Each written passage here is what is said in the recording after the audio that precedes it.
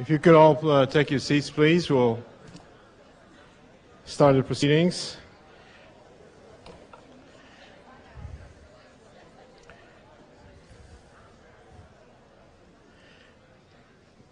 Well, good morning, everybody. I'd like to, um, first of all, on behalf of NIH, welcome every one of you to this uh, memorable day. There are there have been many memorable days at NIH, but I think there are more memorable, day, memorable days than others, and this one is one of them. This is no, there's no doubt that this is a historic event for the entire community of science. And I'd like to also uh, point out that the President uh, sent us his greetings, uh, the letter that you see uh, uh, on, the, um, on the screen. It's interesting to see how science can have watershed events that occur at multiple intervals of times, and those, those events can drive a field for many years. This conference today is to celebrate two of those events, the discovery of the DNA structure, the elucidation of the DNA structure 50 years ago by Dr. Watson's and, Drs. Watson and Crick, and the completion of the human genome by an international consortium in an effort that is really unprecedented in science. We would like to welcome to the symposium the many scientists who have played a major role in leading to these achievements. And you can see from the program that uh, the NHGRI, which has led the effort for the symposium and the, and the celebrations of the human genome completion and the 50th anniversary, have done an outstanding job. One thing I'd like to say is this is that when you really think back at how science and how, in fact, our journey in understanding ourselves evolves, I can't but think of the uh, exploration of the universe by astronomers, where, in fact, over the past 50 years, we've understood now that the universe came out of a Big Bang 15 billion years ago, or 13.7 actually. And then you try to find parallels between this exploration of the universe when, in fact, a whole community of scientists, astronomers, are going back in time to, to the first event that created the universe. Well, we have the similar uh, event in probably in our past four or five billion years ago. There was a big bang of life, and that big bang of life is still not well understood by all of us. And there's no doubt that we're engaged probably in again the same pattern in traveling back in time to understand those very first events Although we do not understand the very first milliseconds of a big bang of life, there's no question that DNA at some point after the Big Bang occurred. And the journey that we are undertaking after the human genome sequencing effort is to, in fact, travel back and understand even more so than we have so far how this evolution of four and a half billion years has led to where we are today. Today, I think we're going to celebrate not just the completion, not just the end of a particularly challenging project which has come to a successful conclusion. We're really uh, celebrating the dawn of a new era in research and medicine. So with that, I'd like to introduce the leader of this effort, Dr. Francis Collins, who over the years has brought his leadership and passion to all of it, to all, the entire community with a greatly successful effort. Francis.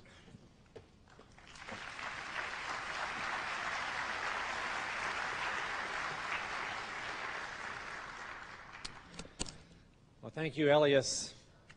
And good morning to all of you gathered here on this historic day.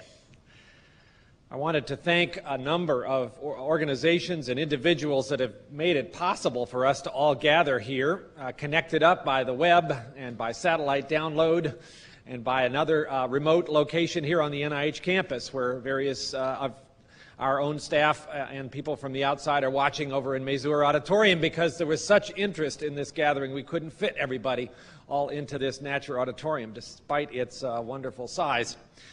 Particularly, I'd like to thank the Department of Energy, our co-sponsors uh, for this symposium, uh, and Ari Patrinos will speak next and say a bit about that and also to thank the Foundation for NIH, a wonderful organization uh, who put countless hours into helping out with a variety uh, of activities that are happening over these three days, and uh, particularly helping uh, with some of the uh, associated components of today and tomorrow.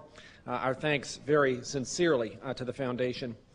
Also to other institutes at NIH who worked closely with us in the design of the program and in the case of NLM and the Office of Scientific Education and the Office of Rare Disease Research uh, helped in other uh, financial ways uh, to make it possible uh, to do what we're doing today. And I should say thanks to my own wonderful team at NHGRI, uh, the Team April uh, that worked tirelessly on this for about a year, uh, led by Alan Guttmacher and Jane Peterson, uh, with able assistance uh, from a host of other people, especially Susan Vasquez and Kris Wetterstrand. You guys were awesome. I want to say a word about the vignettes that you will be seeing as part of this program, an unusual component of a remarkably historic program. Uh, these were done uh, by State of the Art, uh, a, a uh, communications organization here in D.C., with executive producer being Larry Thompson, my communications chief. Uh, they carried out extensive interviews uh, with some of the legendary figures of genetics and genomics and then put them together into these vignettes, uh, which I think you will greatly enjoy and which you can carry off with you in the DVD uh, that you've been given as part of coming uh, to this symposium. So I think you will uh, find that a memorable part of a memorable day. One brief substitution to tell you about uh, Jane Rogers is going to serve as the moderator for the first session this morning. Herb Boyer had a family emergency and is regrettably not able to be here, but you will see him in the vignettes, uh, so you will get some of his words uh, by that mode. Well, this is a landmark occasion. Here in the very month of the 50th anniversary of the discovery of DNA's double helix, I am pleased and honored, perhaps I should say exhilarated, to declare the goals of the Human Genome Project to be completed.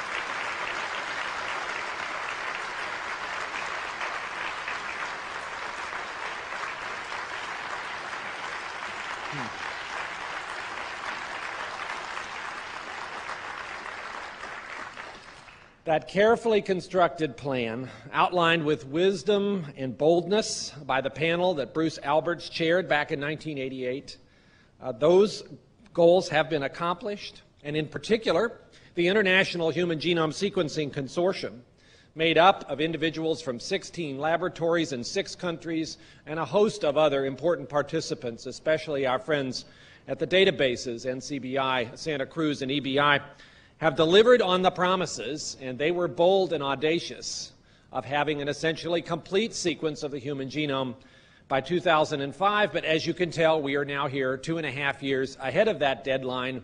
And I'm happy to say, for any uh, government types in the room, at a budget substantially less than what was pro originally projected uh, by Bruce and uh, others who tried to map this effort out in 1990. Uh, so this is, in fact, a grand occasion. And before going any further, I would like to ask all of those who have worked on this project of finishing the human genome sequence to stand up so that we can recognize you and see who you are. So please, rise to your feet, uh, those of you who have worked on this.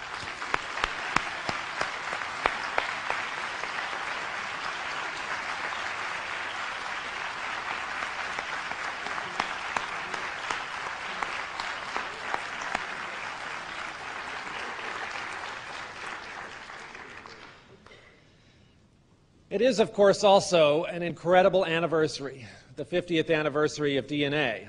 It's also the 50th anniversary of a few other things. The Department of Health and Human Services, by the way, had its 50th anniversary just last Friday. The Corvette is experiencing its 50th birthday party.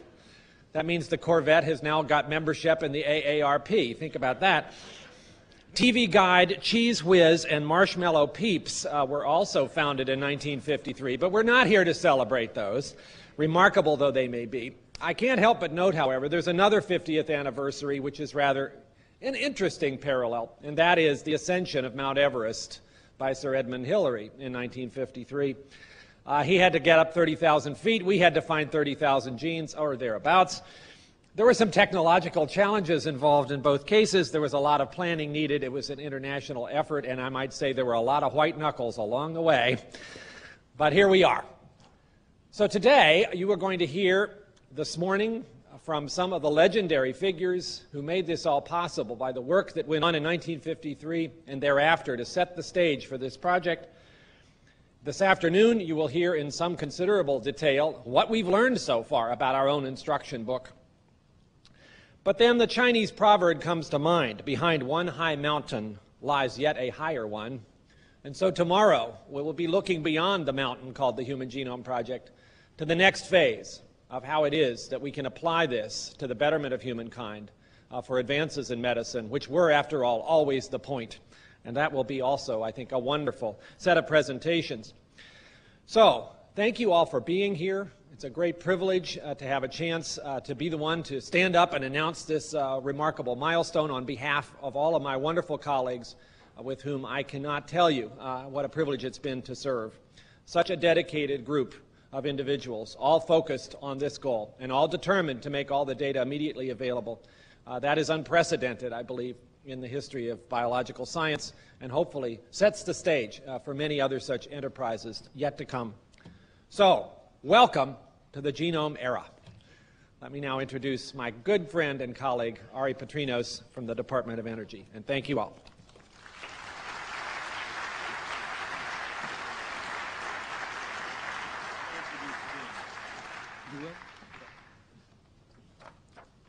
Thank you, Francis, and what a day indeed. Uh, I missed the guitar accompaniment, however, I must say. Thank you very much for the honor to welcome you all here today. My welcome is on behalf of the Department of Energy, from Secretary Orbach, from Secretary Abraham to my boss, Ray Orbach, I just promoted him, Ray Orbach, the Director of the Office of Science. The welcome is also on behalf and to the scientists from the DOE National Laboratories, the academic community, and the private sector who have been associated with the DOE program over all these years. I also would like to add a very special welcome from my colleagues in the Biological and Environmental Research Program that I have the privilege of leading, who have also been with me in the human genome management trenches and they have held steadfast through ups and downs uh, for close to 17 years. This is for me the perfect occasion to express my gratitude and admiration to Francis Collins for his exceptional leadership and for his warm friendship. I also salute all our wonderful friends at the National Human Genome Research Institute for the camaraderie we have enjoyed over these memorable years.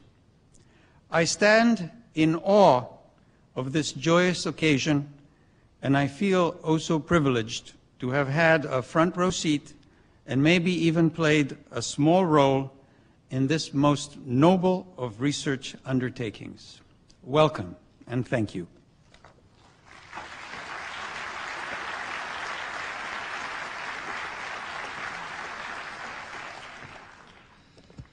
Thanks, Ari, and it has been a wonderful privilege working with you and your colleagues at DOE.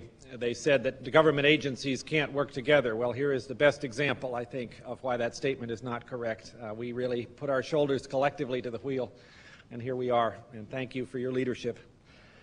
It's now my privilege uh, to introduce the next two presentations, uh, legendary presentations and legendary people. Francis Crick, who will be the second of those uh, presenters, is not able to uh, travel and so was not able to be here in person, but graciously agreed uh, to prepare a video specifically for this occasion, uh, which we will be showing you in a few moments. His collaborator in that remarkable discovery in 1953, James Watson, is here with us, uh, and we are awfully pleased and privileged that that is the case. Uh, Jim, in my view, is probably the best known uh, living biological scientist, or perhaps the best known living scientist. His role in that discovery of the double helix of DNA is familiar to all of you.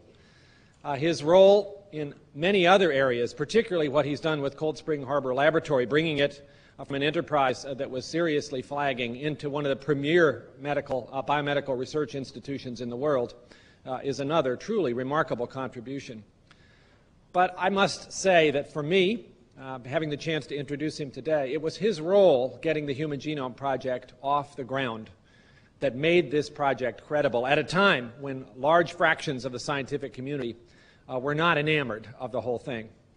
And Jim, uh, with his uh, style, which is direct uh, and forthright, and sometimes rattled a few cages, uh, made this enterprise credible, uh, put it on the map, made all of the original plans about how to get it done uh, established in a way uh, that was bound to succeed. And it was my great privilege uh, to step in after he had initiated this effort and have a chance to lead it over the last 10 years. So there is no person who deserves more to come to this podium right now and speak to you on this occasion, the 50th anniversary of what he and Francis discovered back in 1953, and the moment of announcing the completion of the Genome Project, which he got off the ground uh, back in 1988. Jim, please come and speak to us.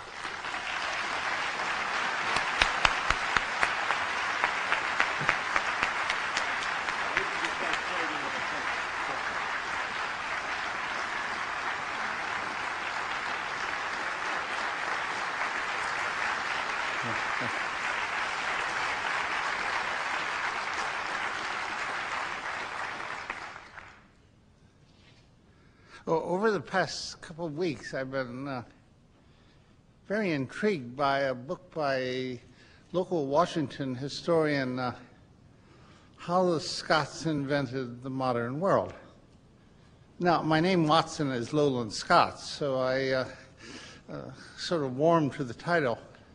Um, but I find it really a great relevance now to the uh, uh, completion of the human genome. Uh, what the book says was that uh, Scotland was the intellectual center of the world all during the 18th century and into the 19th century. It wasn't Oxford or Cambridge or uh, Paris, it, it, was Scotland. And uh, why? And uh, it was there that modern moral philosophy was invented, worrying about human behavior. And uh, the leader was David Hume who uh, said that human beings are not motivated by reason, but by their passions. Uh, reason is a way of achieving your passions. Now, the passions which to me are relevant today are uh, uh one, uh, uh, self interest. I think this was the one that Adam Smith went on to say that human beings work best when they work for themselves uh, not for the state, not for the king, not for God, but for themselves. And uh, that sounds, you know, uh, when I was young, that was a rather bleak thought that uh, self interest dominated us. And the second was that uh, human beings, uh, their human nature, gave man a, a, great desire to help each other, help other human beings. So that it didn't come from, uh, I pick someone up because he'll later pick me up. But it's an instinctive reaction. If uh, you can help another person, you do so. So, and then the other passion, which uh, I want to emphasize, which not so much, but it was curiosity. you just want to understand things. So uh, if you put these three together, curiosity, self-interest, and uh, compassion for others, uh, then you can get a, a modern society. Now, when Francis and I found the double helix, we were motivated, of course, by curiosity. We wanted to understand life, and DNA seemed to be at the center of life, and therefore uh, I didn't want to think about anything else except girls. But you know that was uh, that was another component of human nature, which you know I don't want to emphasize. But uh, the curiosity was uh, uh really there, and uh, of course we had our self-interest. We wanted to, to, find it ourselves. We didn't expect to find it ourselves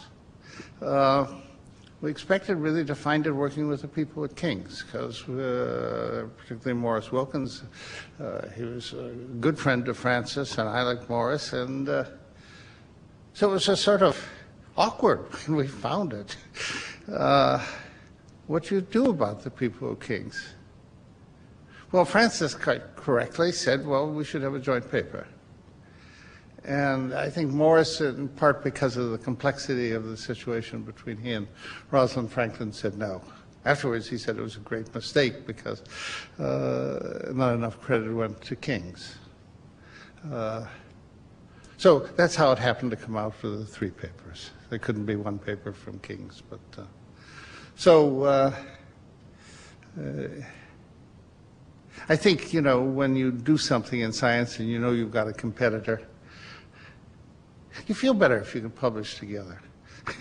Uh, or at least a lot of people do, and uh, uh, I think uh, you know the civility of science demands that sort of everyone comes first sometime.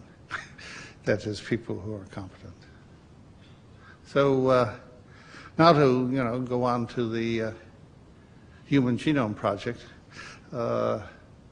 Uh, there was a, just natural curiosity. Uh, the human DNA sequence was, you know, the, the program for human development and functioning. So nothing could, you know, satisfy our curiosity better than to find out what we are. That's just a, again, uh, you know, if we're curious about anything, we should be curious about ourselves. There was also self-interest. Driving me in 1986 was the sudden realization, or the slow and painful realization, that we had a son with a, a very disturbed and unfunctional mind. And I thought, we'll probably never understand why Rufus is sick until we can get the genetic causation of mental disease. So I wanted to get the Human Genome Project fast. Now, to achieve it, it seemed to me very clear that it wasn't going to be one person. You're going to have to get a lot of people working together. And I always saw it as an international project. Uh, and I think we've really seen just the best of human beings and the way uh, the consortium has worked together to come out with this sequence. Uh, uh, the decision taken at Bermuda just to put the data uh, on the web the next day and not worry about you yourself using it was uh, unbelievably important thing. I think it uh, again showed these uh, that humans uh, really can. Their instinctive reaction is you've got to work together. and uh, the self-interest, the, the project was so important that you really had to focus much more on working together than being the first. I think that was uh, it. And that we've, uh, that we're here is one reason I look forward to the future. I mean, you can take this uh, two views of society. You shouldn't, uh, you know, you've got all this knowledge and it's going to be misused by people who are going to try and put the rich ahead of the poor and the developed world against that. I don't think our knowledge is going to be used this way because I think we really want and instinctively want all people in the world to have meaningful lives like the people in this room have. And uh, it's, you know, whether you believe the origin of this comes from God or your genes, it doesn't matter. It's, I think, what we have, and uh, we should reward it and celebrate it whenever we can. Thank you.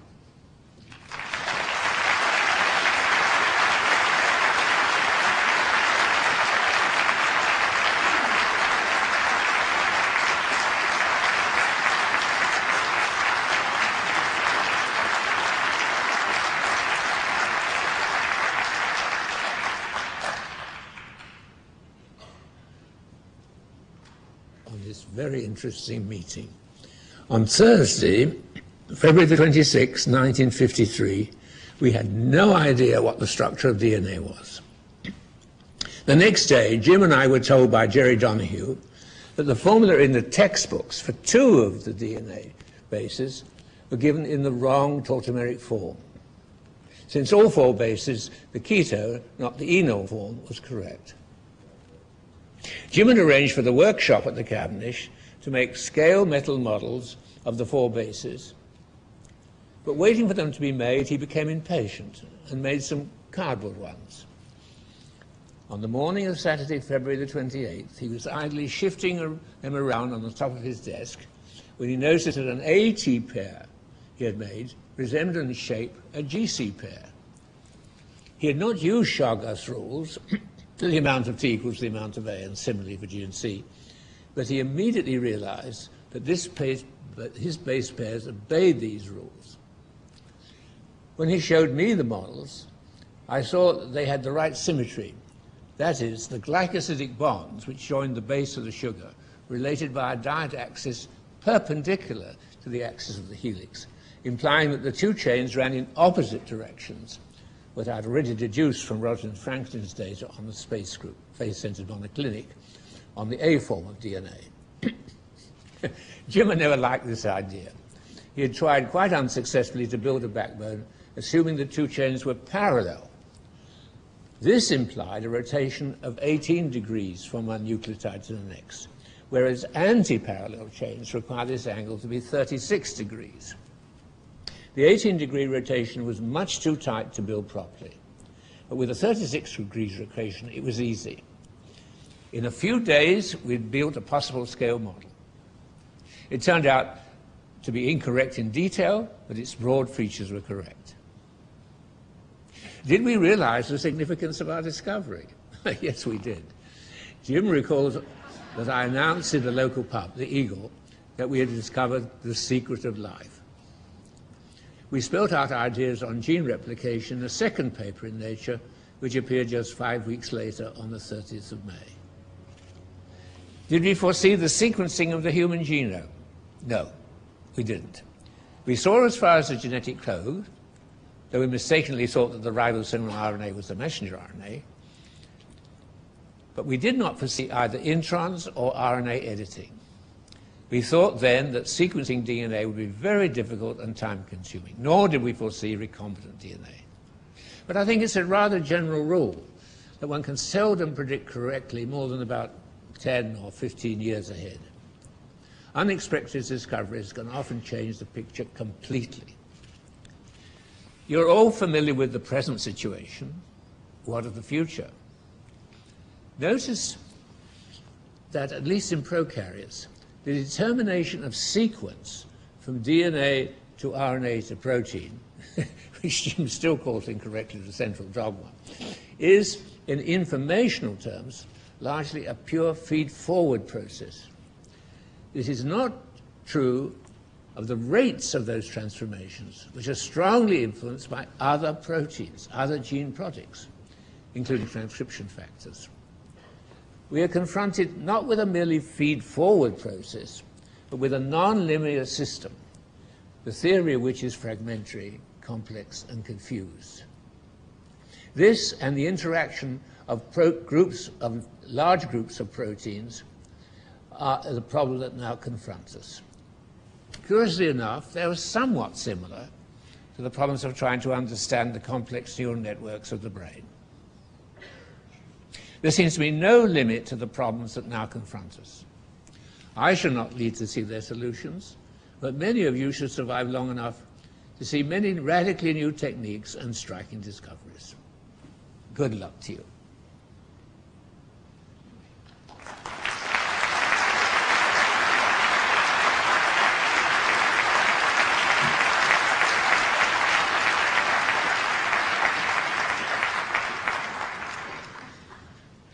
So, having heard from the two people who discovered the structure of DNA, we're now going to move on this morning uh, to the first session and hear about the first discoveries that followed the, uh, the structure, the discovery of the structure itself. So, we're going to start with a, a short vignette, as uh, Francis mentioned, and the first vignette is about uh, how DNA works, and it encompasses a number of people who talked about the discoveries that they undertook and their experiences and, and uh, how their thought processes moved on from the structure itself to understanding more about life. So the first to be next.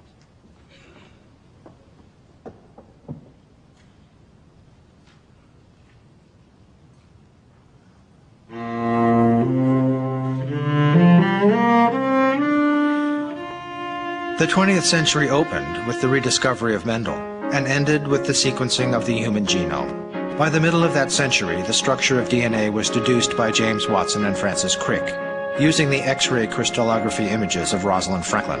I just turned over a page in my life and said, This is the new book. None of these things could be understood until we knew the structure of DNA. The characteristic of this discovery is it was so desperately needed. It was desperately needed.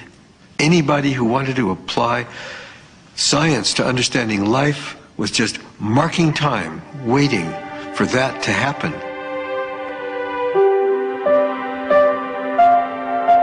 There one saw immediately how all many of the questions that had arisen in genetics could be answered. And that the model actually explained how uh, one could get a chemical basis, if you like, uh, for inheritance. So that from somebody like Jim and Francis's standpoint, they could say the critical question in biology was how does DNA work? And we'll learn about that by looking at its structure. The questions had a linear flow to them. And with Francis there to tell us what they really, you know, to help, to help formulate them. Uh, it was like a, a logic game.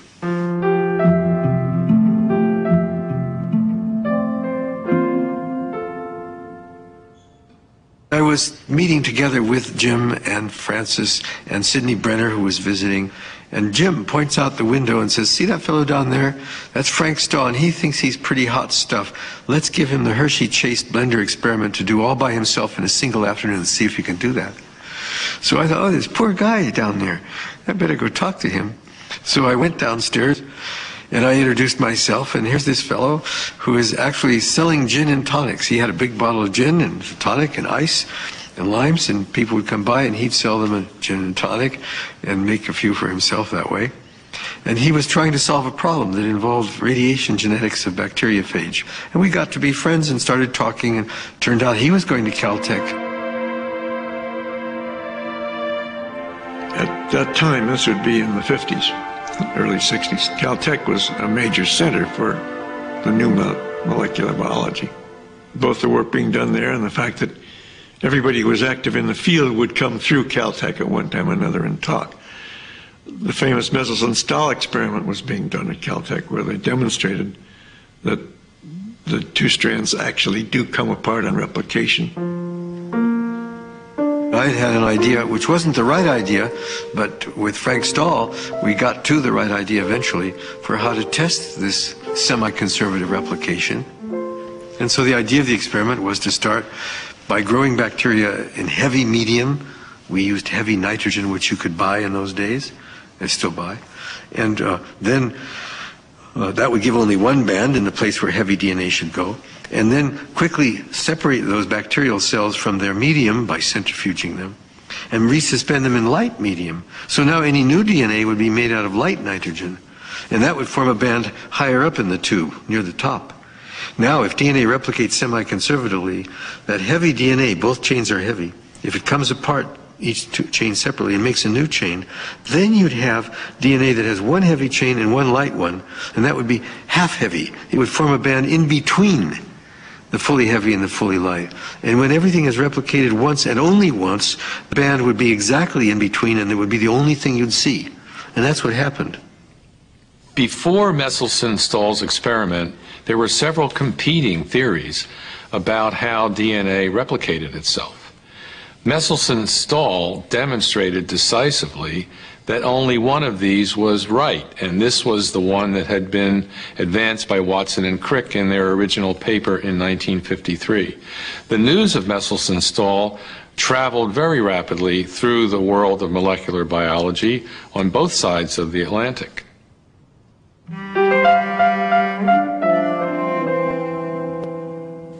Had been known for some time that proteins uh, were not made in the nucleus, but they were made in the cytoplasm.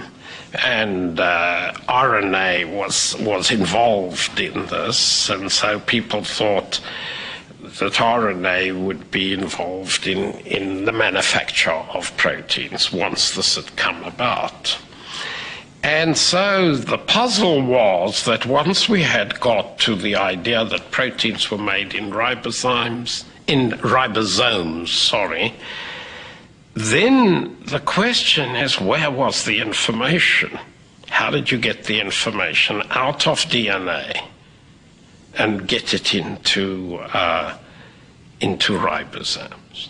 And out of this came the messenger RNA hypothesis with and Jacob and Brenner and uh, Meselson were involved in putting that forward. Uh, and then it was called the messenger because it took the message from the DNA, you see, the message from the DNA into the cytoplasm where it was transformed.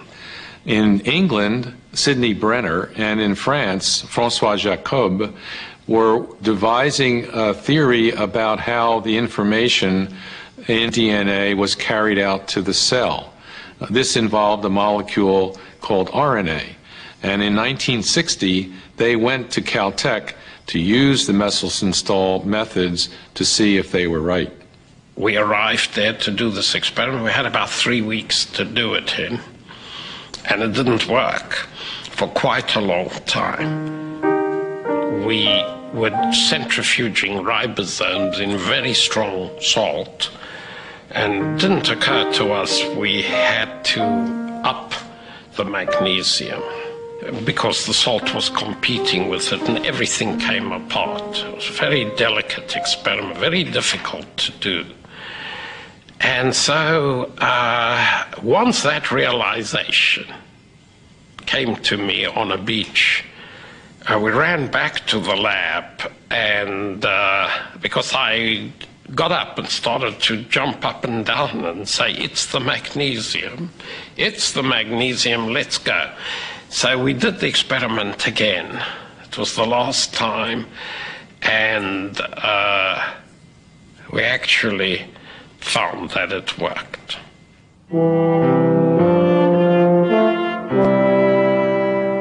Uh, the key element in the central dogma was the adapter, the tRNA, oh, another idea of Crick's. Uh, Gamow had uh, uh, created uh, the coding problem, formulated the coding problem as one in which he looked at the DNA and saw various cavities. And so he very naively assumed some properties about these cavities which were wrong. Francis Crick solved that when he suggested the adapter molecules, RNA, and the messenger concept, which came from Jacob and Brenner and others. The adapter was nucleic acid, and that you had an enzyme that coupled the amino acid to the adapter. Right? And then the adapter would go and find its place on the nucleic acid. And of course, uh, at the time he put this forward, uh, a biochemist stood up and said this is impossible on the grounds that had there been 20 enzymes, they would have already discovered them. So there aren't 20. And that was the last piece of the puzzle. Because now you had the transfer from DNA to messenger RNA, the adapters that, that made it into protein, and then proteins could go out and do their thing. But that still left open the question of the code. That is, how is it that the sequence of base pairs in the DNA actually instructs the ribosomes in the cell what kind of proteins to produce? Watson and Crick wrote two papers. The first paper was the structure itself, and the second paper was uh, about the implications. The, that last sentence of the first paper was, and in that, it's already clear that we're talking about a code, that we're talking about ways of decoding. Meanwhile, the coding problem sort of bounced along. Uh, Brenner and Crick did their very ingenious experiment suggesting that it was probably a triplet code. We needed then to see that we could explain everything by mapping uh, one sequence written in a four letter language onto another sequence written in a 20 letter language. And that formulated the problem of the genetic code. Nirenberg did the dramatic experiment with the in vitro protein synthesizing system showing that polyuridylic acid coded for polyphenylalanine. Uh, one of the polymers we made was a polymer with just uridylic acid residues. And one day, uh, Marshall Nirenberg appeared. He worked down the hall in another lab, um, and uh, he appeared at the door and wanted some poly U. And that was the first uh, opportunity to define one of the codons in DNA. And of course, the famous poly-U, polyuridylic acid worked. It made a uniform amino acid. It made a uniform uh, product of polyphenylalanine, which you could test by incorporation. And so it became very clear that you could get quite far. We call that ultimately the genetic code. And it took about 10 years after the DNA structure for the genetic code itself to be worked out. And then when it happened, you had this enormous, rapid development, getting the code, understanding mutation, understanding protein synthesis. It all had to happen like just a trunk opening up and spilling out.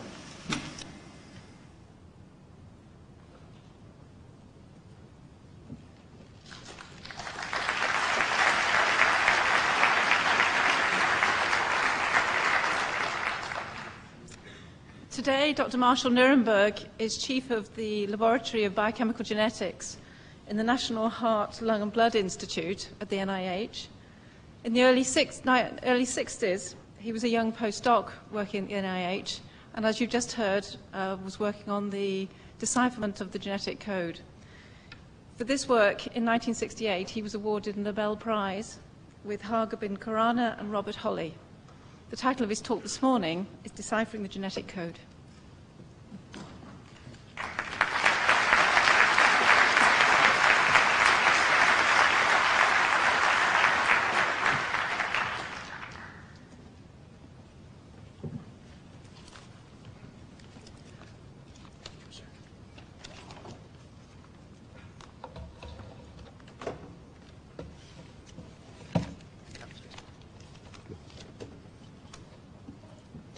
Thank you. In 1958, towards the end of my postdoctoral fellowship, uh, which I'd been doing in enzymology here at the NIH, Gordon Tomkins offered me a position as an independent investigator in his section, and um, and I decided, I thought long and hard about what I should do. Um, I decided to switch fields, and the thing I wanted to to do more than anything else was to work on an important problem and to, um, uh, to explore. And the, the, the, two of the most important problems that were being worked on at the time were cell-free protein synthesis, the mechanism of cell-free protein synthesis, and um, genetic experiments trying to find out how beta, the, the beta-galactosidase gene is regulated in E. coli. And so I decided to, to uh, work in cell-free protein synthesis. My initial objective was to find out if messenger RNA existed. This was 1958. At that time, the uh, major thing that was known about protein synthesis was that amino acids are incorporated into protein on ribosomes, and uh, transfer RNA had just been discovered, but it wasn't known if transfer RNA was an obligatory intermediate in protein synthesis at the time. So I, my long-range objective was to get the cell-free synthesis of a small inducible protein, penicillinase. And so I began preparing ribosomal RNA because I thought that um, ribosomes would have a small amount of messenger RNA uh, uh, present and DNA preparations to, and adding them to cell-free extracts to see if I could get the uh, cell-free synthesis of penicillinase. I worked for about a year and a half on this problem, um, and I, I, must say that um, uh, that I was acutely aware that this was an extremely dangerous project to work on, because I was working alone. Uh, there were some of the best biochemists in the world were working on cell-free protein synthesis, And, uh, and I wondered, you know, what, what chance do I have uh, without any experience in the field, working alone, to find something uh, uh, useful? But um, actually, the desire to explore was greater than the fear of failure. And so I continued to do this. After about a year and a half, um, I was getting a small, a small increase in penicillinase synthesis that was dependent upon the addition of ribosomal RNA. Um, but it was clear that I needed a more sensitive assay. Then Heinrich Matthaei came to my lab as a postdoctoral fellow, and I immediately gave him um, uh, uh, the more sensitive assay to, uh, to use. That is, to use amino acid incorporation into protein um, to see if, if uh, the ribosomal RNA would stimulate radioactive amino acid incorporation. And the very first experiments worked. We used the same conditions that I had, that I had um, devised for penicillinase uh, synthesis. The very first experiments worked, and I literally jumped for joy because I knew that we had a cell-free assay uh, then for um, the function of messenger RNA. Now, um, there were three um, rather trivial, trivial um, uh, uh, things that, that, we, that we developed uh, that were extremely important in the long run. The first was that um, uh, I devised a, a, method of stabilizing the, the extracts so we could freeze them. And, um, and we would, didn't have to make them fresh for every day and we could freeze them in small aliquots and use them for a long time. The second was that the endogenous incorporation of amino acids into protein was very high, and um, we had to devise a method of, um, um, of reducing the blank. Now, this is incorporation of, of C14 valine into protein against minutes. In, without any addition, you can see that that, um, that, that there's a lot of incorporation of valine into protein. But uh, a number of, of workers had reported that the addition of DNAase to E. coli extracts um, uh, inhibited the incorporation of amino acids into protein. And I confirmed this. Um, and, uh, um, and so I incubated the, the extracts for about 40 minutes until endogenous incorporation ceased. And then I froze the extracts. These, these were incubated in the absence of a radioactive amino acid. Then I could freeze the extracts, and then the, the background endogenous incorporation was very low. And if you added messenger RNA preparations, you could see a large uh, increase. The other um, really important uh, change in the methodology that we made was to uh, at that time, the standard way of washing the precipitates was by repetitive centrifugation. And it was extremely laborious to remove uh, unincorporated free amino acids uh, from the protein by repetitive centrifugation. It took an entire day to do, to just do the washings. And I tried, at that time, a new kind of filter had just um, appeared, uh, millipore filters. And so I tried to um, uh, to wash the precipitates on millipore filters, and it worked just as well as the repetitive um, uh, centrifugations. And then I could do in one day what it would take 10 people to do um, uh, formally. And this kind of evened the playing field so that, uh, and that proved to be very important. Now, the next, the next slide. Um, I got um, as many different kinds of RNA as I could. Um, for one thing we did was to fractionate the ribosomal RNA, and we would show we could show that only a small fraction of ribosomal RNA actually was active as a template, as we expected. I found that um, uh, yeast uh, ribosomal RNA also was active, that tobacco mosaic virus RNA was uh, extremely active as a template for protein synthesis. And whereas we were getting hundreds of counts incorporated with ribosomal RNA, with TMV RNA, we got thousands of counts going into protein. Um, and then I got some, uh, some uh, synthetic polynucleotide, poly-U, and which we wanted to test for template activity.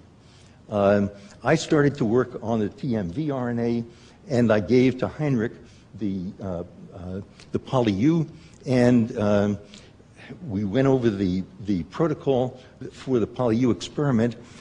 The object of the experiment was to find out whether um, poly-U was active as messenger RNA. So we made 20 different amino acid um, uh, solutions, each with 19 cold amino acids and a different uh, radioactive amino acid, and tested each one uh, with the poly-U. And Heinrich found that uh, poly-U stimulated phenylalanine incorporation into protein. And the, the incorporation was, was remarkably large. So it was clear that a, a sequence of U's in poly-U uh, corresponded to the RNA codon for phenylalanine. And this provided, this is a uh, picture taken in 1962 of Heinrich and myself.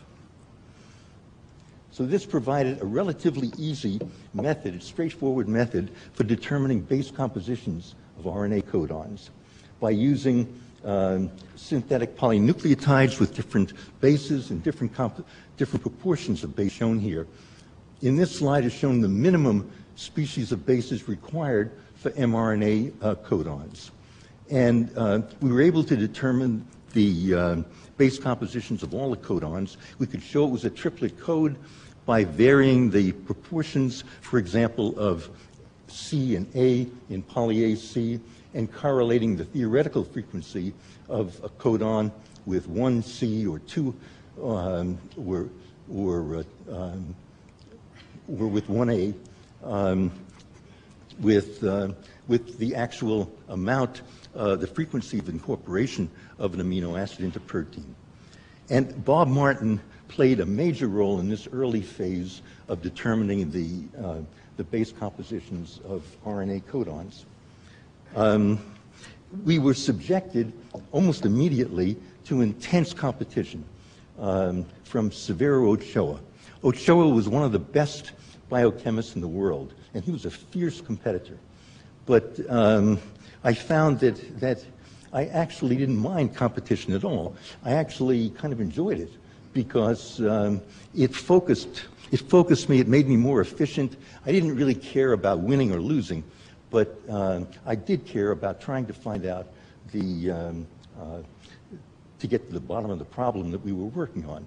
And, and at any rate, I accomplished more with competition, so I think that that served a very useful function. But we needed to, to determine the, uh, the nucleotide sequences. Also, um, as shown here, this is, this, this is the percent of C14 phenyl, phenylalanine incorporated into protein. It's 100% here. And this is the first um, antisense experiment. Uh, when we added poly A to the poly U, we formed double-stranded uh, and then triple-stranded helices here, which were completely inactive as a template um, uh, for protein synthesis, whereas the addition of poly C had no effect, a little or little effect um, on incorporation. But we needed to determine the nucleotide sequences. Um, one, and we tried various methods uh, that didn't, did not work. Um, but um, one day I, I, wondered what the smallest message, functional message, would be that would direct the binding of amino acyl tRNA to ribosomes.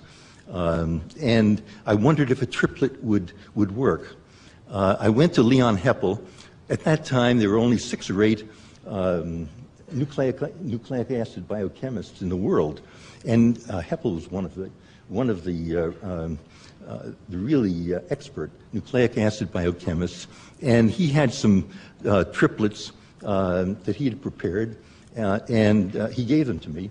And the very first experiment worked. That um, we, that's shown on this next slide. Um, this is the binding of C14 lysine to ribosomes due to the addition of either a doublet, a triplet, uh, or higher homologs, as shown here. The doublet didn't work. Triplet directed the binding specifically of lysine tRNA to ribosomes, and an increase was only observed with the hexanucleotide, as shown here. Now, at this time, there, most of the 64 triplets uh, had never been isolated or, or synthesized. They were new compounds. And so our major problem was how do we synthesize the 64 triplets? Um, Phil Leder found uh, an advertisement in the journal.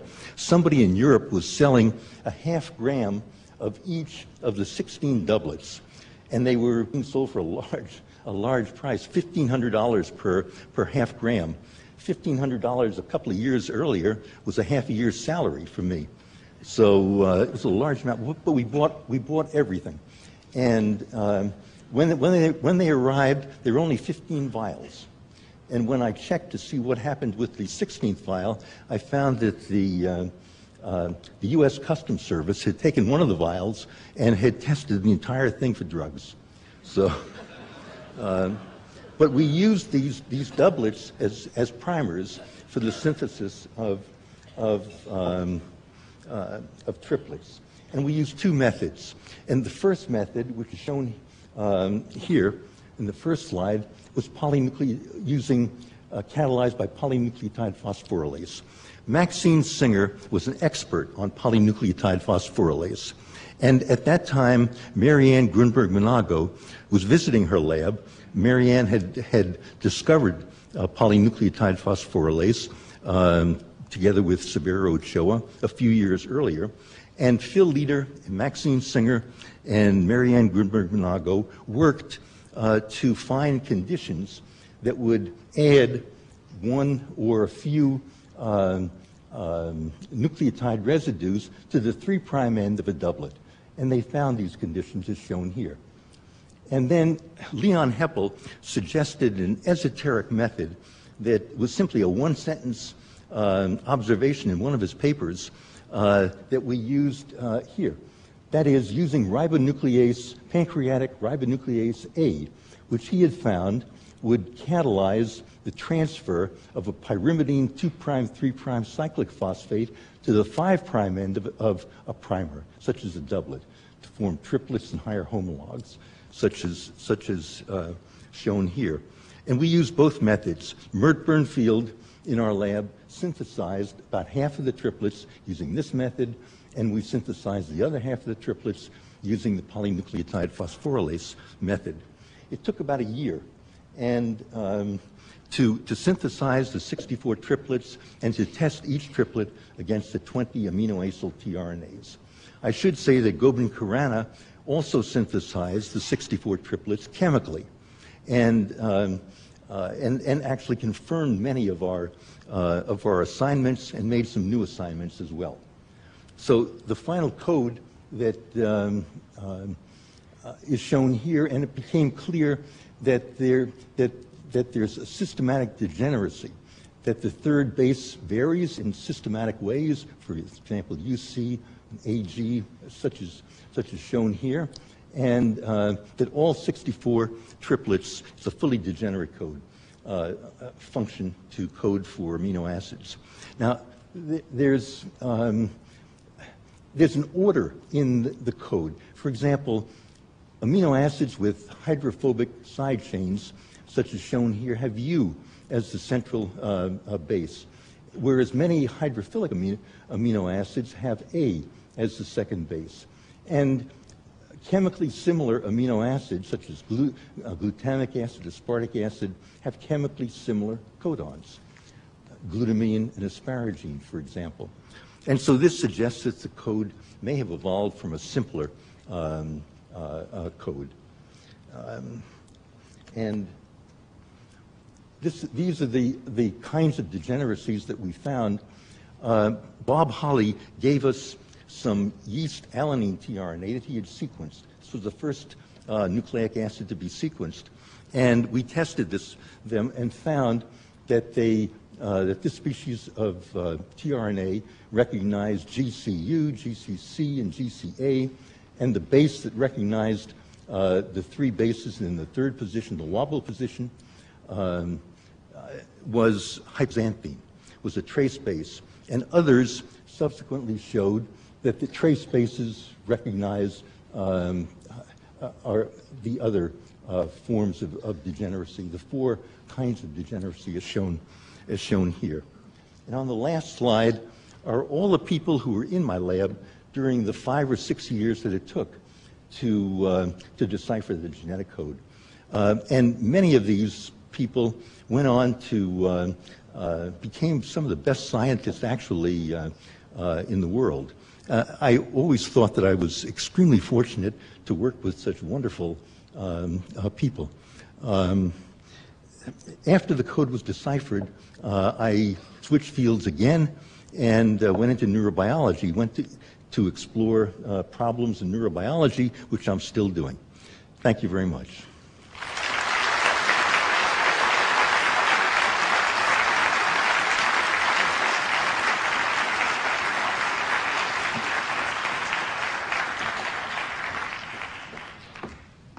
Thank you very much for those insights and memories. Uh, our next speaker is Professor Stanley Cohen. Uh, he's professor of genetics and professor of medicine at Stanford University. And in 1973, Professor Cohen, uh, together with Dr. Herb uh, Boyer, for whom I'm standing in this morning, um, discovered methods for manipulating DNA that we all rely on so much today. So, uh, Professor Cohen, would you like to come and talk to us about the pathway from the double helix to DNA cloning?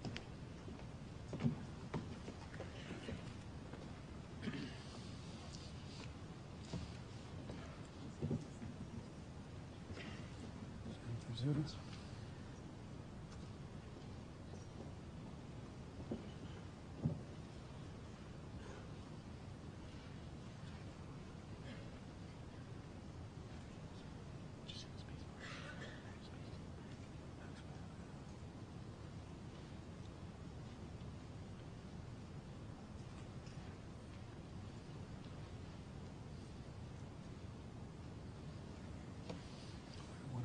the first one.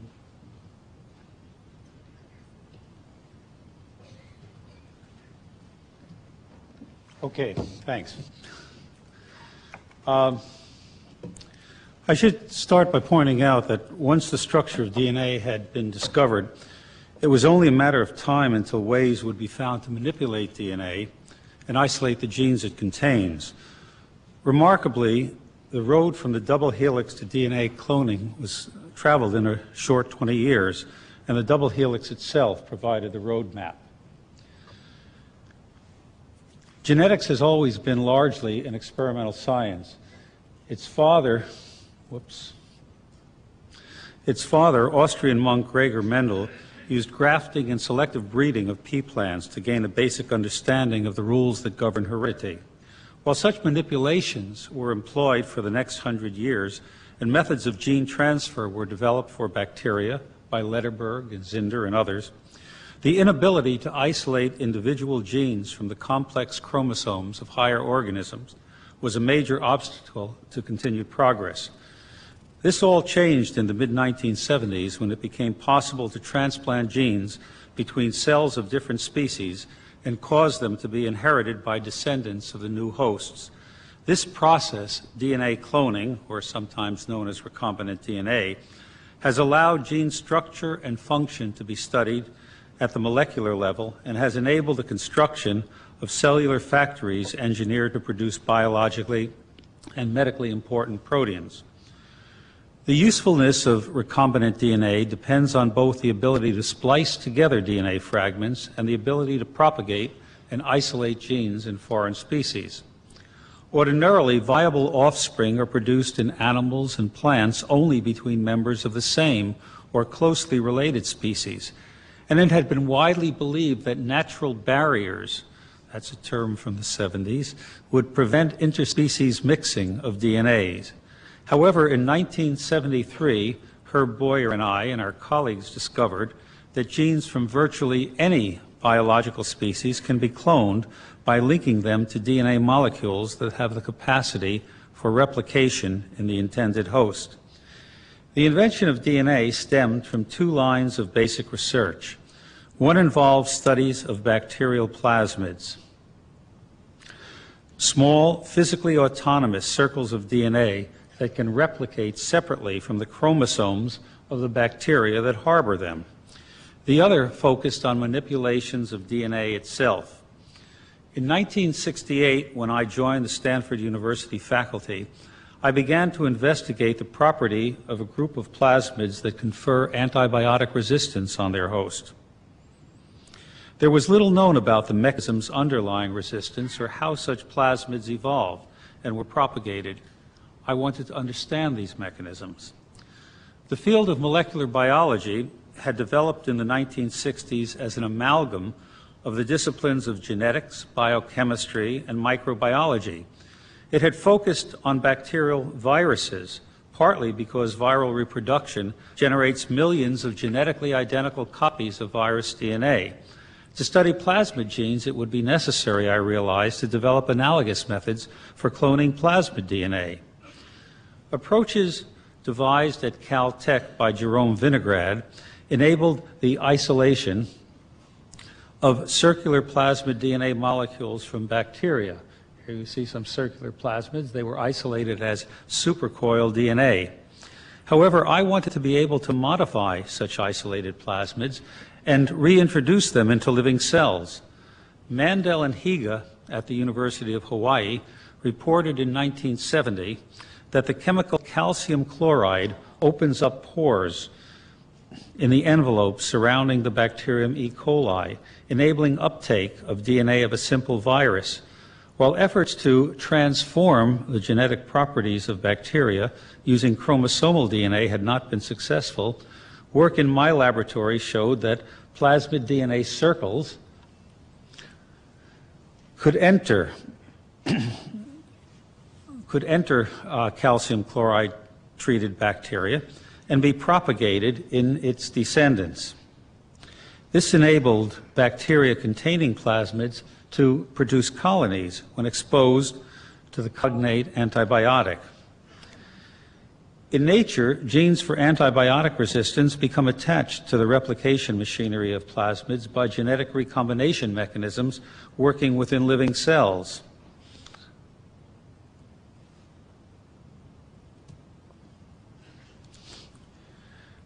I had begun to break plasmids apart by mechanical shearing and to introduce the resulting DNA fragments into E. coli I hoped that novel fragment combinations would be formed in these cells by the same mechanisms. I also wondered whether plasmid DNA fragments could be linked together while the DNA was outside of cells. A biochemical approach for DNA joining had in fact had been developed in the laboratory of Gobind Khurana, a virus-encoded enzyme called DNA ligase. could splice together DNA molecules that had blunt ends, this occur, although this occurred at very low efficiency. However, it was known that efficient DNA joining could be accomplished by using a central feature of DNA. The ability of nucleotides on one strand to pair, see, I don't see it, I see it on my screen, but not on, there's uh, something wrong. Oh, there we go. Thank you. the ability of complementary nucleotides on one strand to pair with complementary nucleotides on the other. Virus lambda uses this strategy when it replicates. Nucleotides present on a single strand extension, single strand extensions at the ends of lambda DNA can interact by the bonding of hydrogen atoms with complementary nucleotides from one strand and the other strand, holding the two ends of lambda DNA together to form a circle. Martin Gellert and others had shown that the nicks in the strands of the DNA circles can be repaired by DNA ligase, producing a permanent joint. The complementary ends of lambda DNA provided a paradigm for DNA splicing However, in nature, nucleotides at the ends of DNA fragments are rarely complementary. A 1969 thesis proposal by Peter Loban, then a PhD student working in the laboratory of Dale Kaiser in the Department of Biochemistry at Stanford, suggested a solution to the problem. Loban propo- proposed to install a stretch of thymidine nucleotides onto the ends of one type of DNA and a stretch of complementary deoxy A nucleotides onto another using the enzyme deoxynucleotidyl transferase. Loban hypothesized that hydrogen bonding between the A's and T's would hold the separate DNAs together so that the nicks, us, we've lost it again, so that the nicks at the junctions could be sealed.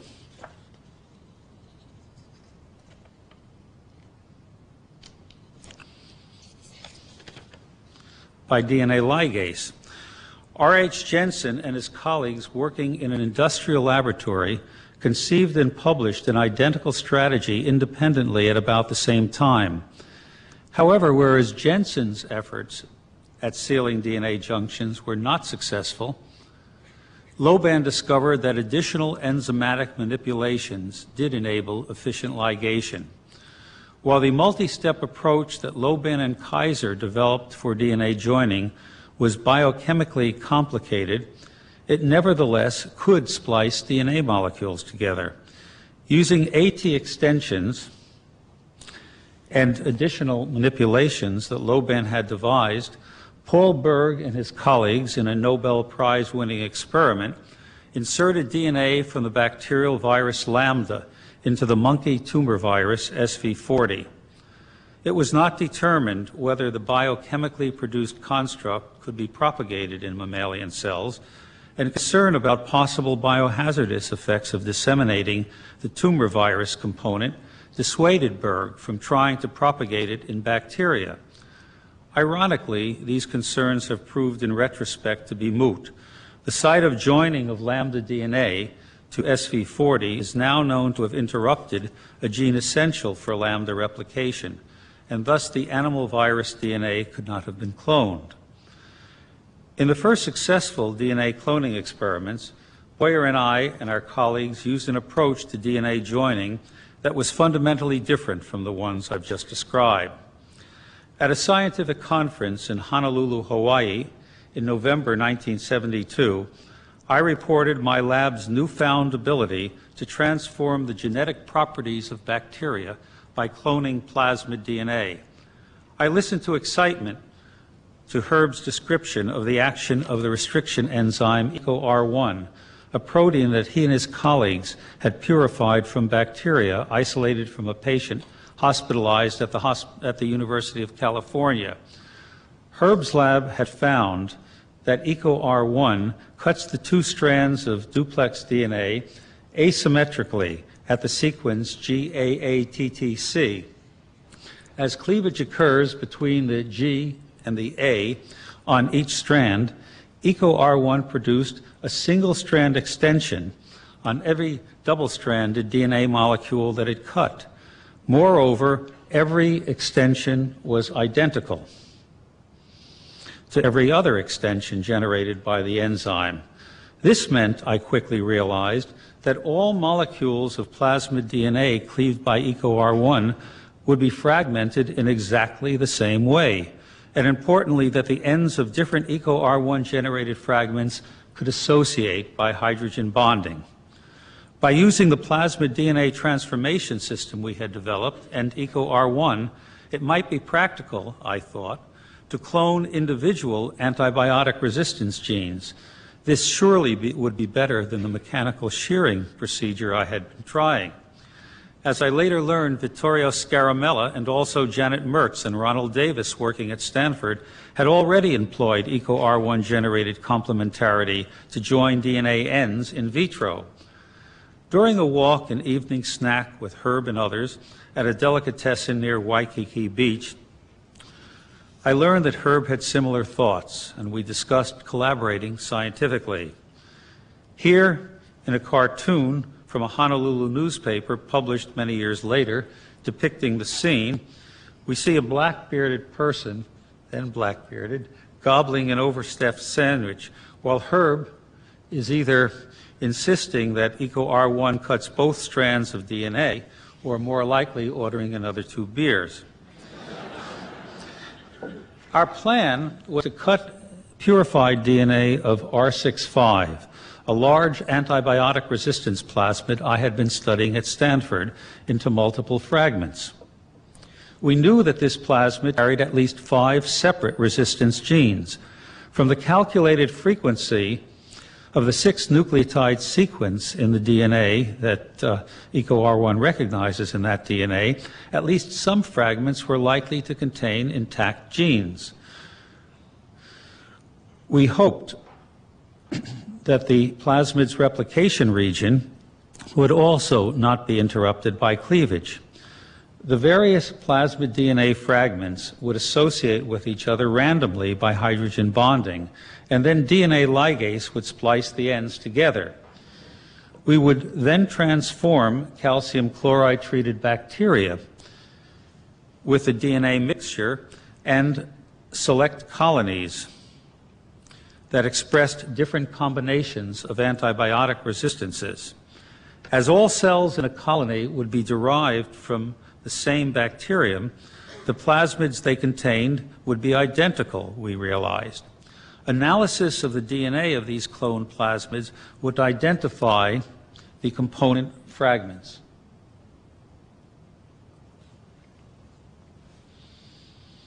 Although the concept seems straightforward, no one knew at the time whether novel plasmids constructed in this way would be propagated or would be capable of propagation in living, living cells.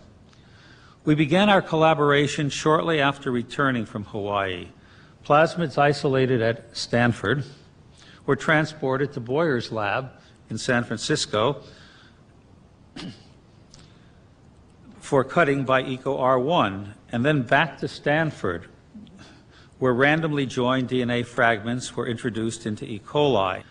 Bacterial colonies expressing only some of the antibiotic resistance genes were isolated and then analyzed by electrophoresis in gels at UCSF and by centrifugation and electron microscopy at Stanford.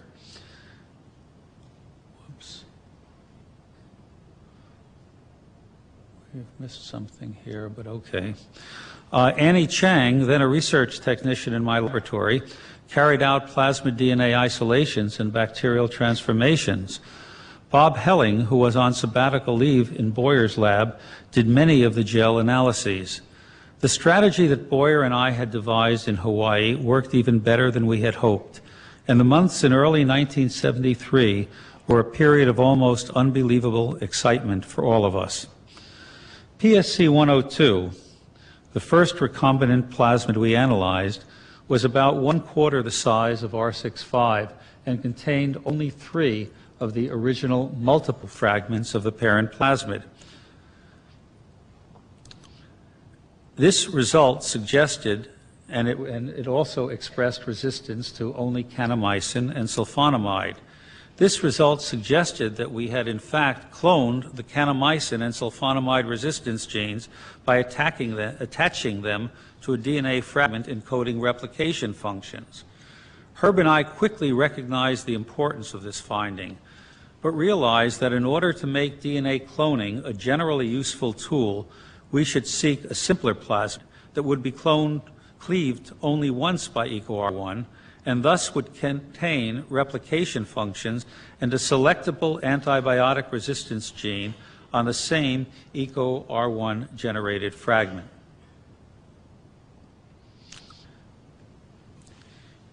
If the EcoR1 cleavage site did not interrupt genes essential for plasmid replications, or the antibiotic resistance gene needed for selection of transformed bacteria, this plasmid could be used as a DNA cloning vector.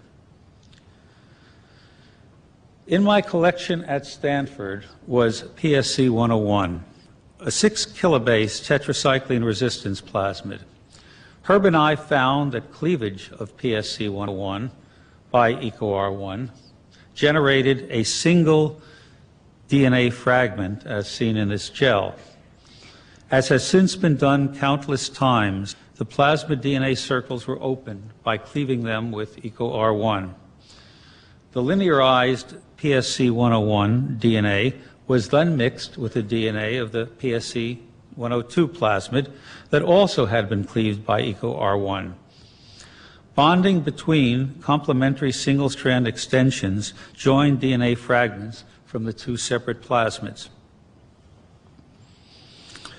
DNA ligase was added, and the now closed circles of DNA were introduced into calcium chloride treated E. coli. When the bacteria were spread onto culture media containing tetracycline and kanamycin, cells that concurrently expressed resistance to both antibiotics grew as colonies. Gel analysis of plasmid PSC 105, which was isolated from one of these colonies, there should be a gel here, but somehow it is not. Anyway, there really is a gel analysis which showed that PSC 105 contains fragments from both parent plasmids, from PSC 102 and PSC 101. Um, and uh, uh, therefore allowing us to identify the fragment of PSC 102 that uh, uh, had been cloned onto PSC 101.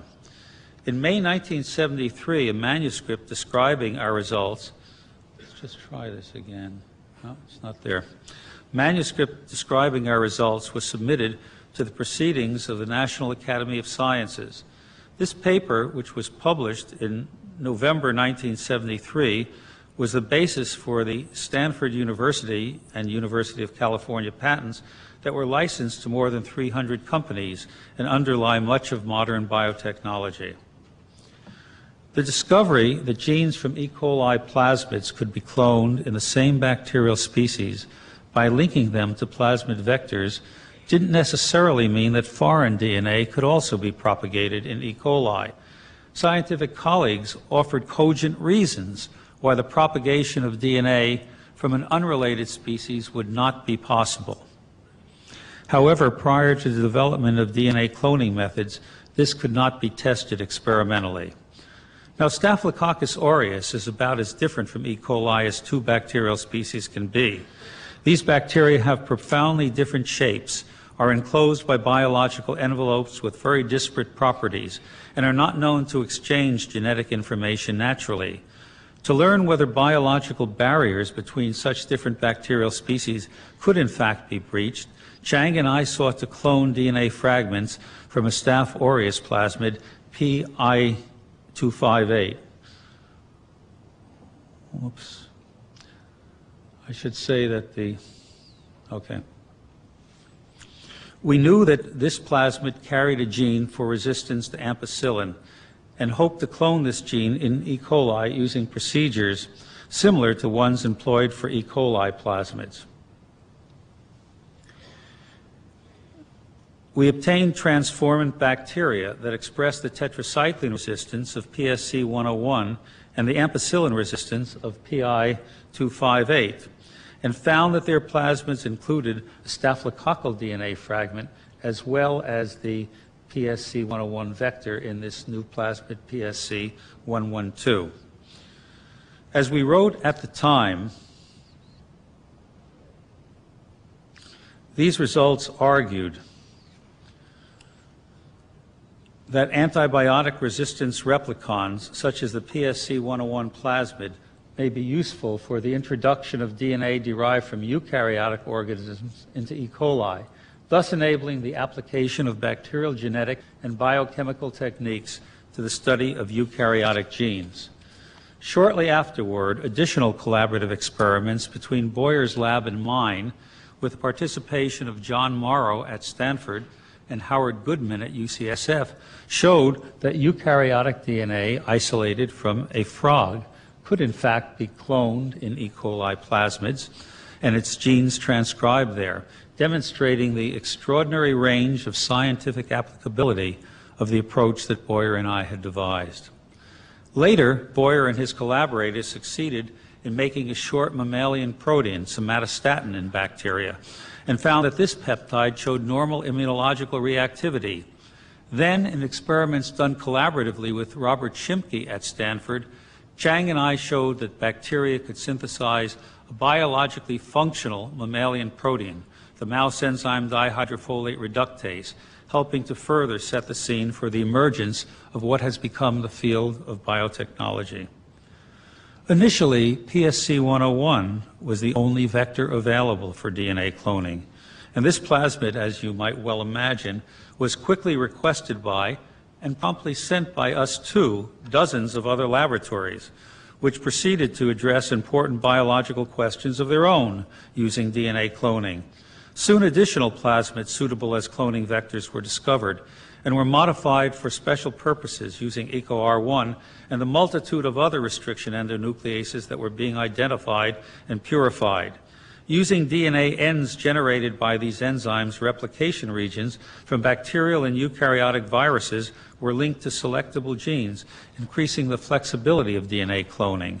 Systems for accomplishing efficient production of mammalian cell proteins encoded by genes cloned in bacterial and eukaryotic cells were devised so that synthesis of medically important products using DNA cloning methods is now carried out routinely. In closing, I want to say that it has been a joy for me to witness the ways in which the invention of DNA cloning has contributed to the advance of both basic and applied scientific knowledge. And I know that Herb has felt the same way. However, I also want to say that science isn't done in a vacuum. The discovery of methods for cloning DNA depended not just on insights that Herb Boyer and I had about plasmids and restriction enzymes, but also on the fruits of prior efforts in other laboratories, as is the case for most discoveries. Notwithstanding the doubts of many in the scientific community that genes from one species could actually be transplanted to, propagated in, and cloned in a very different one, the approach that Boyer and I conceived to achieve these objectives is, in retrospect, astonishingly simple. The roadmap, in fact, came from the properties of the DNA helix. And one can say with certainty that if Boyer and I had not collaborated in early 1973 to show the feasibility of DNA cloning, the cloning of DNA inevitably would have been accomplished later by others, probably approaching this goal from a different perspective. Such is and should be the nature of science. Thank you.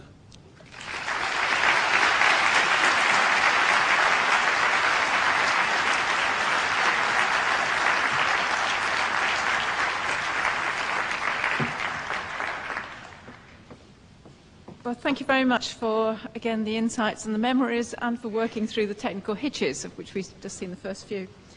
Um, we're now about to see the first change in the programme, and uh, in order to get a little ahead of ourselves, uh, we'd like to go uh, ahead now and roll on the second vignette. Uh, these, again, are memories of people who worked with manipulating DNA. And we'll then break after this for coffee, which will be out in, in the hallway. So, second vignette.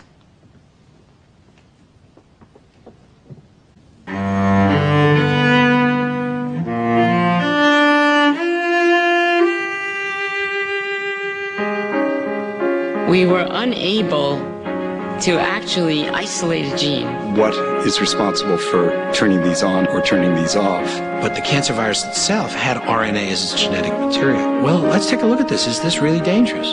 Once you had centrifuged the DNA molecules, it was extremely laborious and difficult. The present guidelines, which prohibit. When I finally was called upon to testify, by this time it was one o'clock in the morning. And this was the starting of the biotechnology revolution.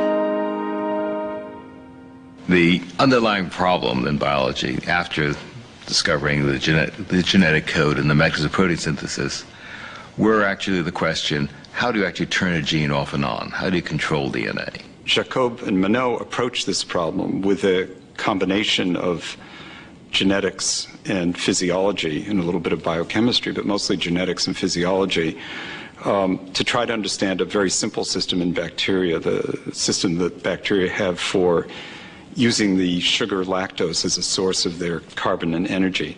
But back in 19 middle 60s, we didn't know what any of these genes did, and we didn't know in the case of the repressor whether it, the gene made an RNA molecule or a protein molecule or what. We wanted to get more into the details. Some of us doing genetics, people like Wally Gilbert doing biochemistry. Um, how do you study a gene in biochemically, you need to have at least partially purified that gene. John Beckworth came to work with me first, and he actually worked on genetic suppressors. He was a great performer in that area. And so, what he decided at one stage was to say, well, I'll purify the lac gene. The basis of our being able to isolate the lac gene uh, comes from the structure of DNA itself. Um, and what we had done was to isolate two viruses.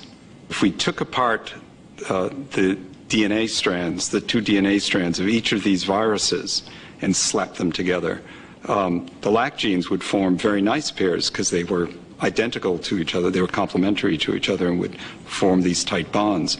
So what you ended up with was a structure in which you had lac genes forming a nice double helix, but these two other strands of the virus um, sticking out and not forming the, the tight, tight bonds. And we were actually able to visualize that on a microscope. And first of all, they were beautiful pictures because they were exactly what we had predicted, which was very nice. And this is the first time a gene had been taken out of a chromosome and purified in a test tube. We called a press conference on uh, the day that the paper was published and announced uh, our discovery. Um, but at the same time at this press conference, we also uh, talked about some of our ethical concerns about genetic manipulation. And so the media reports, which were worldwide on our finding, were a mix of reporting genetic advances and, and suggesting how close we might be coming to curing genetic diseases, et cetera, which was a bit of a, a stretch, but I mean, it's down the road, it, it's related to that certainly. John Beckwith's electrifying feat demonstrated that you could obtain a single gene from a bacterium. However, his approach was not useful for obtaining genes from higher organisms, including human beings. But then in 1970, Howard Temin and David Baltimore came along and independently discovered an enzyme called reverse transcriptase that enabled the genetic information in an RNA tumor virus to be integrated into the DNA of a cell.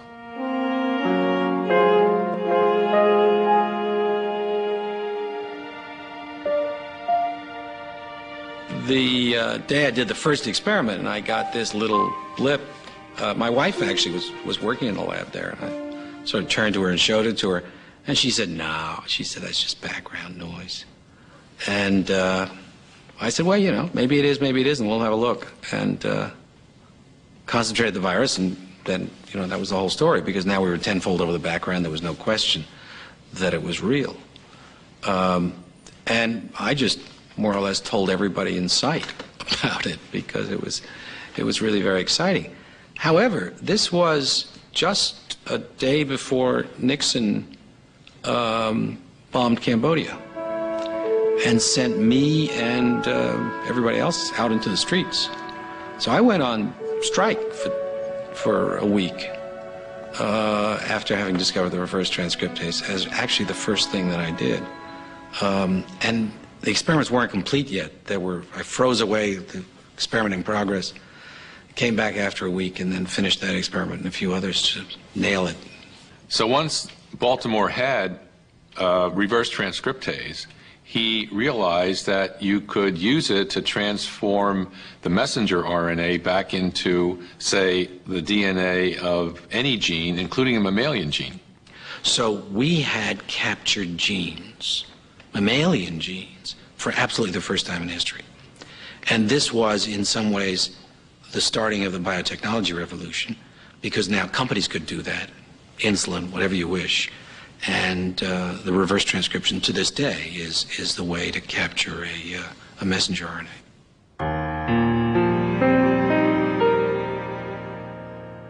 So once you could isolate genes, scientists wanted to manipulate them, play with them, try to figure out what they do.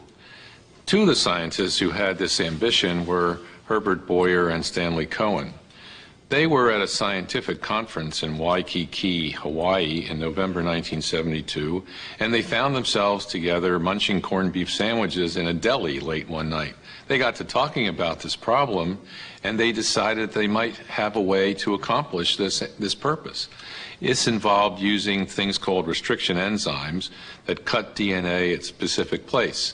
So once they could cut it, then they could insert the, the, DNA of interest in a plasmid and put the plasmid into a bacterium and watch what the DNA does. The experiment went as follows that Stanley would send us the DNA, we'd cut it up, put it back together again, we'd send that DNA to Stanley. He would transform it into the bacterium. He would send those bacteria back to us, we'd take out the plasmid DNA, cut it up, and look at it in the gel. That was sort of the division of labor. And so Bob Helling and I, when we did uh, the first analysis of what we thought uh, was a recombinant DNA molecule, we we stained the gel, and it was late late afternoon, and uh, went uh, to the dark room, and uh, turned on the black light, and there was this picture. And um, it was very evident that uh, we had reassorted the fragments of DNA, successfully recombined them, and, and we had uh, recombinant DNA molecules. In the summer of 1973, Herb Boyer gave a talk at a Gordon conference and it was clear then that you could take DNA from anywhere, you know, from a human cell, from a banana, from a fish, you name it, and put it into a little bacterial plasmid uh, and grow the bacteria up, and you would have enough molecules uh, to be able to do chemistry on these things. But as soon as that was apparent, the same day that he gave the talk, um, several of the younger people there uh, immediately raised the question as to whether you could, in that way, make things that might be dangerous.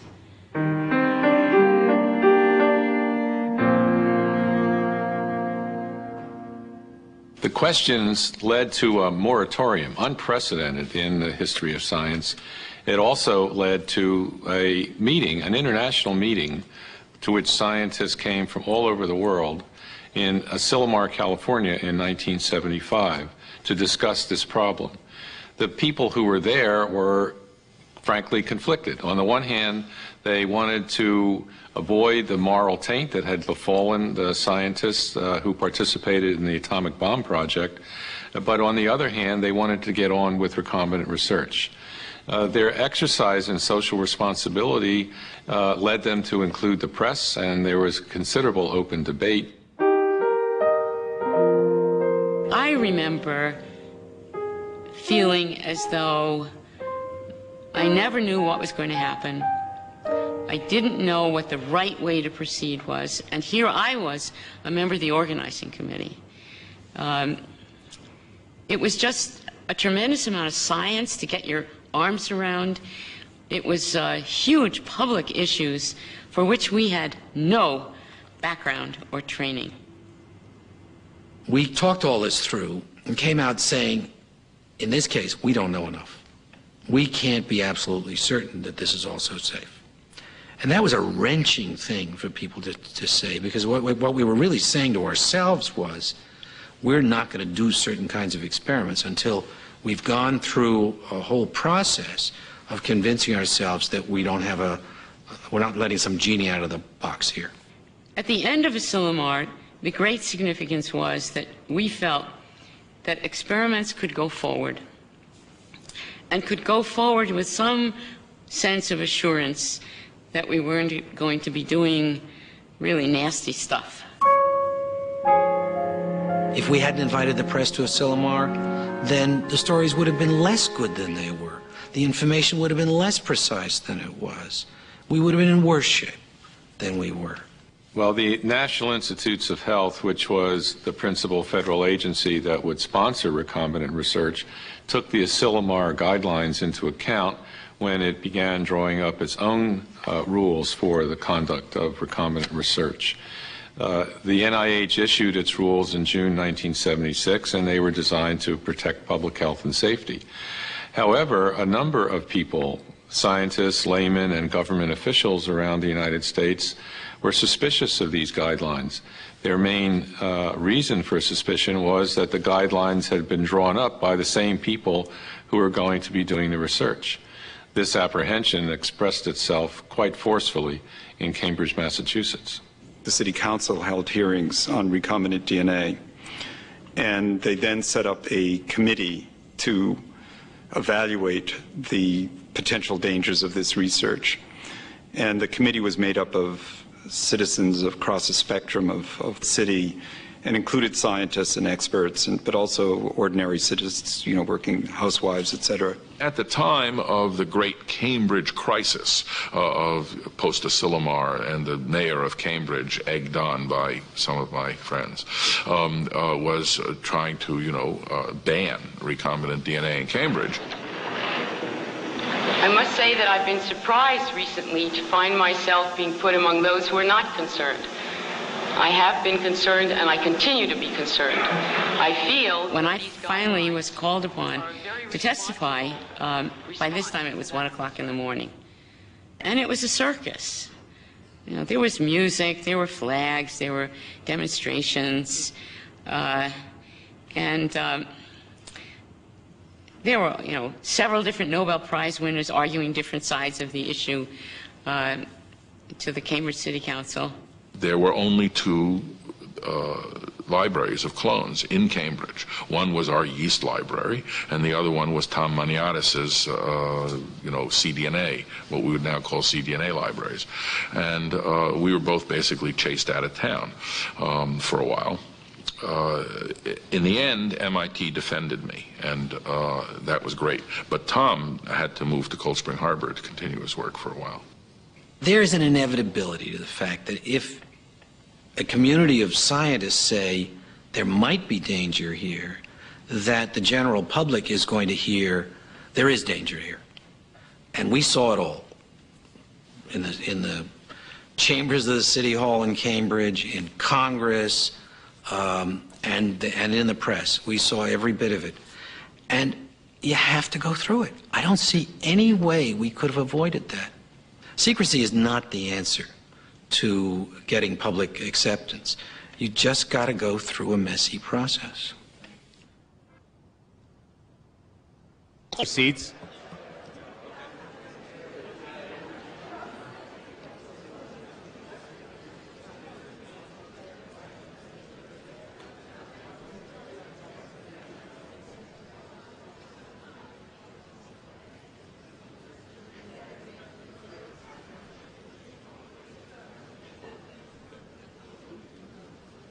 All right. Uh, the next speaker is Philip Sharp, uh, professor at Massachusetts Institute of Technology. In the late 1970s, Dr. Sharp conducted a series of experiments where he demonstrated that there was not an absolute and direct relationship from DNA to RNA to protein, but rather, particularly in eukaryotes, there was a process of RNA splicing before a translation. Uh, this concept of discontinuous genes resulted in him receiving a Nobel Prize in 1993 with Rich Roberts. Uh, his talk today will be entitled Decoding the Information in DNA.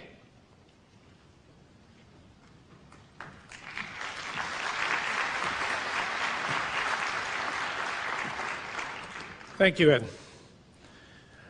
It's a great honor to be asked to participate in this program celebrating the, the 50th anniversary of humanity understanding the nature of its genetic code and the celebration of the completion of the sequence of that genetic code, which humanity now can turn to interpreting as to what it means in a biological sense. The next 50 or 100 years is going to deal with the issue as you will hear later in this symposium, with how we decide to use that information and of what benefit or otherwise it comes up. Back in the uh, 71, uh, I had just completed a postdoctoral stay with Norman Davidson at Caltech, where with Ron Davis, he introduced the electron microscopy methods for visualizing DNA and the deletions and pieces of DNA that you could obtain from the study of uh, first lambda-phage and subsequently plasmids.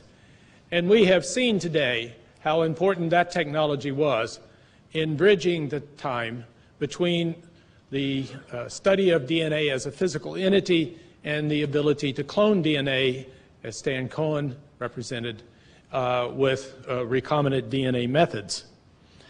I left Caltech and went to Cold Spring Harbor, first as a postdoc and then as a staff member, uh, in theory, working under the directorship of Jim Watson. but as you know, Jim is, was head of the lab, and at that time, half time at Harvard and half time at Cold Spring Harbor. And I began to study uh, DNA animal viruses. My interest in DNA animal viruses were multiple. Uh, first, I understood that it was possible to introduce the uh, infecting DNA into mammalian cells and understand the uh, expression of the genetic code as uh, expressed in mRNA in the cell and proteins subsequently. And there was a number of pioneers in the field who had brought molecular biology to the study of DNA viruses. My particular interest at Cold Spring Harbor was to uh, introduce or work with adenovirus, a larger cold virus, uh, affects man primarily with the symptoms of cold. And uh, this viral genome was sufficiently large that one could begin to see the unraveling of a genetic program of expression of genes before DNA replication and then subsequent to DNA replication. It was a long enough genome that one could hope to address some of the very interesting problems in mammalian cell molecular biology related to the structure and expression of genes.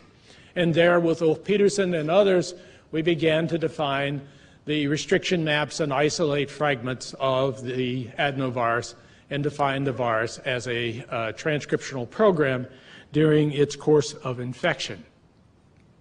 I was particularly interested in that time in some phenomenology that had been described in mammalian cells that was related to the expression of very large nuclear RNA called heterogeneous nuclear RNA that was found expressed in mammalian cells but was not found expressed in either bacteria or at that time thought not to be present in, in organisms such as yeast. This large nuclear RNA looked like the chromosomal DNA, but only was about 10 times larger than the message that people had characterized that existed in the cytoplasm of the cell. That also fed into other, another issue that was becoming obvious at that time. Why was there such large amounts of DNA in the nucleus of higher organisms, particularly vertebrates and plants? It was clear that there probably was not a requirement for that amount of uh, number of genes, and the question was, what was the, purpose of all this DNA sequence if it didn't code for genes? Subsequently, at uh, MIT in 76, 77, working with Sue Berget and uh, a number of others, we carried out a study of the electron microscopy, a comparison of the structure of a mature mRNA that was expressed in adenovirus infected cells and compared the structure of that mRNA to the genomic DNA of the virus. And what became obvious uh, when we uh, looked at the pattern of the RNA DNA hybrid is shown here to the right. And, and that's that the RNA and DNA formed a duplex as visualized here by electron microscopy. And then at the end of the duplex, there were three loops that were formed reproducibly of size, and those three loops, as I understood from doing electron microscopy at Caltech with Norman Davidson and others, was due to the joining of DNA sequences or sequences complementary to the DNA that were non-contiguous on the genome. And what's illustrated here to the right is the interpretation of this electron micrograph with the RNA-DNA hybrid we knew the polarity of the strand, so this was the 3' end, this was the 5' end, and we observed these three loops of single strand DNA created by the joining or RNA splicing of three segments of RNA together in the synthesis of this mature message. And what you see here on the bottom of the slide is the adenovirus genome, uh, the messenger RNA body, which I illustrated in the micrograph, encoding the hexon mRNA, and the interpretation of these three loops as being created by the joining of sequences from A prime, B prime, and C prime over here to the end of the message, and these intervening sequences here forming the three loops of uh, single-strand DNA sequences visualized in that electron microscopy.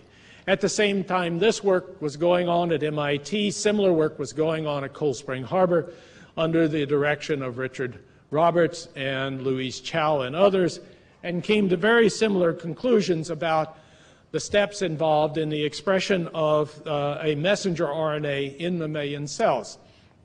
And that's illustrated here, and the observation of that process that created those three loops, which uh, we coined the term RNA splicing for, explained then the uh, presence of the heterogeneous nuclear RNA that was found in the nucleus of mammalian cells and explained the shorter mRNA levels, sizes, vis-a-vis those of the nuclear RNA. And that illustrates here that the processes of expressing genes in mammalian cells pass through a process of RNA splicing with initiation of transcription and then the capping of those RNAs. Uh, shortly after initiation, the capping process being discovered by Aaron Shatkin and Bernie Moss. Uh, the splicing of the introns, uh, removal of the introns, joining the exons, exons being a term Wally Gilbert introduced, and then the splicing to produce a mature message after polyadenylation at the 3' end of the RNA, the polyadenylation process being described by Mary Edmonds and Jim Darnell. And this explained the large heterogeneous nuclear RNA process which Jim Darnell and others had characterized over the previous four or five years uh, and explained that they were precursors to mature messages that appeared in the cytoplasm of the cell after this process of RNA splicing. Over the years that has intervened from that time, we have uh, obtained from a number of laboratories. Uh, the first, I believe, was actually Wally Gilbert and Susumu Tonegawa sequencing an intron in the immunoglobulin genes, and also from Chambon and uh, ovalbumin and others, uh, a sequence of uh, the introns of many genes in mammalian cells. And we find the process uh, in the following way. The in, the exons uh, are adjacent to a conserved type consensus sequence at the 5' splice site, 3' splice site, and branch site. And Joan Steitz and others made the proposal that small nuclear RNAs were going to be involved in this process, and the small nuclear RNAs that are involved in the splicing of this major form of intron is U1, U2, U4, U5, and U6, and accounts for the splicing of this in the formation of a spliceosome. It was some 15 years later that it was recognized there was actually two types of introns in mammalian cells. This major type that accounts for about 999 out of 1,000, and a minor type which has a different set of small nuclear RNA particles forming a spliceosome, much in parallel with the major family, and that there were actually two types of introns that have been uh, present in the nucleus of higher cells since plants and mammals diverged. After the development of an in vitro splicing system, where one could begin to study the biochemistry of this process uh, in my lab and in uh, the lab of Tom Maniatis and uh, Michael Green, uh, it was recognized that the splicing of the uh, Introns were in two steps, the formation of a lariat intermediate in the first step in a splicing complex called the spliceosome, and then the subsequent step, excising the intron as a lariat, producing the mature message which was transmitted to the cytoplasm of the cell. Uh, work preceding this from Tom Cech's lab had shown that the intervening sequences within a ribosomal RNA, uh, termed a group 1 self-splicing intron, was capable of using uh, guanosine as a cofactor to carry out splicing in two steps, very similar to the two steps observed in the nuclear process.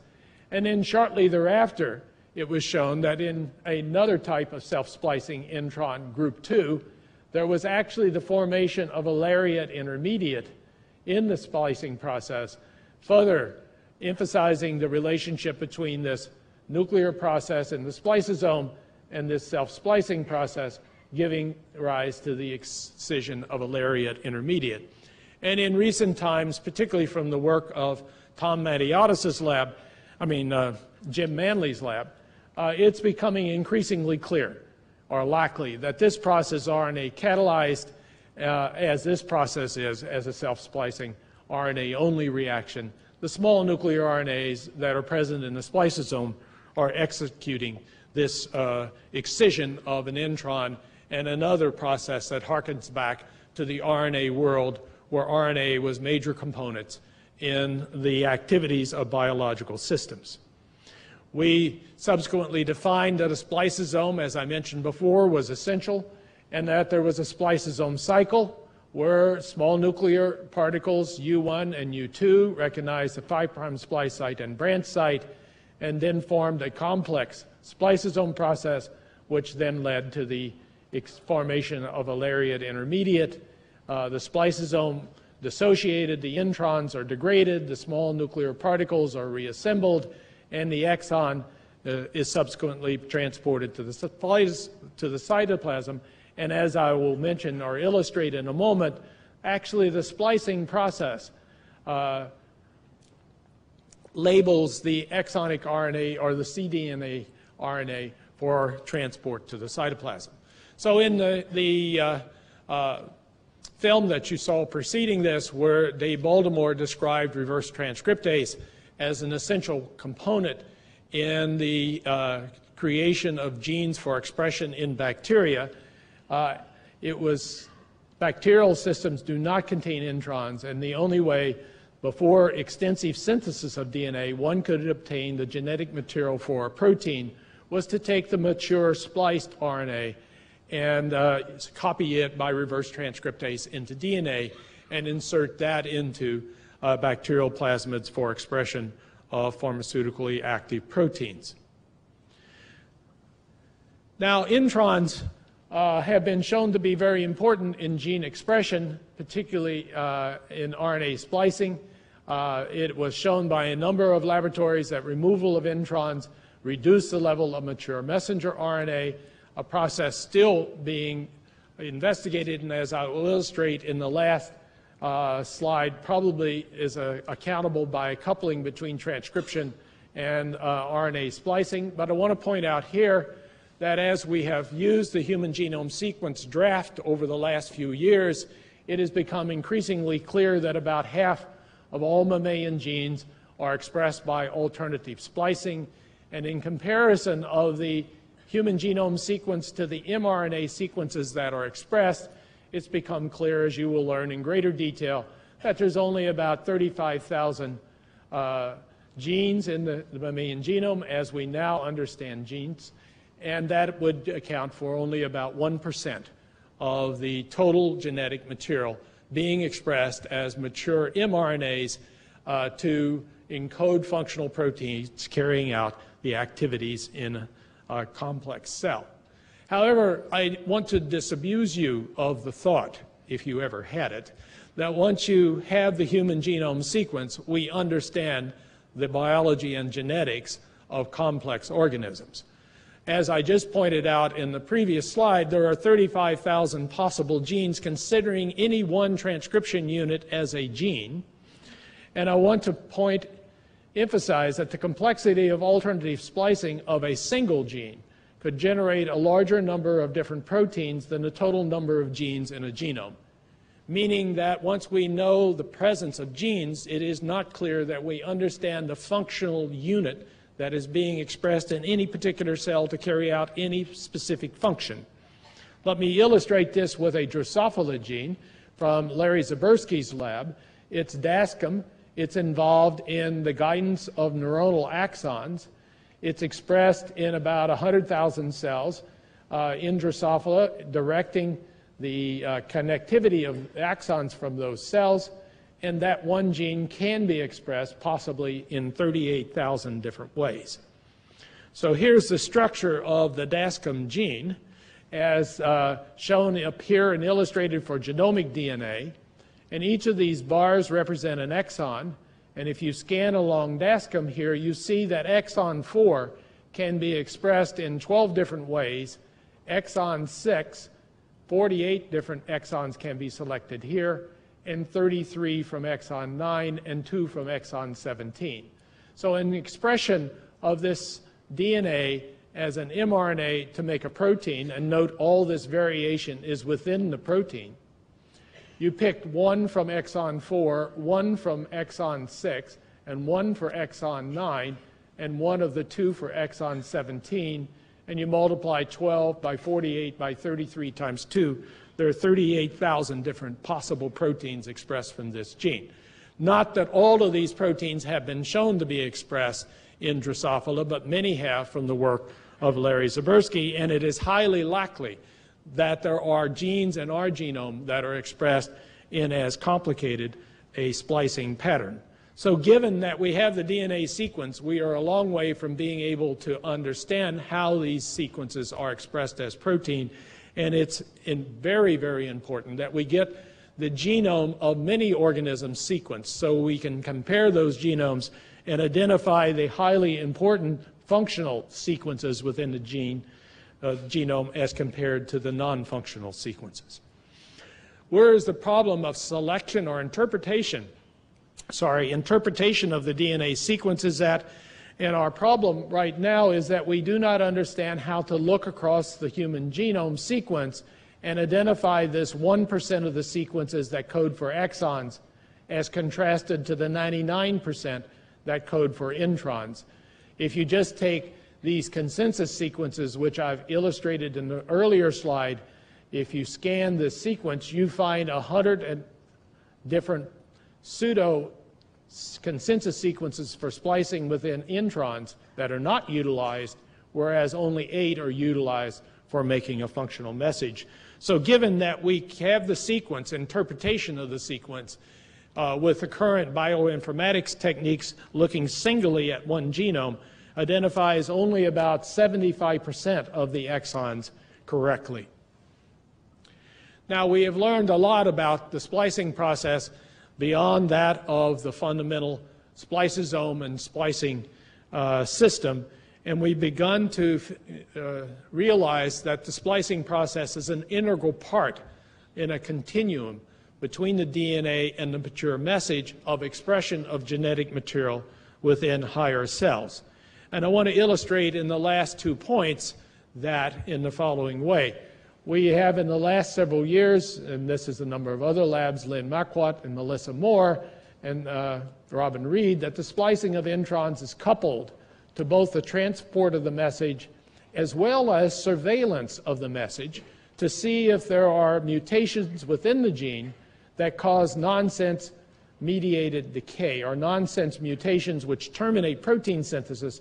And the cell has a way now, due to splicing, to recognize those nonsense codons within the middle of the gene and cause the decay of the mRNA so that the fragment of protein produced from that messenger RNA will not interfere with the physiology of the cell. This comes from the recognition that in the spliceosome process, as it executes the splicing of the intron, proteins are deposited due to that physical process upstream of the intron junction, illustrated here as the red and white, giving rise to a deposit of a complex, which then follows the message to the cytoplasm.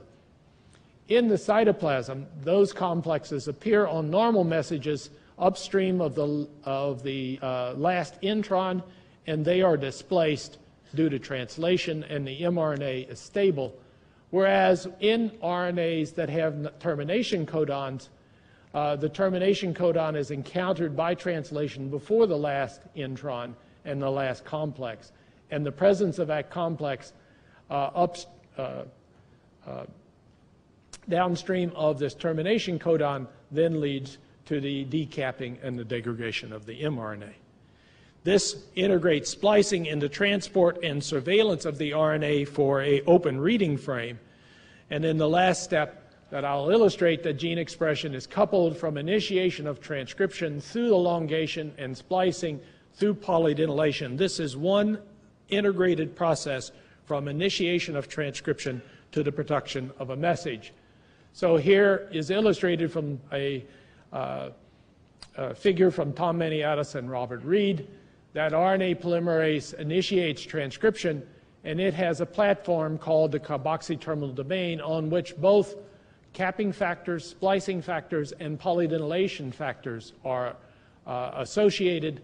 And then as the polymerase moves along, or the DNA moves through the polymerase more precisely, these factors bound to the polymerase carry out capping, promote splicing, execute polyadenylation to carry to produce the mature message.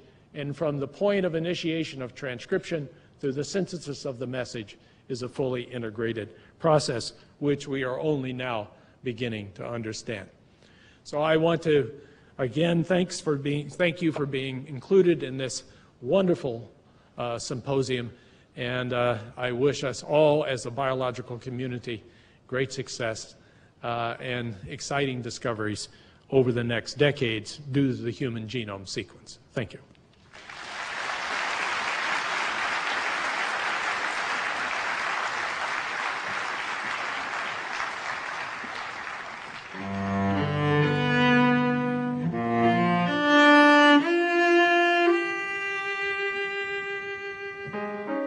Make a gene that bound that radioactive molecule more tightly. Yeast is a natural uh, model organism, and it worked great. He said, Your mother has a fatal disease. It's a genetic disease. By linkage and collecting families, you could, in fact, uh, find disease genes.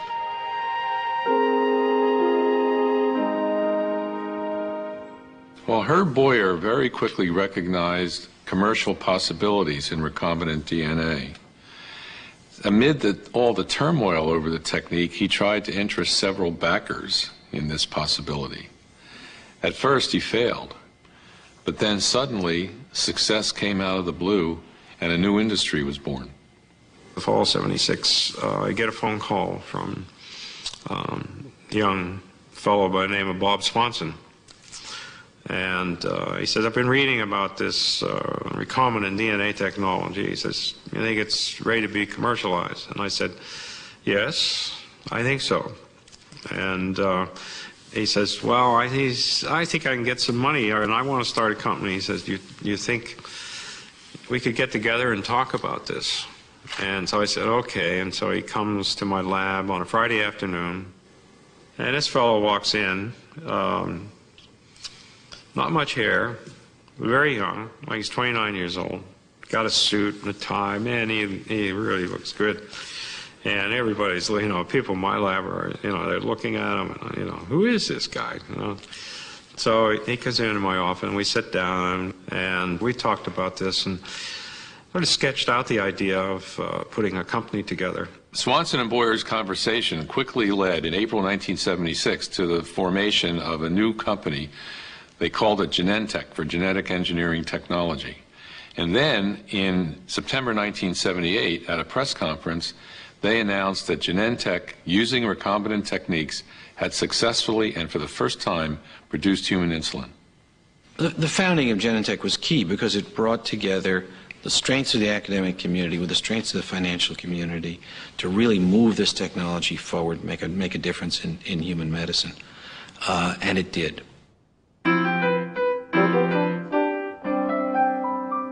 I later worked on the set of genes involved in that metabolite sucre lactose to try to find the control product, the repressor for those genes. The question is what is the repressor? What is it chemically? I mean, you could say it's a protein that recognizes DNA. Could it be in another piece of DNA or even an RNA was considered. We isolated that operator region as a DNA fragment by taking all the DNA of the cell, putting the repressor molecule on it, destroying all the rest of the DNA, letting the repressor molecule protect a small piece of DNA just under it, and then isolating that and looking at it. To look at it, we would like to, we could uh, do a chemical experiments with it. We could say, here's a piece of DNA. It's about 20 bases long, a little piece of double-stranded DNA. What does it look like? That's the problem of DNA se sequencing immediately. This is back in the early 70s. It's impossible, actually, at that time to sequence the DNA directly. We tried, Alan Maxam and I, then spent two years working out the sequence of the 20 bases of DNA. Well, there was a lot of technological development, uh, the development of electrophoretic methods for separating DNA. Because out of that came the sequencing, the abilities to do sequencing. I, a year or so later, began to do a set of experiments that tried to ask in detail how did the protein touch the operator. Those experiments actually led to a DNA sequencing method because the discovery we made was that we could identify, we could decipher not just which bases the protein touched by these chemical modifications, but we could in fact, the pattern of breakage of the DNA by these modifications was so sharp and so distinct that we could recognize which bases were which in the sequence. And that led to our discovery of a DNA sequencing method. Alan Maxam and I developed a chemical sequencing method which was extremely rapid. At the same time, Fred Sanger and Coulson discovered a enzymatic method that also was extremely rapid. Both methods have in fact the same intrinsic speed. They depend ultimately on the same conceptual trick. And the conceptual trick is to identify the position of a base in DNA by its distance from some reference point.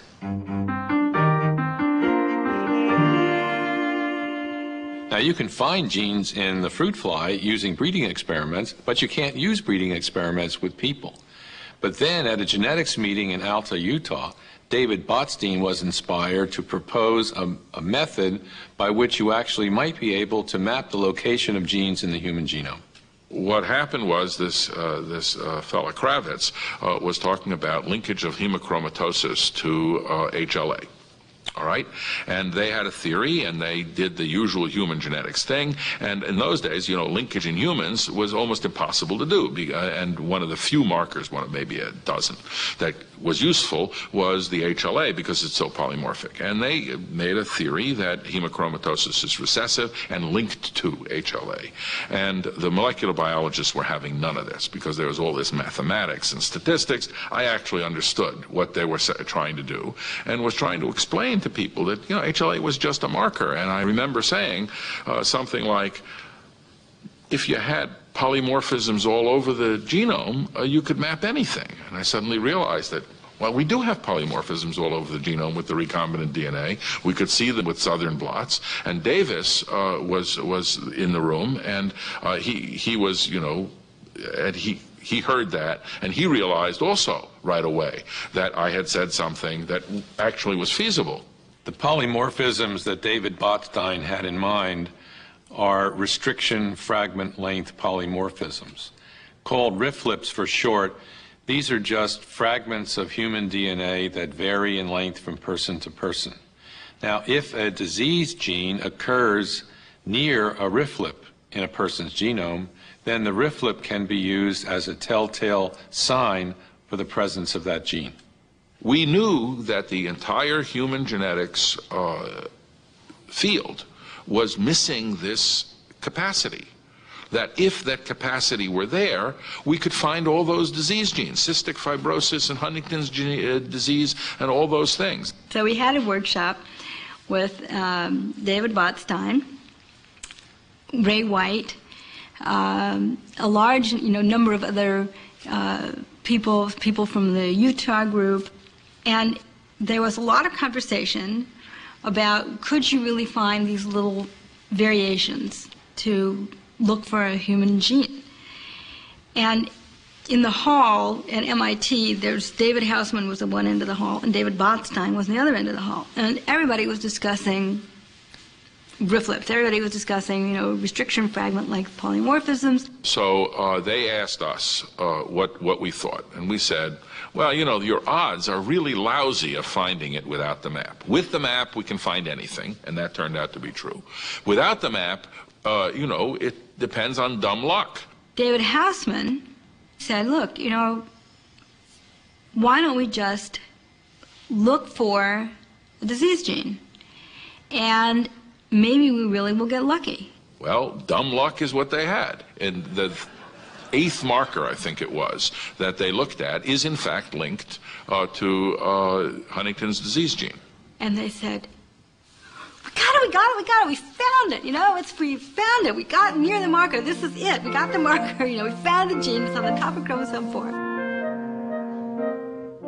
You know, I think it really revolutionized the way people thought about what you could do, because up to that point, really, even, even with the paper being published in 1980, by 1983, nobody thought you could do it.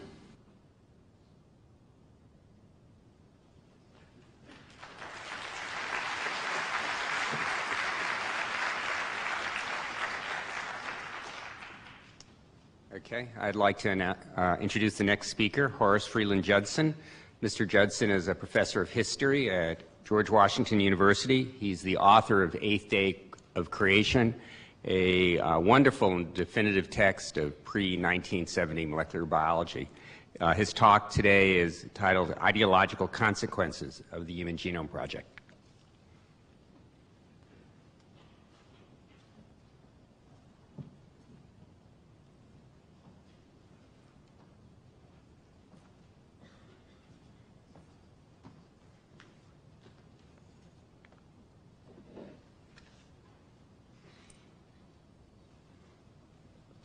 The air conditioning is blowing away my text.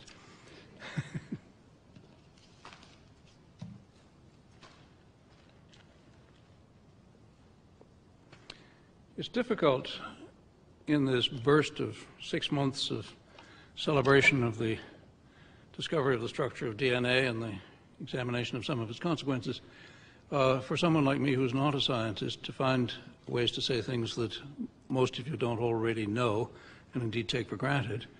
Uh, the title of my talk, I had the good fortune to be lazy enough to turn in my title late, so I knew what some of the others were. And I saw that there uh, would have to be some way to step outside uh, that kind of thing and to take, uh, introduce some other considerations. These are fairly simple remarks. Uh, I hope they'll make some sense. Um, so, we're marking the 50th anniversary of the discovery of the structure of DNA. Now, is this a convenient round number? Or does it have any significance beyond being ending in zero?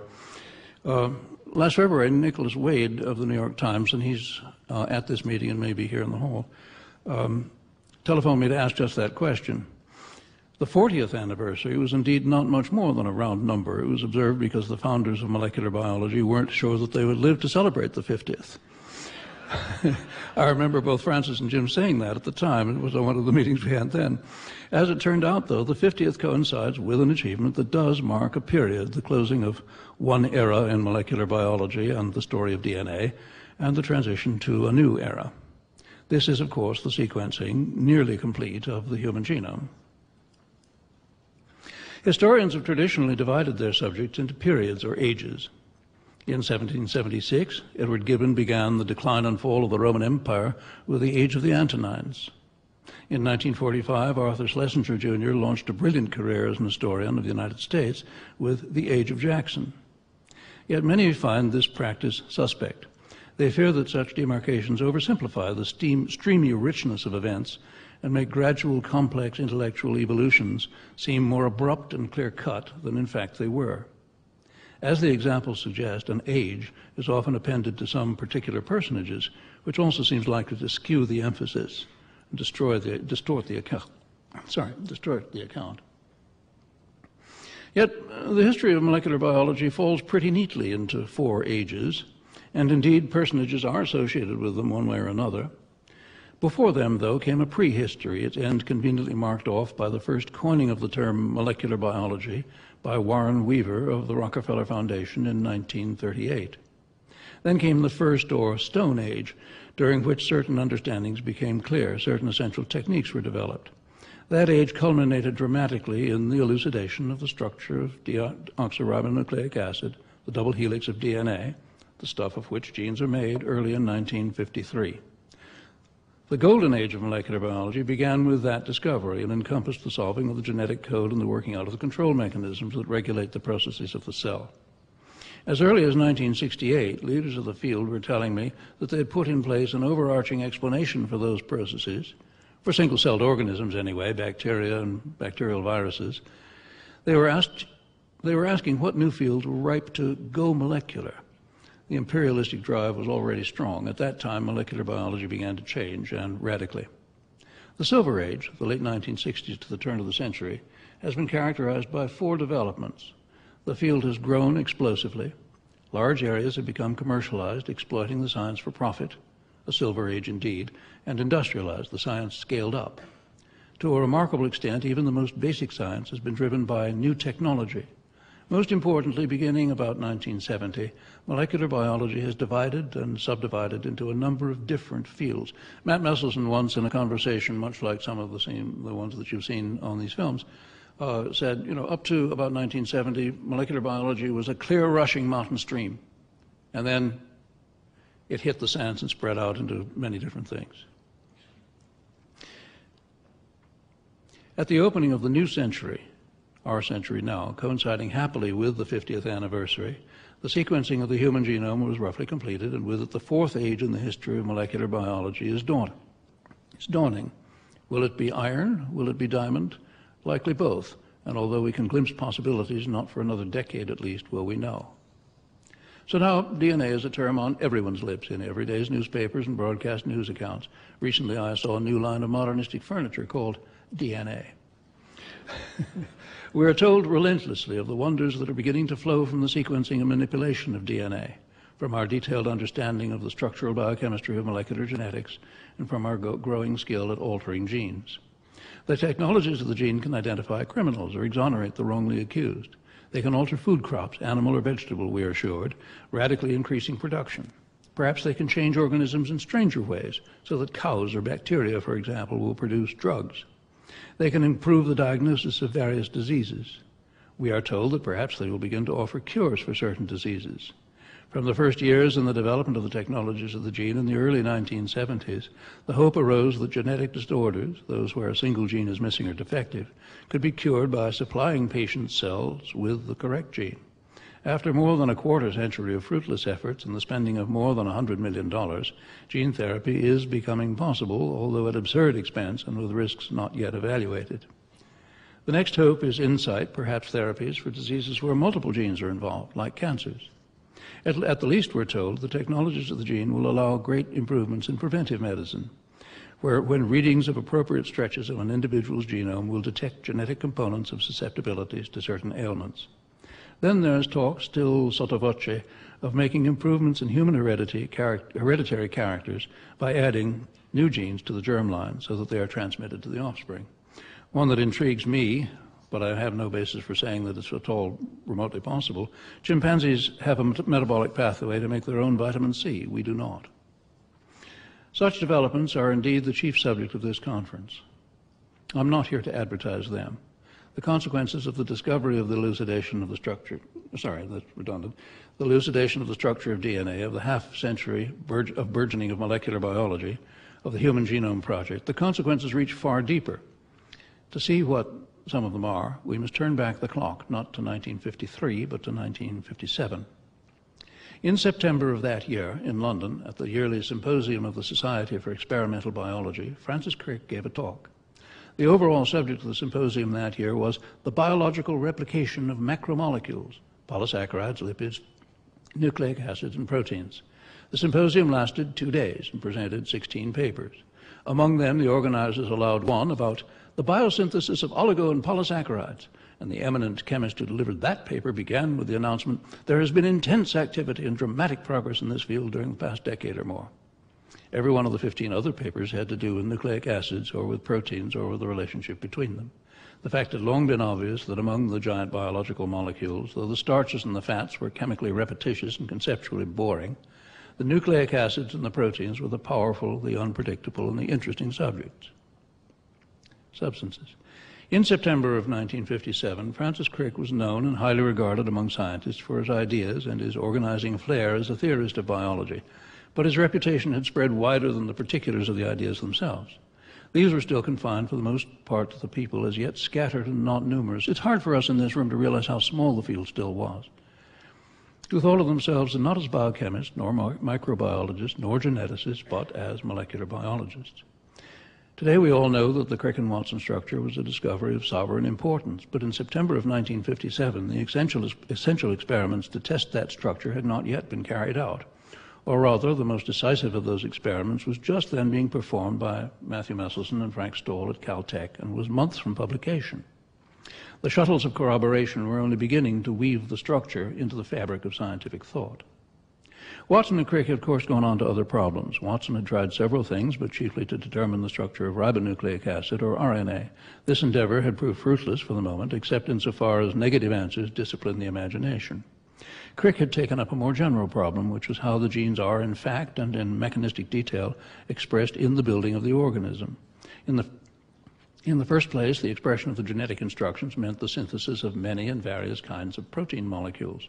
Crick's endeavor had barely begun to make any progress either by September of 1957. Nonetheless, Crick gave his talk the bold title, On Protein Synthesis. He began, It's an essential feature of my argument that in biology, proteins are uniquely important. When I read stories to my children, I prefer to try to do the voices rather than saying quote and unquote. They are not to be classed with polysaccharides, for example, which by comparison play a very minor role. Their nearest rivals are the nucleic acids.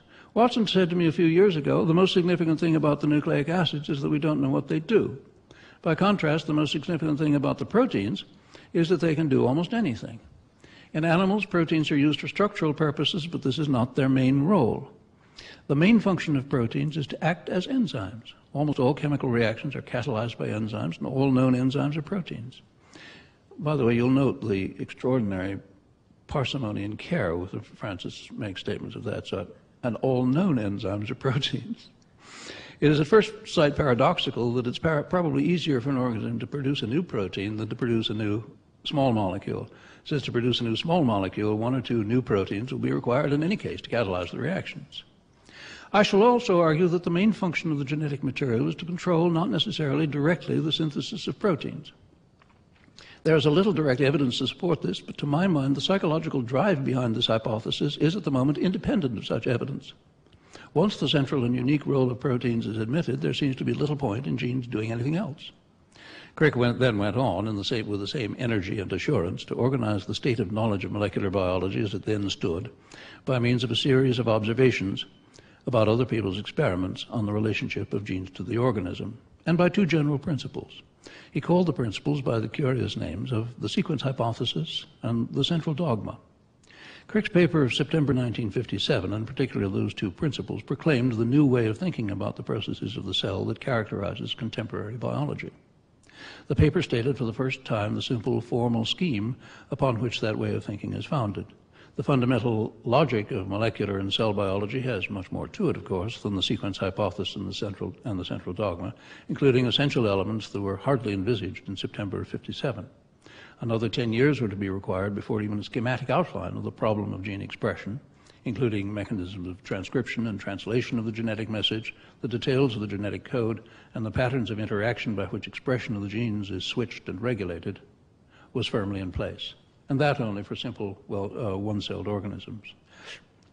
Nonetheless, the rest of that logic turned out to conform to two, Crick's two principles. So Crick's paper on protein synthesis was more than a summary of research and problems, it was a manifesto. Crick regarded it as such. 18 years after the paper, he told me, at the time you realized not so many people were thinking along these lines. I mean, much of the audience when the lecture was given. I ran overtime and didn't get it over very well, the, and the ideas were pretty new. They weren't new, though, in the small group where people had been discussing it, so it was propaganda, you realize. The sequence hypothesis and the central dogma, and I'll read them out in a minute, set forth a manifesto that worked. They proclaimed the research pro program that was rising then, and that, of course, dominates today. Molecular biology is not summed up in the central dogma any more than the theory of relativity is fully stated by uh, the equation E equals mc2, e, mc squared. Yet Einstein's equation, the, like Einstein's equation, the central dogma epitomizes a change that touches our most intimate sense of the way things are. Now, one brief historical point. Work that had begun in Sweden and Belgium before the war and continued in France in the mid 1940s had suggested, out of a morass of conflicting evidence, that the second kind of nucleic acid, RNA, served as an intermediary in whatever biochemical relationship there was between DNA and protein. The formula that DNA makes RNA makes protein was first put into print in January of 1947 by two Frenchmen in Strasbourg, or rather by the nameless editor who wrote the English language abstract that appeared with the article. The abstract is clearer in the paper. Sometime in 1952, James Watson wrote that out on a piece of paper and stuck it to the wall above his desk in the room at the Cavendish that he shared with Francis. That was the first statement of what has been called the central dogma. If you could give me the first slide, please. In September of 1957, in that paper before the Society for, the, for, Experimental Biology, when Crick came to give what he called an outline sketch of my own ideas on protein synthesis, here's what he said. And we can go on to the next slide, which is actually a blank. We won't need anything more for a bit. Here's what he said. My own thinking and that of many of my colleagues is based on two general principles, which I shall call the sequence hypothesis and the central dogma. The direct evidence from both of them is negligible but I have found them to be of great help in getting to grips with these very complex problems. Their speculative nature is emphasized by their names. It's an instructive exercise to attempt to build a useful theory without using them. One generally ends in the wilderness. The sequence hypothesis. In its simplest form, it assumes that the specificity of a piece of nucleic acid is expressed solely by the sequence of its bases, and that this sequence is a simple code for the amino acid sequence of a particular protein. This hypothesis appears to be rather widely held. Its virtue is that it unites several remarkable pairs of generalizations, the central biochemical importance of proteins and the dominating biological role of genes, and in particular their nucleic acid, the linearity of protein molecules and the genetic linearity within the functional gene, the simplicity of the composition of protein molecules and the simplicity of the nucleic acids. The central dogma. This states that once information has passed into protein, it cannot get out again. In more detail, the transfer of information from nucleic acid to nucleic acid and from nucleic acid to protein may be possible, but transfer from protein to protein or from protein to nucleic acid is impossible. Information here means the precise determination of sequence, either of the bases in the nucleic acid or of amino acid residues in the protein. This is by no means universally held, but many workers now think along these lines. As far as I know, it has not been explicitly stated before. Of those two, the central dogma got the attention, partly for a rhetorical reason, the curious name that Crick gave to it. I once asked him about that. Oh, that's a very, very interesting thing, he said. It was because, I think, of my curious religious upbringing. Because Jacques has since told me that a dogma is something which the true believer cannot doubt. But that wasn't what was in my mind. My mind was that a dogma was an idea for which there was no reasonable evidence. And most of us can recall Francis's armor piercing laugh. In June of 1970, in a pair, of papers back to back in Nature, David Baltimore and Howard Temin published their discovery, their independent discovery of an enzyme that transcribes RNA sequences into DNA. By the way, Francis, I've liked those films enormously. I think they're very good. There are very few errors. There's one significant omission. Howard Temin deserved a lot more recognition for uh, um, for um, reverse transcriptase than uh, that film gave him. The publications engendered excited comment in Nature and elsewhere, saying that the central dogma had been overthrown. The unidirectional flow, DNA to RNA to protein, could be violated. Crick was provoked to a testy, brief reply, which Nature published later that summer. He had not stated the central dogma as DNA makes RNA makes protein. He cited the source, his formulation in the talk in September of 57. The central dogma. This states that once information has passed into protein, it cannot get out again. Information here means the precise determination of sequence. He wrote dryly that colleagues had not sufficiently appreciated the precision and parsimony of his formulation, and he, and he, he published this slide, or this, this diagram. Next slide, please.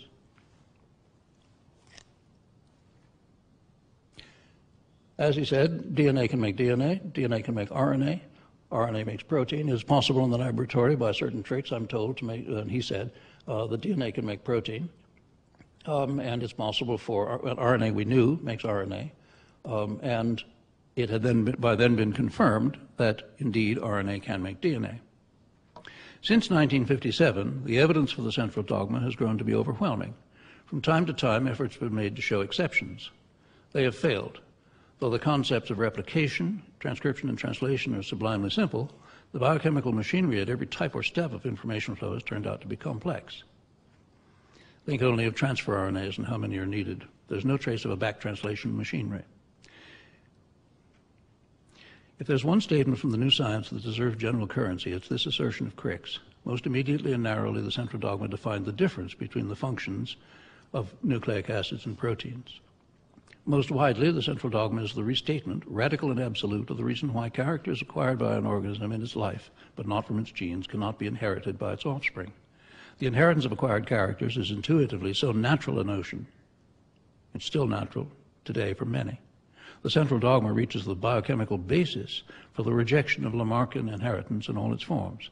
And this includes the ideas of inheritance of acquired characters that troubled Darwin, the ideas propounded fraud fraudulently by Trofim Lysenko, Stalin's agronomist, and the misty, vicious notions like the collective unconscious or inheritance of racial memories that delude some of the followers of Carl Jung. The central dogma thus turns out to have profound ideological consequences. It affects fundamental tenets of belief systems. The technologies of the gene will drive at least two great political changes. The first of these, we will not be able to deal equitably with what the Human Genome Project can do for the health and medical status of individuals without moving to universal single-payer medical coverage. Given the present and foreseeable political climate, of course, we may not make that move but no legislation that tries to prevent discrimination in private health insurance on the basis of DNA screening has any chance of being watertight. More startlingly, recall what happened on um, January 10th and 11th, what the governor of Illinois, George Ryan, did just as he was leaving office. He pardoned four men who had been convicted of murder and condemned to die and commuted to prison terms every one of the other death penalty sentences in that state. Ryan, when he took office four years earlier, had been a defender of the death penalty. His was an act of conscience and courage. But consider this the hard evidence, the new evidence that the death penalty kills innocent men. This evidence comes from the cases, the large number of cases, where DNA identifications have exonerated prisoners on death row. But the further fact is that DNA, DNA, evidence would only be relevant in a portion of the cases of a person who's on death row. And we must extrapolate the incidence of wrongful convictions to those others. The practical, the political, the ethical, and moral arguments against the death penalty haven't changed, nor have they changed public opinion much in the past half century. Now, for the first time, we have irrefutable scientific proof that the death penalty is wrong.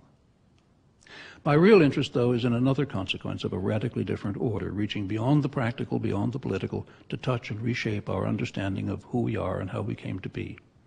First, another bit of history. In the summer of 1945, Vannevar Bush, electrical engineer, formerly president of MIT, director of the Wartime Office of Scientific and Research and Development, delivered to President Harry Truman a report titled Science, the Endless Frontier. Vannevar Bush believed that basic research is technology's feedstock and was convinced that after the war, the federal government would have to continue to organize and pay for scientific research and the training of new scientists. He called for and predicted the astonishing high exponential growth of the enterprise of the sciences that we have all witnessed. The uniquely compelling part of Vannevar Bush's proposal, though, was its comprehensive ideology. Basic research would surely produce practical payout. But how long that might take, he wrote, and from what particular, line, particular lines could not be predicted. What a license for curiosity.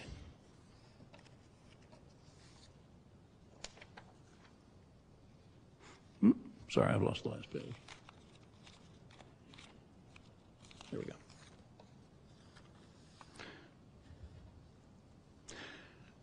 Biologists, molecular cell and biochemical, bi biomedical biologists have been living that ideology ever since.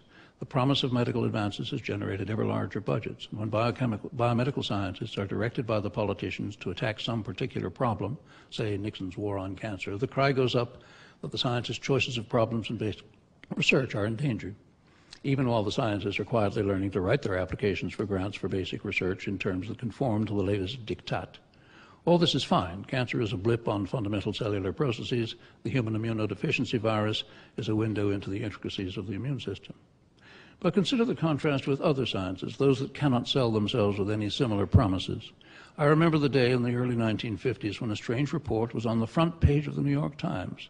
Two American quantum, quantum physicists named Tsung-Dao Lee and Chen-Ning Yang had overthrown the parity of weak interactions. They got the Nobel Prize for that in, in record time. But on the front page of the Times?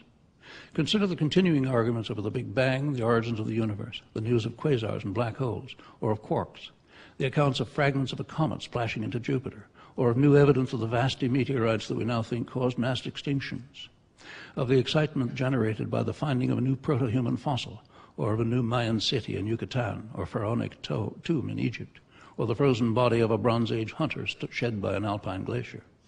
Every year, every month, such things are front page news. Yet what practical result can come from any of this? Why do we pay for the Hubble telescope and its successor now being built, for rockets to Mars, or for new archaeological digs?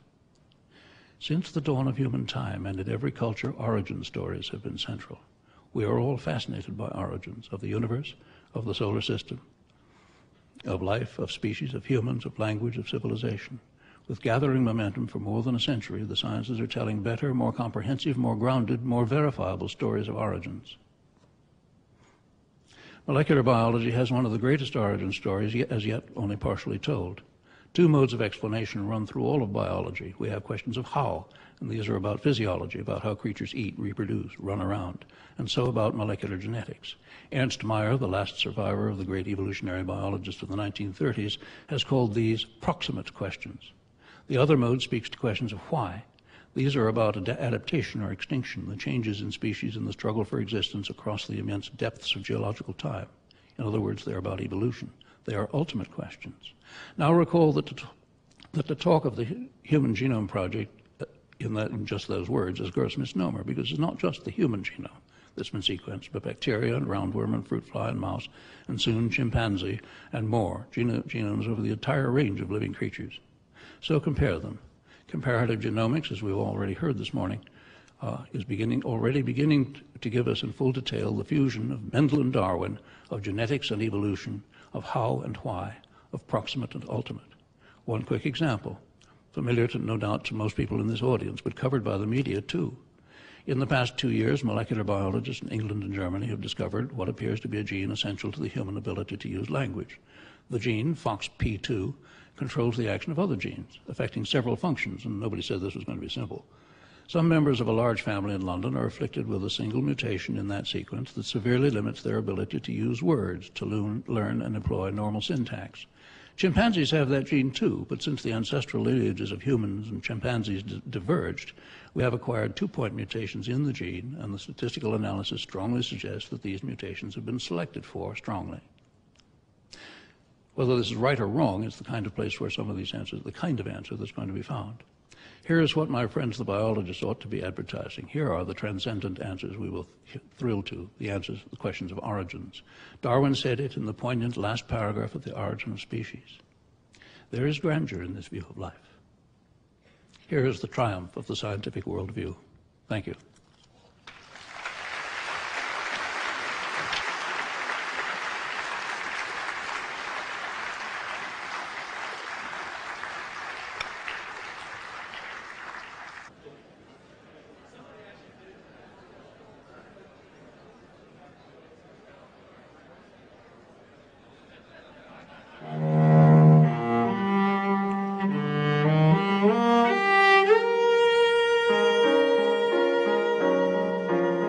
Biology was going to drive the kinds of technologies that we would develop. Well, the ultimate of this would be the human genome. Could this be done? This is a major science project. It will have lots of implications. To find out how to cure most of the tremendous maladies uh, of, of humankind. Mapping and sequencing the human genome would require a huge project. Now, the Department of Energy was accustomed to such projects, and it was ready to sign on right away. But biologists in the United States, who tended to work in a kind of cottage industry, were highly resistant to anything that smacked of big organization, major goals, and, and high technology. So they opposed the project. Nevertheless, Robert Sinsheimer, who was then the chancellor at the University of California, Santa Cruz, thought it was worthwhile at least to consider this.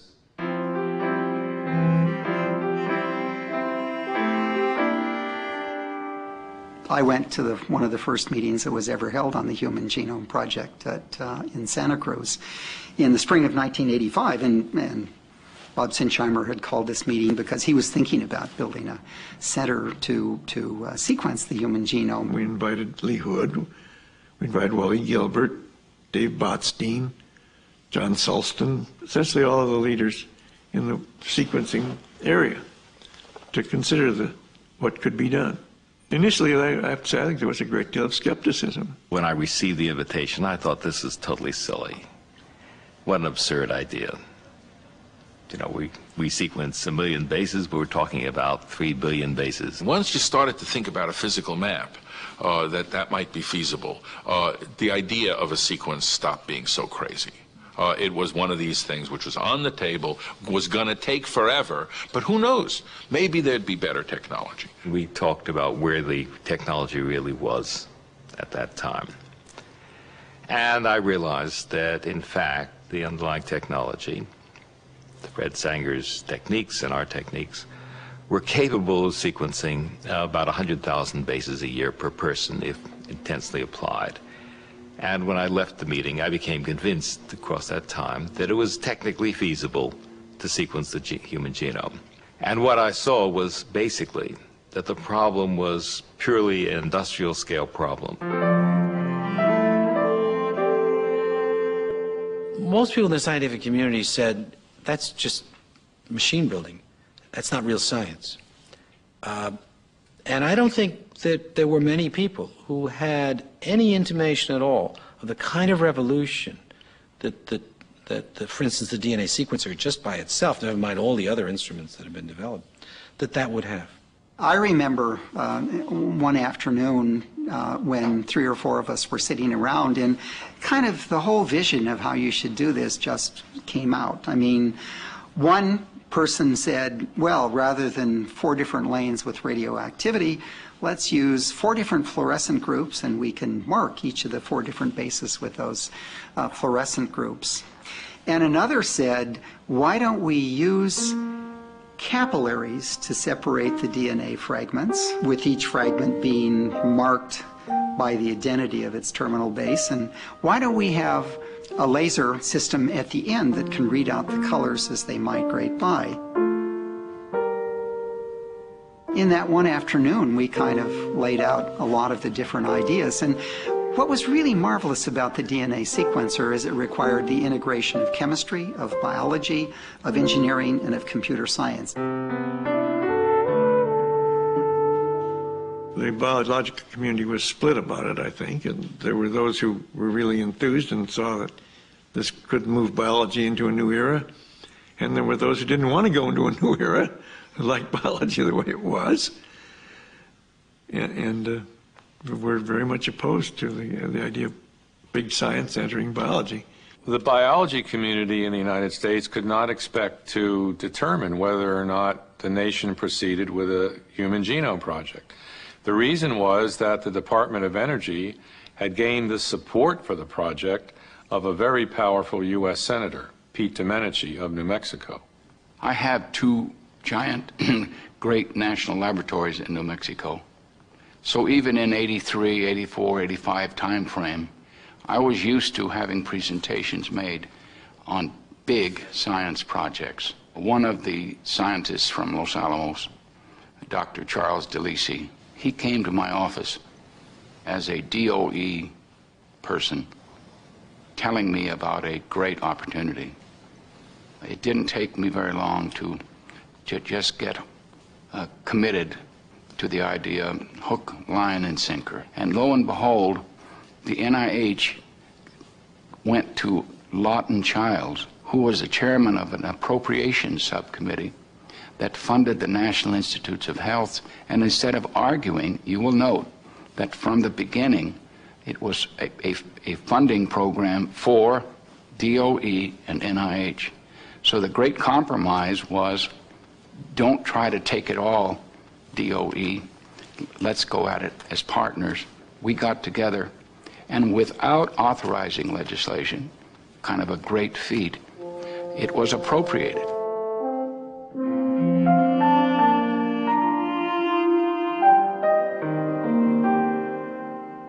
The critics charged that this would amount to a $3 billion crash program that would do nothing more than produce tedious, routinized, and intellectually unrewarding work, and that would, perhaps more important, deprive other parts of biology of necessary funding. What really did turn the tide was uh, there was a National Academy committee set up to uh, interrogate uh, the pros and cons of the Human Genome Project headed by Bruce Alberts. He was completely uncommitted on the question of whether sequencing was a good idea or not. So he was truly neutral. So he was credible uh, to all the parties. So he was the perfect choice. Once you realized that the project was in principle feasible, technologically feasible, and that the ultimate benefits would be very great, then the question becomes a purely practical one. Do we want to spend this amount of money? What is it really going to cost? What's the most optimal way of doing that? Most of the objections were dealt with by, in the American way, by a sensible compromise. It's one of the few examples that I know of where science policy was made by a bunch of, uh, you know, middle-aged folks in Washington and actually came out with the right answer. Uh, it was good. In 1988, NIH created an Office of Genome Research and announced that James Watson, who was Mr. DNA, would be the head of the venture. This decision amounted de facto to a commitment that NIH would take the lead on the biological side of the genome project. If one looks at, I think, the reason why uh, I'm so excited by really finding out what our DNA messages are. I think it's uh, really two reasons. One, just a very practical one. I think if we find out these messages, we will understand at a very deep level some diseases now which effectively totally baffle us and sometimes almost destroy us. Uh, the other reason is, you know, as a scientist, uh, DNA is really the message of life. What Jim Watson did is he brought to the Human Genome Project a validity and a stature and an imprint that perhaps no one else could have done. Never met anybody quite like him. I would say we'd attribute to him and Lawton Chiles broadening the base beyond the Department of Energy in a substantial way.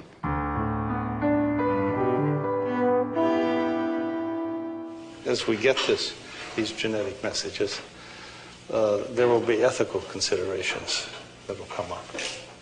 And uh, who should know about our genetic imperfections? Uh, should they be open knowledge?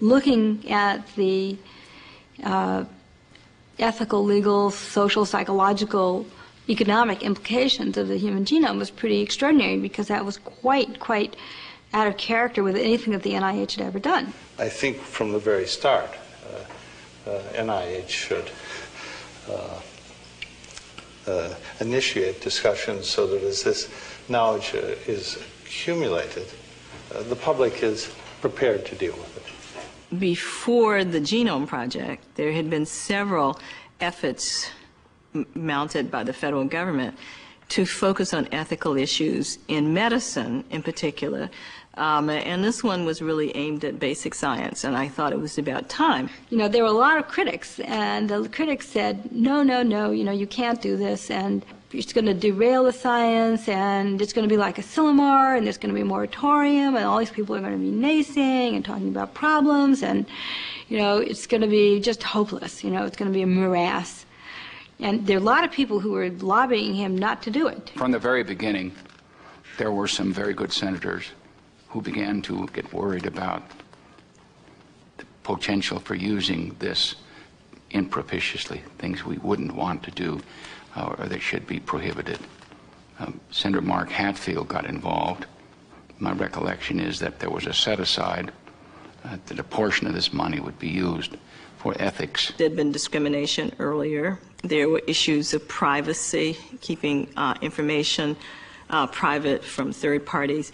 Um, so it shouldn't come as a surprise that working with the science as we knew it then, and we're all just getting started, the, the first uh, five-year plan of ELSI actually focused on some of those issues. Um, and lurking in the background was always the question of whether genetics and medicine was going to be different than other parts of medicine. To date, the ELSI program hasn't interfered with the practice of genomic science, but it has drawn major attention to a whole host of issues raised by the practice of genomic science. Uh, questions, for example, of uh, insurance, employment, and medical care. Uh, at the same time, the ELSI program has also heightened sensitivity among commentators and public officials to the importance of, human, of using human genetic information in ways that maintain privacy and avoid uh, discrimination.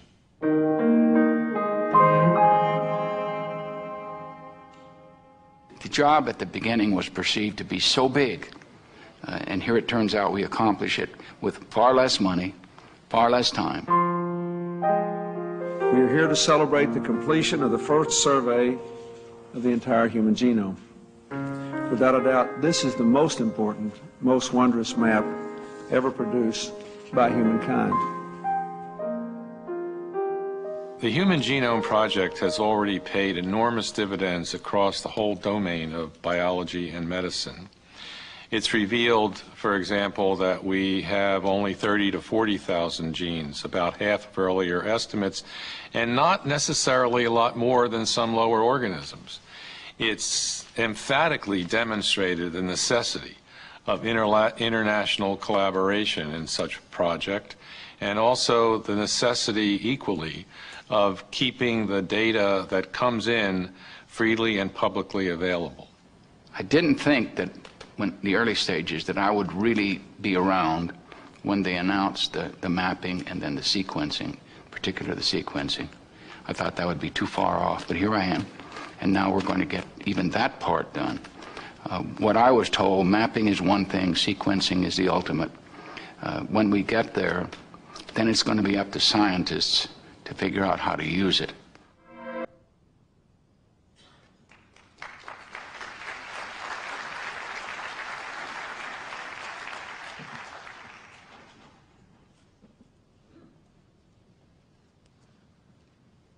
Well, as you can see from the program, the entire afternoon is devoted to the topic of the Human Genome Project. And appropriately, the first speaker is Charles DeLisi, who uh, really does deserve the credit for first proposing that this be a large multi-year international program, uh, proposing that in the mid-1980s. Uh, at that time, he was in the Department of Energy. He left in 1990 to become the Dean of the Engineering School at Boston University, where he still is, although he's given up the deanship. He's now uh, both a faculty member and a founding our co-founding member of a biotech company. So welcome to Charles DeLisi.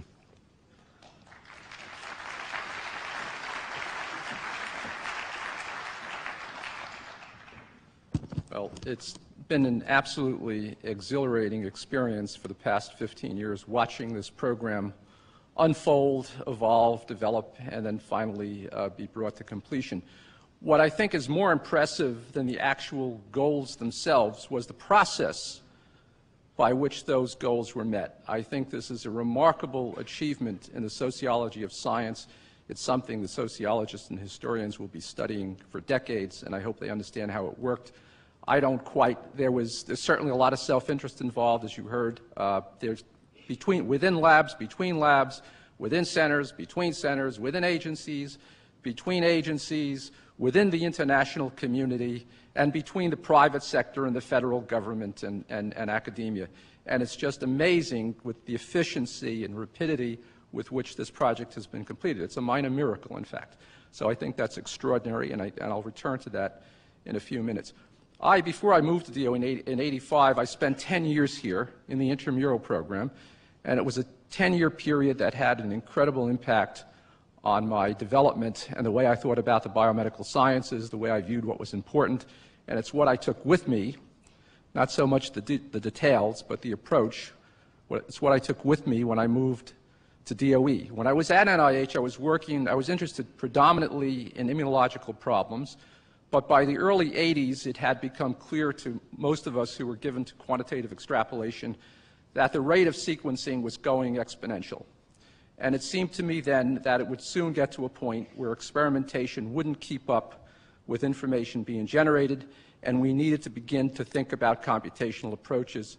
Minoru Kanehisa was in my lab at the time. We set up what I think was the first relational database. We developed pattern recognition algorithms. And that was my mindset, even though that was a small part of my research. That was my mindset when I moved to DOE. In fact, I remember musing with Jake Maizel here that it, him saying it should be possible, and me thinking, well, I think it's, it's economically not possible. I, did, I thought it was technically possible, but for economic reasons and for cultural reasons, I thought there wasn't a chance that it could happen anytime in the near future. When I moved to DOE, one of the things I found is that people were interested in understanding the genetic basis of variation in resistance to low levels of contaminants, what Mark Bitensky used to call disease diathesis and resistance. A reference genome, to get at human polymorphism, a reference genome seemed essential but I had already dismissed that.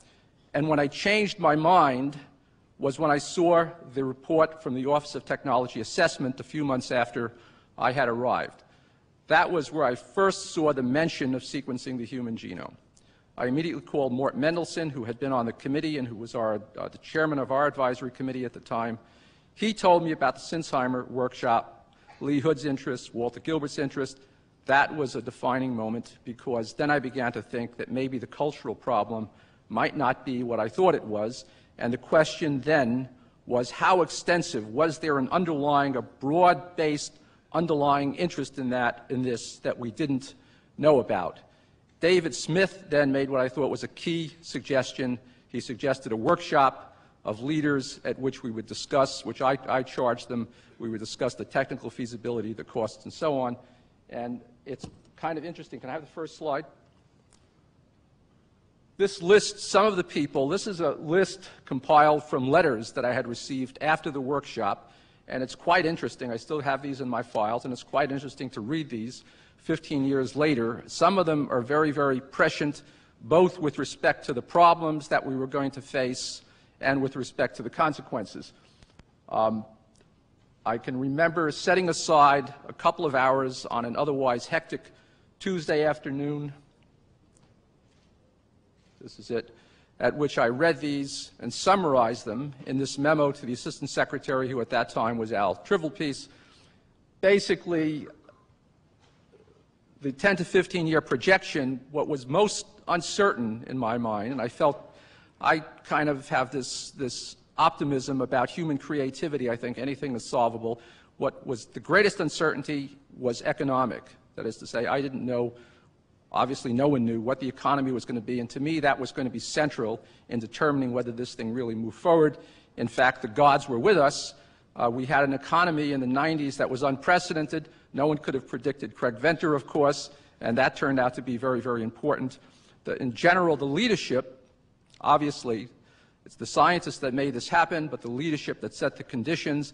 Francis Collins here at NIH, his predecessor, Jim Watson, Jim, Watson, Jim Wyngaarden, Ari Patrinos, and Dave Galas, and a staff, and I could speak personally here about DOE only, a staff that not only supported, but that led, and Dave Smith in particular is a name that's not mentioned enough in this. He was absolutely central as far as the Department of Energy is concerned.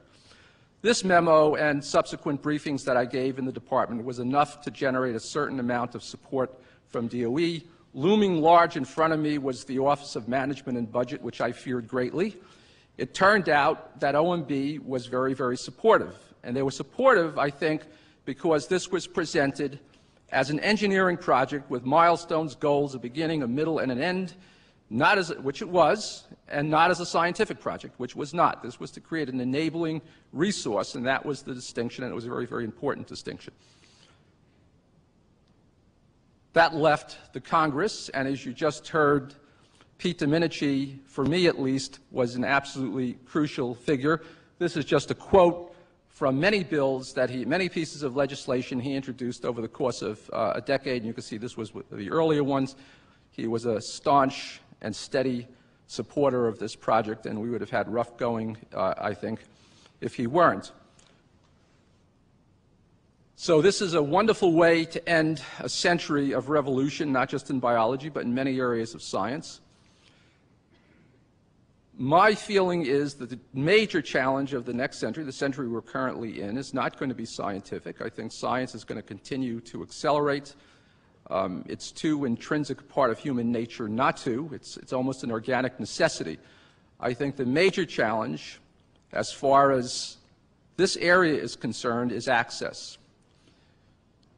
And what I have in mind in particular, there, there, are a lot of problems of access, but in particular, the convergence of reproductive technologies and genomics as we begin to develop a command and ability, a perfection of the Darwinian theme, playing out the Darwinian theme both in vivo and in vitro, full genome scans, followed by prenatal by embryo selection, that, I think, given the current economic conditions in the world, is almost guaranteed to, be, to introduce forces that are going to lead to greater polarization. Now, I'm not, I do not subscribe to what I sometimes refer to as the Yahoo Wenham hypothesis. That is to say, we're on the road to alphas and deltas, to Eloys, Eloys and Morlocks, um, I'm a lot more optimistic about the future than that. In fact, I'm totally optimistic about the future. Uh, I think part of that is just my nature. I'm just an optimistic person. But also, a large part of it is the Genome Project itself. The Genome Project gives us cause for social optimism. It is, I think, in a non trivial sense, an enormous experiment in the sociology of science, which has been successful beyond any of our expectations. I think there's a tremendous amount to learn there. I hope the sociologists study it, and I hope we can apply it to help solve the very problems that is the sociology of the project will help solve the very problems that some of this technology is going to exacerbate. And these are problems which are not peculiar to this particular age. The sorts of problems that exist are very fundamental to human nature. They've been with us for millennia, but in fact, their resolution is now crucial. It really is crucial. We're faced with a power law distribution of wealth not only within this nation, in industrial, industrialized nations, but between nations. And that sets us up for polarization with these technologies. I think that, that the Human Genome Project, I hope, will give us at least part of the answer. If it does, it will tell us much, much more than just about our biology. Thank you very much.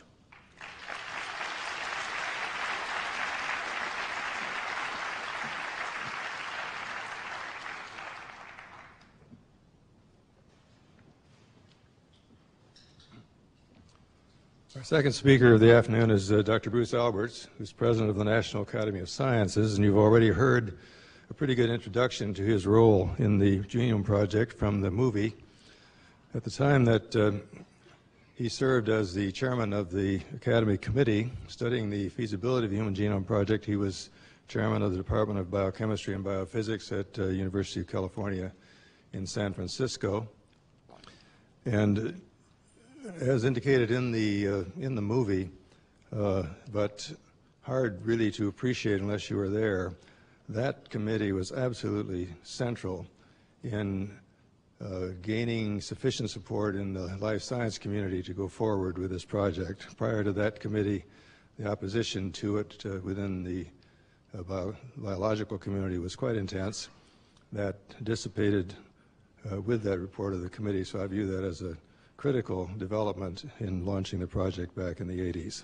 Welcome to Bruce.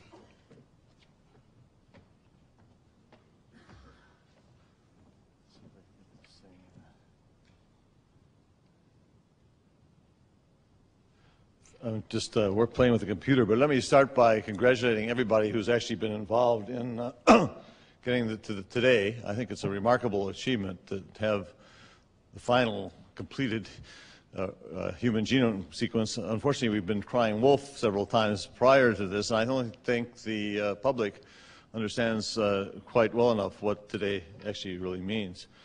I'd like to start by telling you a little bit about the Academy because I'm here to talk about the Academy's role in this project. Uh, the uh, first slide, no. If we could have the slide up on the board. Uh, well, we don't. I don't have a Macintosh, so I can't figure out why this one's not working. But anyway. Oh, okay. thank you. Uh, th this is where the academy is. It's right near the uh, Lincoln Memorial, Vietnam Memorial in Washington. Uh, that's a big statue of Albert Einstein, and I like this slide because it symbolizes uh, the image that we would all like to have for science, something accessible and something that, that, that the public can understand, and that's a major component, as you've heard, of the outreach programs uh, of ELSI and other parts of the Human Genome Project.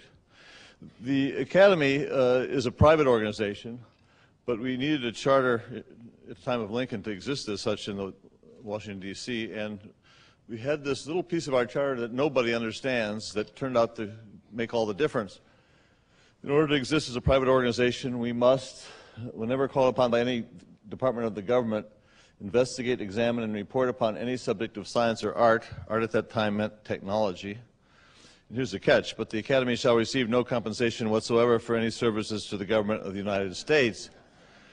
And this led to a great volunteer tradition. Uh, subsequently, three other organizations were incorporated under the same charter, uh, the National Academy of Engineering, the Institute of Medicine, uh, so we have science, medicine, engineering as honorary associations with some 5,000 members in all. And then during World War I, the operating arm, the National Research Council, which allowed us to bring not only scientists, engineers, and medical professions into these committees, but lawyers, teachers, whoever else we needed, depending on the question that the government was asking. And today we call ourselves the National Academies uh, because we really do work as, as one in almost everything we do. We're very active, uh, more than one report every working day. Uh, the reason why we're valuable is that even though the government pays for most of what we do, study by study, and that means they pay for the transportation and the meals of the volunteers and for the staff work that's needed, uh, even though they pay for it, uh, they're not part of the process, and uh, we don't negotiate the answers that we produce. We produce a report uh, that is released both to the government and to the public and to the press uh, at, at, the same time. And that, that's why uh, we are respected by the people who ask us for advice. Uh, there are two kinds of reports. Basically, most of our reports are what we call science for policy what are the facts about substance X that might make it dangerous so that then somebody in Congress or the administration could make a policy about it, for example. Uh, there are many, many such examples. I'll show you one.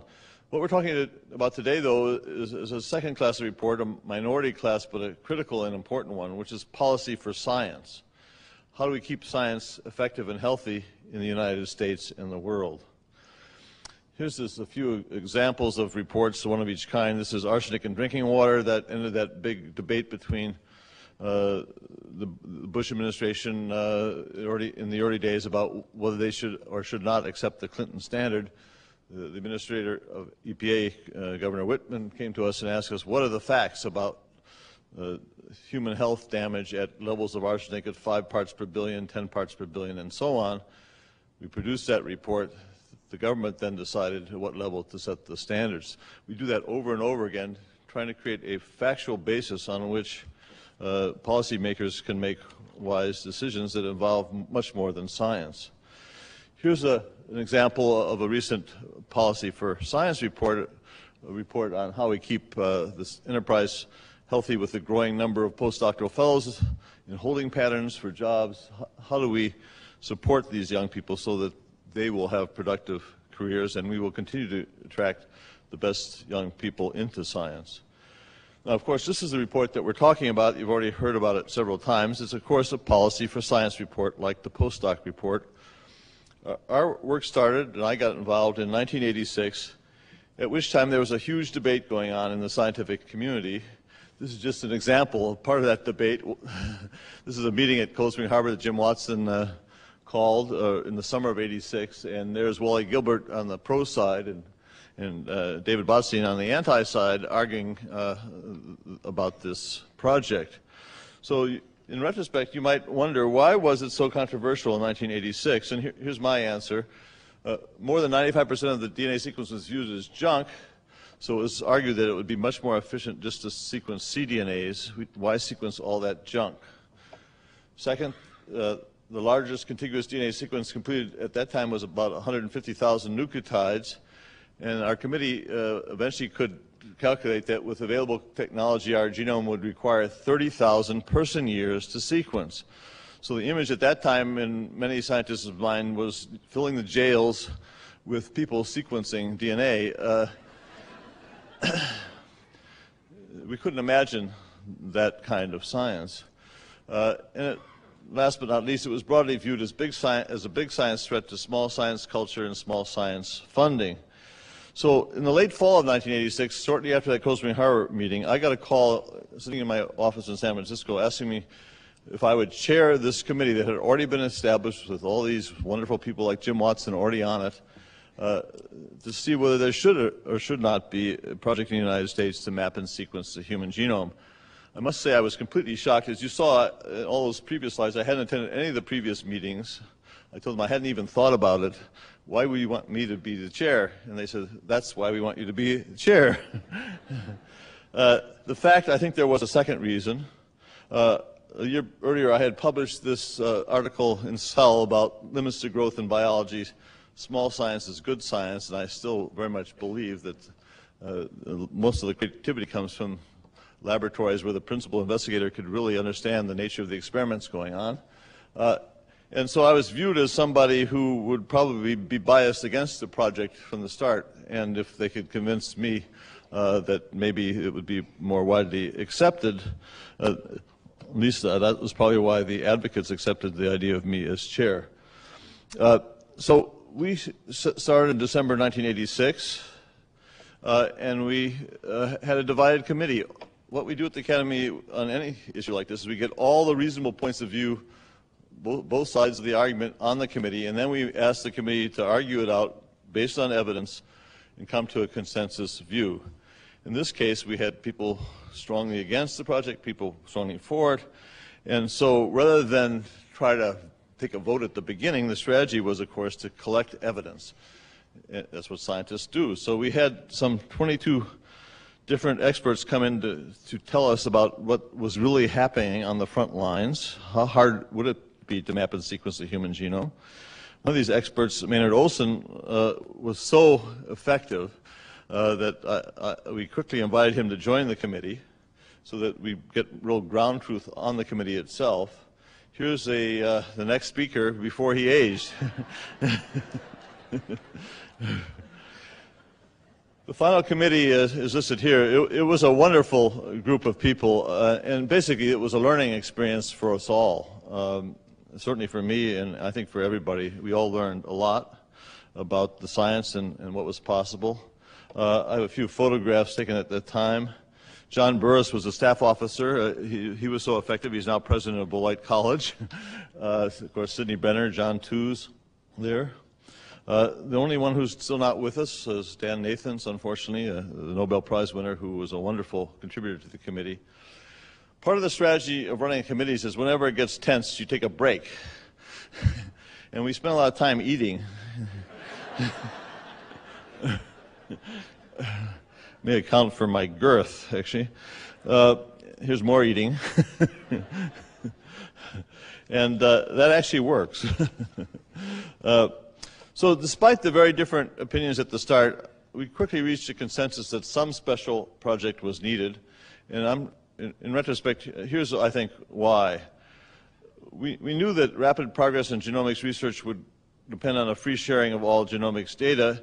And we heard all these, I would call them horror stories about the people who were not sharing such data, which got us upset and made it clear that the business as usual uh, mode of operating would not work. Uh, we felt that funds for a special project could be used to create a new set of obligations for resource sharing among genomics researchers, change the, the, the sense of the community, and create great, much greater progress thereby. And the result, of course, would be to make the final maps and sequences available as a public good, so this data would benefit everyone's science. This is a relatively short report as uh, reports go from the Academy, only about 100 pages. This is the outline of the chapters. And I'm going to now just go over very quickly the, the major conclusions. First, we concluded, this was unanimous, uh, that there should be a special project funded by the federal government to map, sequence, and acquire increased understanding of the human genome. Second, the initial focus should be on producing high-resolution genetic linkage and physical maps with regard to sequencing, which was the most controversial part of this, immediate efforts should concentrate on improving techniques, with large-scale sequencing efforts delayed until a major drop in cost. And we actually set a target for that. Uh, and fourth, we strongly uh, urge that a comparative genetic approach be taken, that it should not just be a human genome project. We need the genome sequences of model, model organisms, in particular the ones shown here were specifically called out. This data would be necessary to interpret the sequence data on the human genome. And of course, that really did turn out to be true. At the time, we were criticized for tossing this out as a, a political uh, sop to the wider community, but it wasn't that at all. And finally, we said, uh, by a mysterious process that only Jim Watson understands, we came up with this number of $200 million per year in 1988 dollars uh, that and it should take 15 years. Uh, that, that, part of the process, uh, which was a subcommittee working on, on, this that included Jim, was completely beyond my understanding how you'd ever figure that out. Now, I wish all uh, Academy reports were this successful. We released it in February of 1988. Uh, thanks to Jim Wyngaarden, your chair, uh, this immediately went into action at the National Institutes of Health. In contrast to the Department of Energy, the National Institutes of Health had initially appeared to be very skeptical about this idea. They were reflecting really the community's views. Uh, but as soon as our report was released, Jim Wyngaarden, who was then director, really very strategically moved immediately to set up a series of planning meetings, which led to the appointment of Jim Watson as the director of this human genome research uh, effort at the NIH only about seven months after our report had been released. Now, all reports had that effect, I'd be extremely pleased. Now, looking back, uh, I think the report was successful. That's why I'm speaking here. uh, one, of the things we really got right, uh, you've already heard about today at the press conference and elsewhere, we said this, this is a quote, sequencing the entire genome is certain to reveal unsuspected sequences having important functions. For example, one of the great challenges of a genome sequencing project is to identify potentially important functional domains involved in gene regulation and chromosome organization. The identities of such sequence will require, sequences will require sequence comparisons between the analogous intergenic regions in multiple species, including human versus mouse. And uh, this was to counteract the argument that we should only sequence cDNAs, which was a strong point of view on the part of many people. Uh, we didn't get everything right one important thing we missed, we had no expertise on intellectual property on our committee. We had no patent attorney who really understood what was going on. We were told that uh, DNA could not be patented without a strong utility, and what we had to worry about instead was that somebody might want to copyright the sequence. And so what we, uh, what we said was, instead of address, addressing the patent issue, uh, the committee wrote about DNA copywriting and recommending that such copywriting not be allowed so as to keep genomic data freely available.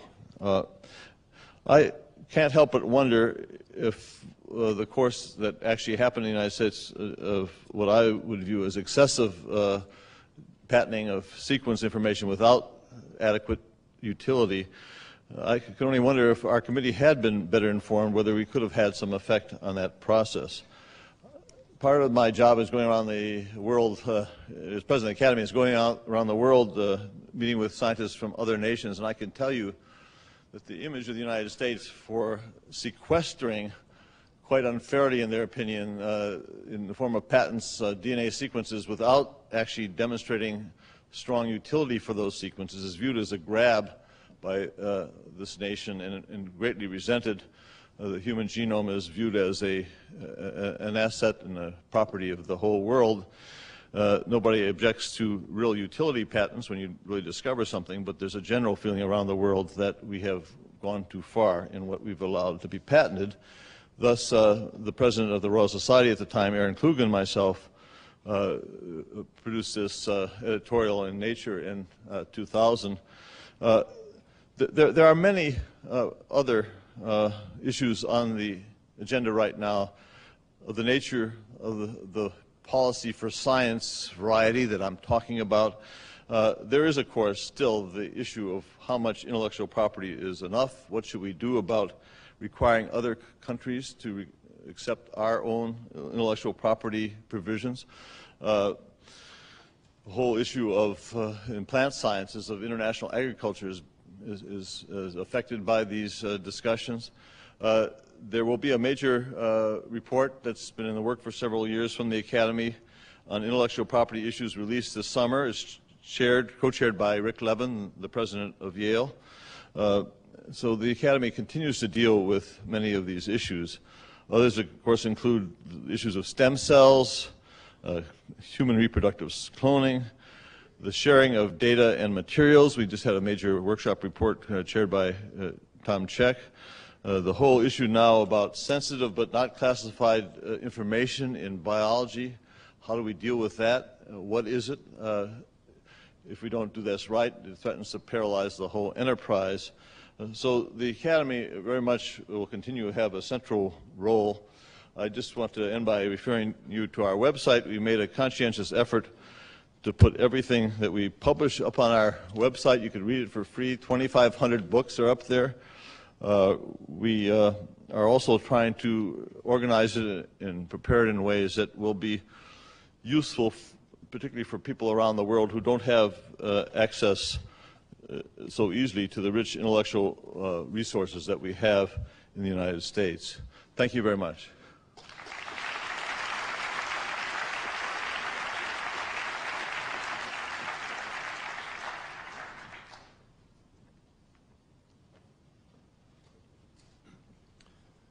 Our third speaker this afternoon is Maynard Olson, who has been partially introduced by Bruce. Uh, Maynard was a member of the uh, Academy Committee, as you've heard. At that time, he was at Washington University in St. Louis. He has since moved to the University of Washington in Seattle, where he heads their genome project and is a professor of medicine as well as uh, genomics. Uh, at the time that this project was begun, as Bruce emphasized, the technology was rather primitive. In fact, I think it was estimated that it would take some 55, 60,000 E. coli clones to deal with the entire human genome. One of the major early technological advances is uh, owing to Maynard Olson. That's the development of the yeast artificial chromosome, the YAC chromosome, which immediately reduced the number of required clones by a factor of 10 or more. So, uh, Maynard, uh, welcome to the podium.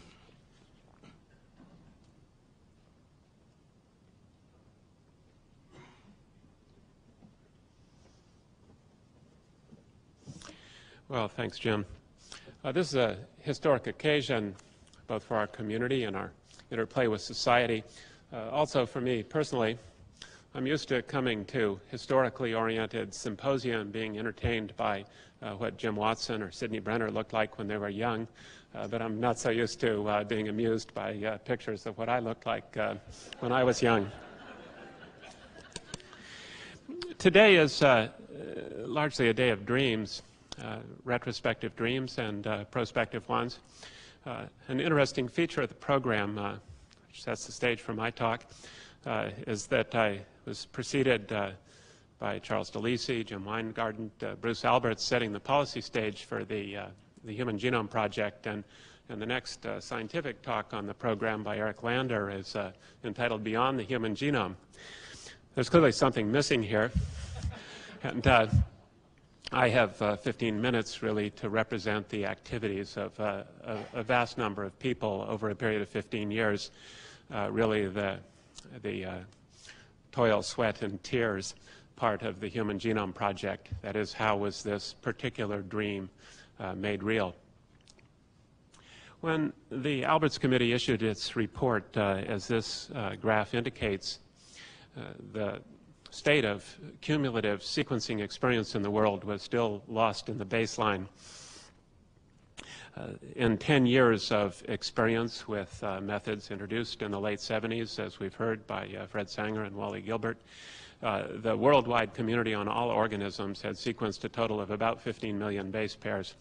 Uh, the quality of this uh, sequence was highly uneven, and the average segment length was about 1,000 base pairs.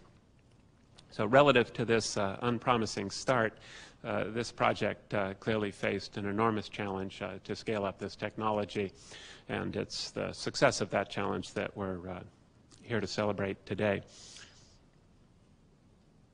See, somehow they started me with my last slide, or nearly my last slide.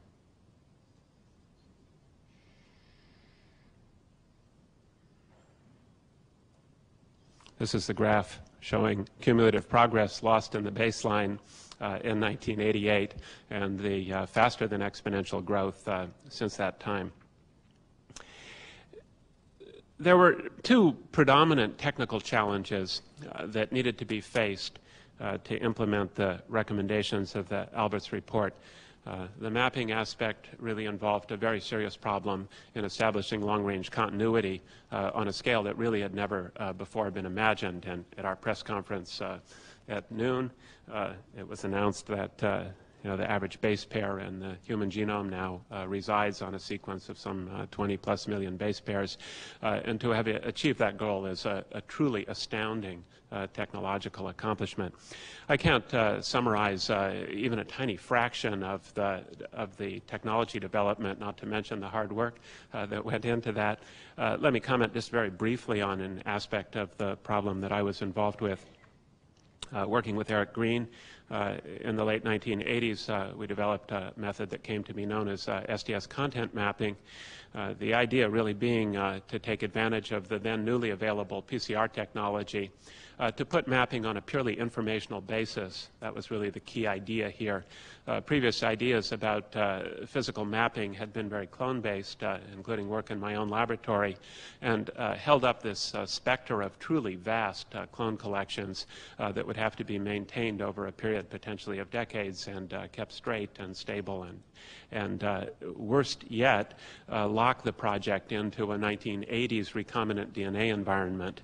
Uh, as we all know, the, the styles of recombinant DNA work, uh, the availability of specialized vector systems such as the BACs that really carried the major load uh, at the end of the Human Genome Project turned over several times uh, since the late 1980s. This idea of getting mapping on a purely informational basis uh, so that you defined mapping landmarks in terms of sequence and that ultimately these landmarks could simply be found uh, by DNA sequencers as they were in sequencing the, the genome segmentally uh, was one contribution. Uh, to the to, to, the successful uh, development of uh, an international distributed program using a lot of different technologies and a process that could keep up as time went by. a number of, of prominent early members of the Human Genome Project, all of whom we've seen on these nice um, vignettes, uh, joined me in sort of advocating this approach to, to physical mapping in a 1989 uh, science piece. And uh, really the key idea was this uh, advocacy of using short tracks of uh, single copy uh, DNA sequences, landmarks, uh, to define positions on the physical map, and the key notion uh, that these landmarks could allow integration of information from many different sources.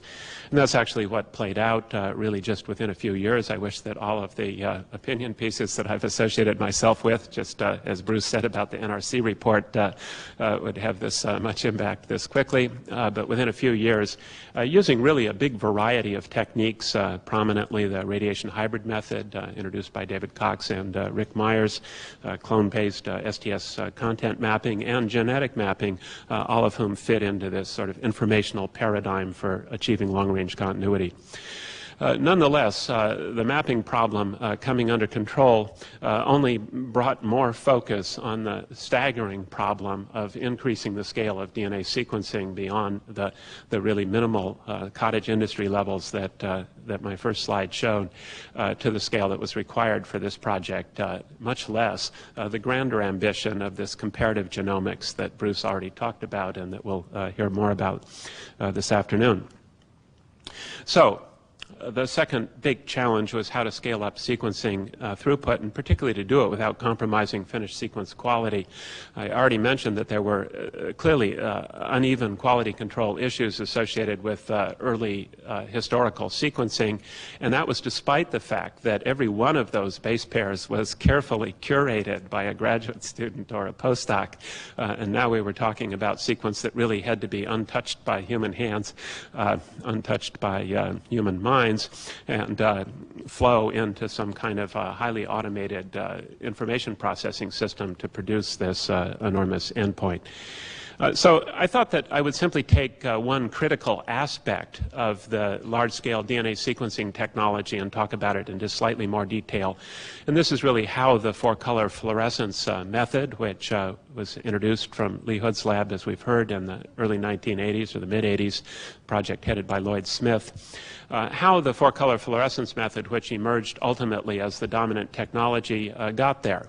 Uh, it didn't have the inevitability that, uh, that, that all successful technologies have in hindsight, even viewed as late as the early 1990s. Uh, again, the story in its full ramifications uh, would exceed the scope of, uh, of this talk, but let me just give a few examples. Uh, some of these papers I suspect not even well known uh, to the Genome Center uh, participants here, which, which addressed some critical limitations of 1980s four-color fluorescence technology.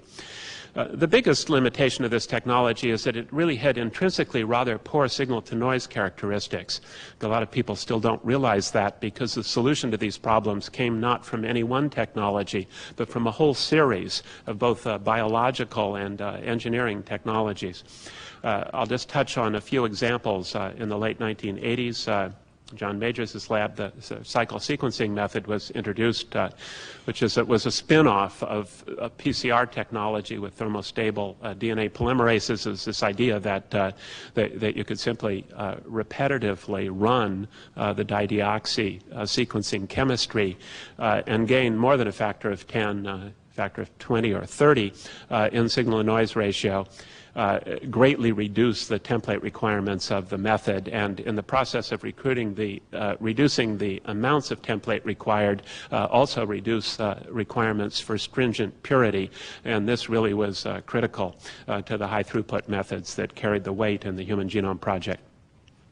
Lee Hood talked about capillaries in his afternoon of insight uh, that uh, led to four-color fluorescent sequencing, but the first uh, commercial impl implementations of it, uh, for a variety of reasons, were on slab gels, and indeed the early years of the Human Genome Project uh, depended on slab gel technology, uh, very cumbersome, essentially unautomatable.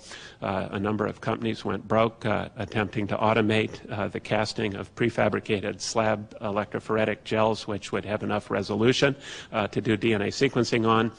Uh, the uh, surprising to me uh, resolution of this issue came in the early 1990s with the sudden uh, uh, recognition. Norm Dovichi's lab played a, a key, key, role, as, a, as, well as a number of others, uh, that linear polyacrylamides, non-cross-linked matrices, could actually achieve the ex exquisite resolution required for DNA sequencing.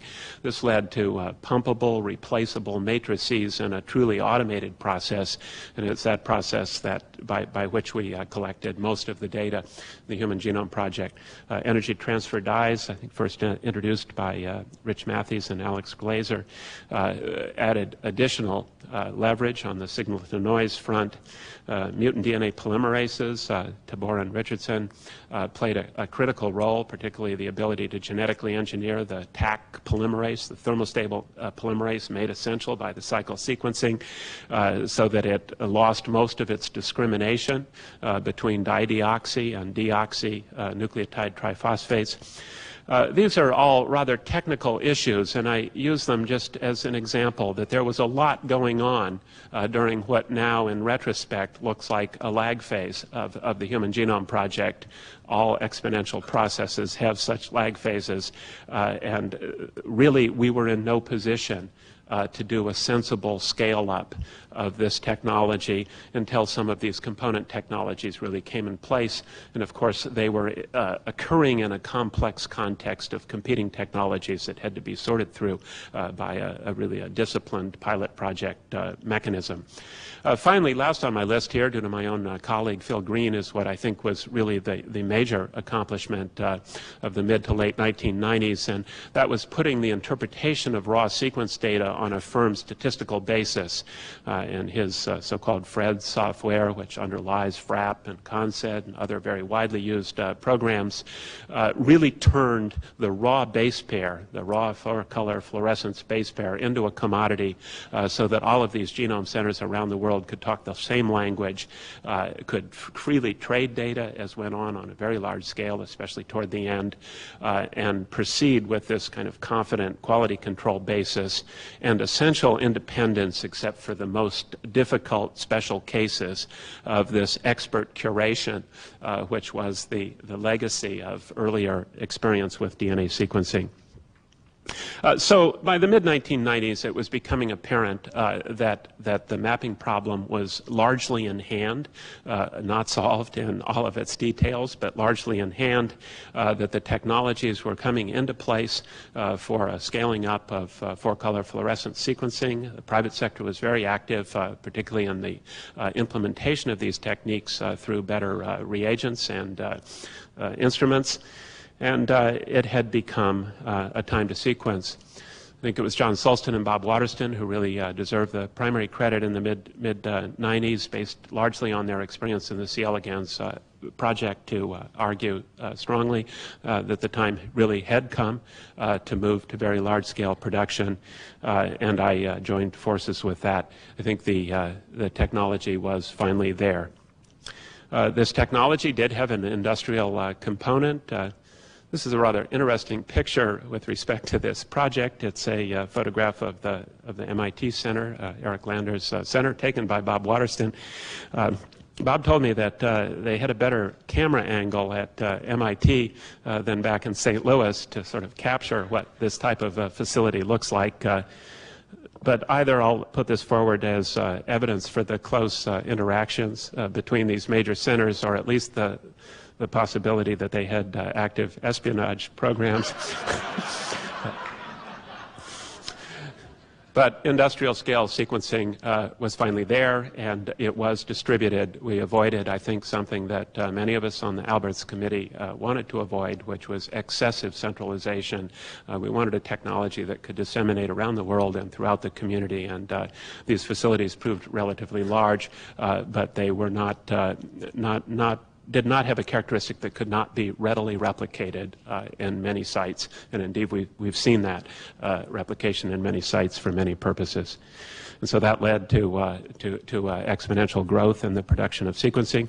If you look at the blue lines here, uh, you'll see that the, the, that the, the endpoint that we celebrated uh, this morning, that we're celebrating in this whole symposium, uh, actually followed a really smooth course uh, behind this, where, of course, were missteps, were difficulties of every manner. The, uh, the sweat, uh, toil, and tears dimension of this project, uh, but the aggregate uh, statistical effect was rather a smooth approach uh, to the, the sequence that uh, we've now released.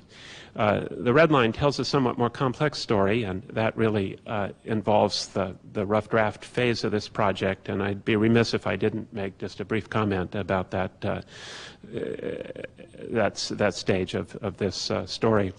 Uh, leading up to the publication in 2001 of the, of the two papers from the public consortium and uh, the private sector uh, of a rough draft sequence and it was the uh, the rapid surge of uh, of red bars at, at, that period was associated with with this sudden commitment to produce this intermediate rough draft form of the sequence. I don't want to plunge deeply into this story uh, but it is one, uh, much in the spirit, I think, uh, that uh, Charles DeLisi indicated in his comments, um, I, I, think that we do need to learn uh, from the experience of the Human Genome Project. It has been one of the extraordinary successes of science policy, of interplay between, uh, between uh, uh, science and society. Uh, and it's not going to be the last. Indeed, uh, I think it will be seen sometime historically as a sort of foundational example of the difficult ways in which science and uh, society interact. I, I, would like to uh, encourage uh, both scientists and non-scientists alike to take an interest in, in really how the Human Genome Project worked. Uh, I tried to contribute uh, to this last year with a uh, short article expressing my perspective on the public-private competition. This is just one person's view. but I think that this brief quote from the abstract does capture some of the flavor of, of what happened in the late 1990s, uh, that this project was uh, launched during an extraordinary uh, confluence of rapid scientific progress, uh, rampant technological optimism, and exuberant entrepreneurial capitalism. Uh, I think I chose such flowery language to indicate that this was a, a somewhat uh, manic social phenomenon of the late 1990s, and it's one that enveloped uh, the Human Genome Project in very complicated ways. And certainly the resultant strains on basic scientific values uh, were exemplified by this public-private competition uh, and the way that these uh, tensions uh, developed and were resolved uh, is something that's worthwhile to study. So finally, I want to present my last slide uh, really for the immense number of people uh, who, who, devoted uh, years of their lives uh, to making this dream real. Uh, it was certainly thousands of people who had a direct uh, hand in the sequencing of the human genome. they played many roles in scientific leadership, technical roles, support roles of, of, a variety of types. and I, I think really the, the bottom line is that we did it. Thank you.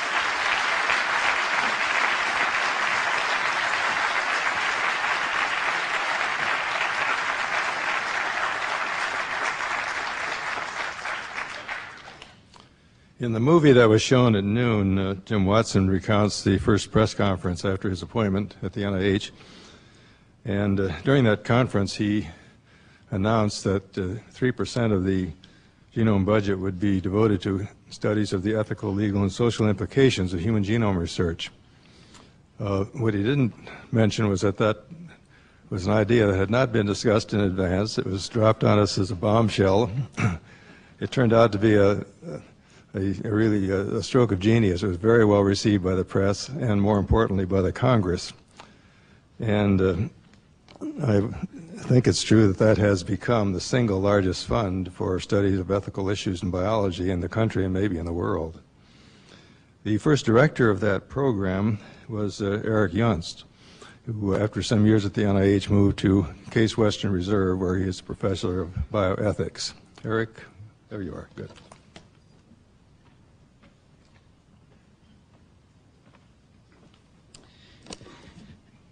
Thank you. Uh, well, I want to add my congratulations uh, to Maynard's, to the scientific community, but especially to my uh, former colleagues on the staff of the uh, Institute. There are likely to be unsung heroes in this uh, story. Uh, it will be those program officers. I mean, it's probably a good idea that you didn't, as tempting as it was, take up the offer from the guy in Alabama who had um, already sequenced the human genome in his garage. Uh, he called a number of times and was willing to give us the complete sequence of the human genome uh, in, in, return for a Congressional Medal of Honor. I know it was tempting, but it was probably good that you pressed on. Uh, well, we're here to celebrate the 50th anniversary of um, the first model that Jim Watson helped build. Uh, I want to talk about another important model that he helped launch. It's the 15th anniversary of that famous press conference this year in which he stuck the agency's neck out for them and uh, committed the NIH and the Genome Project to um, formally sponsoring research on the social environment in which genomics would unfold and the issues that would come out of the interaction between the science and its social environment.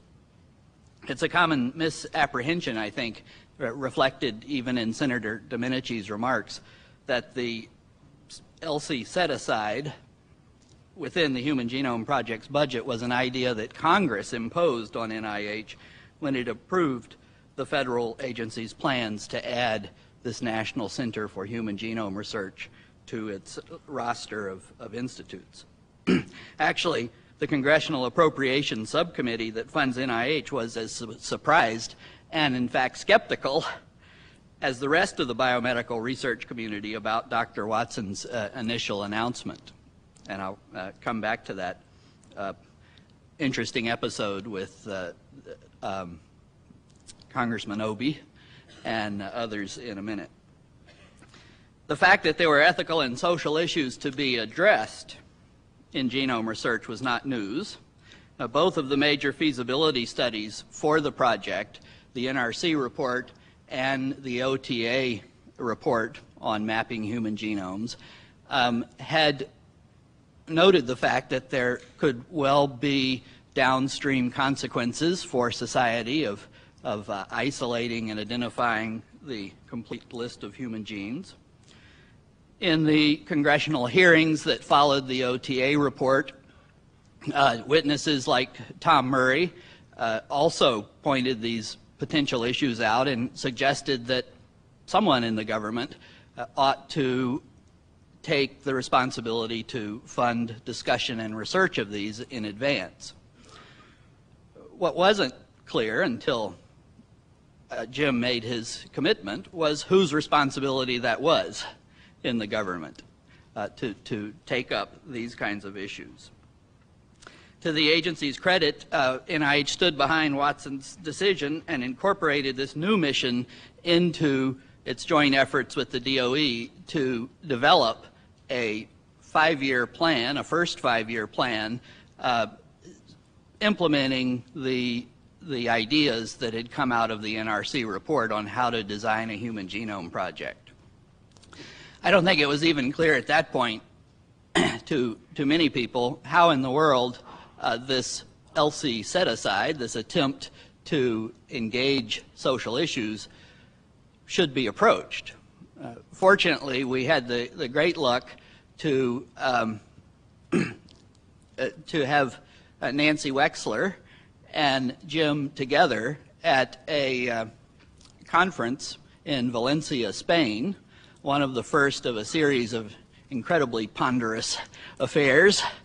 Uh, uh, and at one of the breaks, she, uh, she having heard his announcement, uh, sequestered him, and they began to talk about how this would actually be implemented. Subsequently, she was appointed to the committee as punishment for raising the idea to chair the working group that would accompany, work alongside the sequencing working group and the mapping working group to put together this five-year plan. And she found other good people like Tom Murray and Patricia King and Jonathan Beckwith, uh, Victor McKusick, to uh, sit on this committee and, and uh, try to figure out how a scientific research institution like NIH could get into the business of essentially social impact assessment uh, of the science the work of the uh, ELSI program in that report when it came out was structured by two goals. To first, to develop programs addressed at understanding the ethical, legal, and social implications of the Human Genome Project. And secondly, to identify and define the major issues, develop policy options intended to address them. The methods for achieving these somewhat vague initial goals were also prescribed in the plan to adapt existing NIH review and funding mechanisms to create extramural grant support for education, research, and public participation projects on these issues. In other words, we used the tools we had at hand, uh, the, the uh, system at NIH for supporting work, not by um, uh, federal employees or consultants, but by scholars and academics and others out in the field. Of, of course, there were still those inside NIH who were willing to challenge Watson on the wisdom of this move. Uh, uh, shortly after I got there, we had the chance in the genome staff to present the five-year plan to the assembled institute directors. Um, one of the the uh, NIH director's lieutenants, whom will remain nameless, but mainly because I can't remember his name, uh, after uh, Jim had sketched the plan, including this uh, attempt to fund research on the ethical and social issues, said, Well, I just don't understand, Jim, why you want to spend all this money subsidizing the vacuous pronunciamentos of self styled ethicists. Woo! Uh, uh, Jim said, in fact, he didn't think it was that much of an option in this day and age that the cat was out of the bag in the public's mind, that, that important research like this could have a social impact. And the fellow said, Yes, but why inflate the cat? Why put the cat on TV?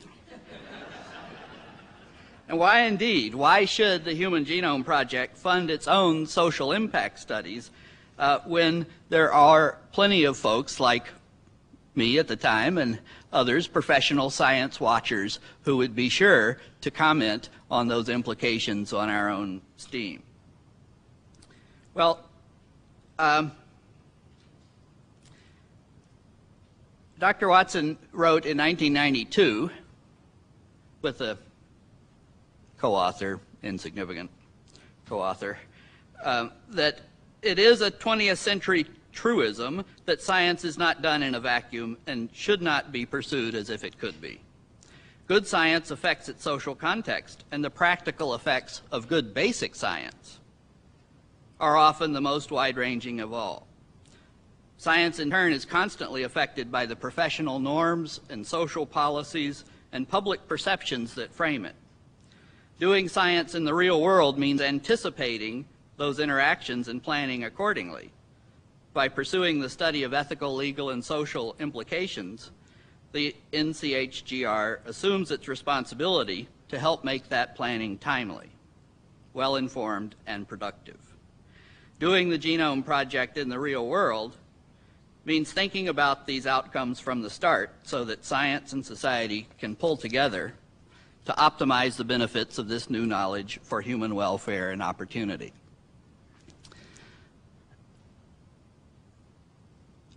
That was the vision, that was the, the, the mission, and um, the model that came out of it is interesting to um, take a look at. There are plenty of models around for thinking about how to develop science policy in the U.S. in the recent history, uh, the main model has been some form of the Blue Ribbon Commission. Uh, you have a science policy problem, and you either, you know, commission the NAS to do the study, or you put together your own government commission. Uh, this is a very different kind of model because it was committed to using the extramural uh, grant mechanisms of the NIH to create a community of uh, scholars that would be around much longer than any commission would be to keep an eye on those fluctuating interactions between genome science and society. Uh, what I'd like to do in, in uh, the remaining time I have is to tell you just a, a little bit about that model, what it's been doing, and then to make a few remarks on whether it's been a success and how we would know uh, if it had been.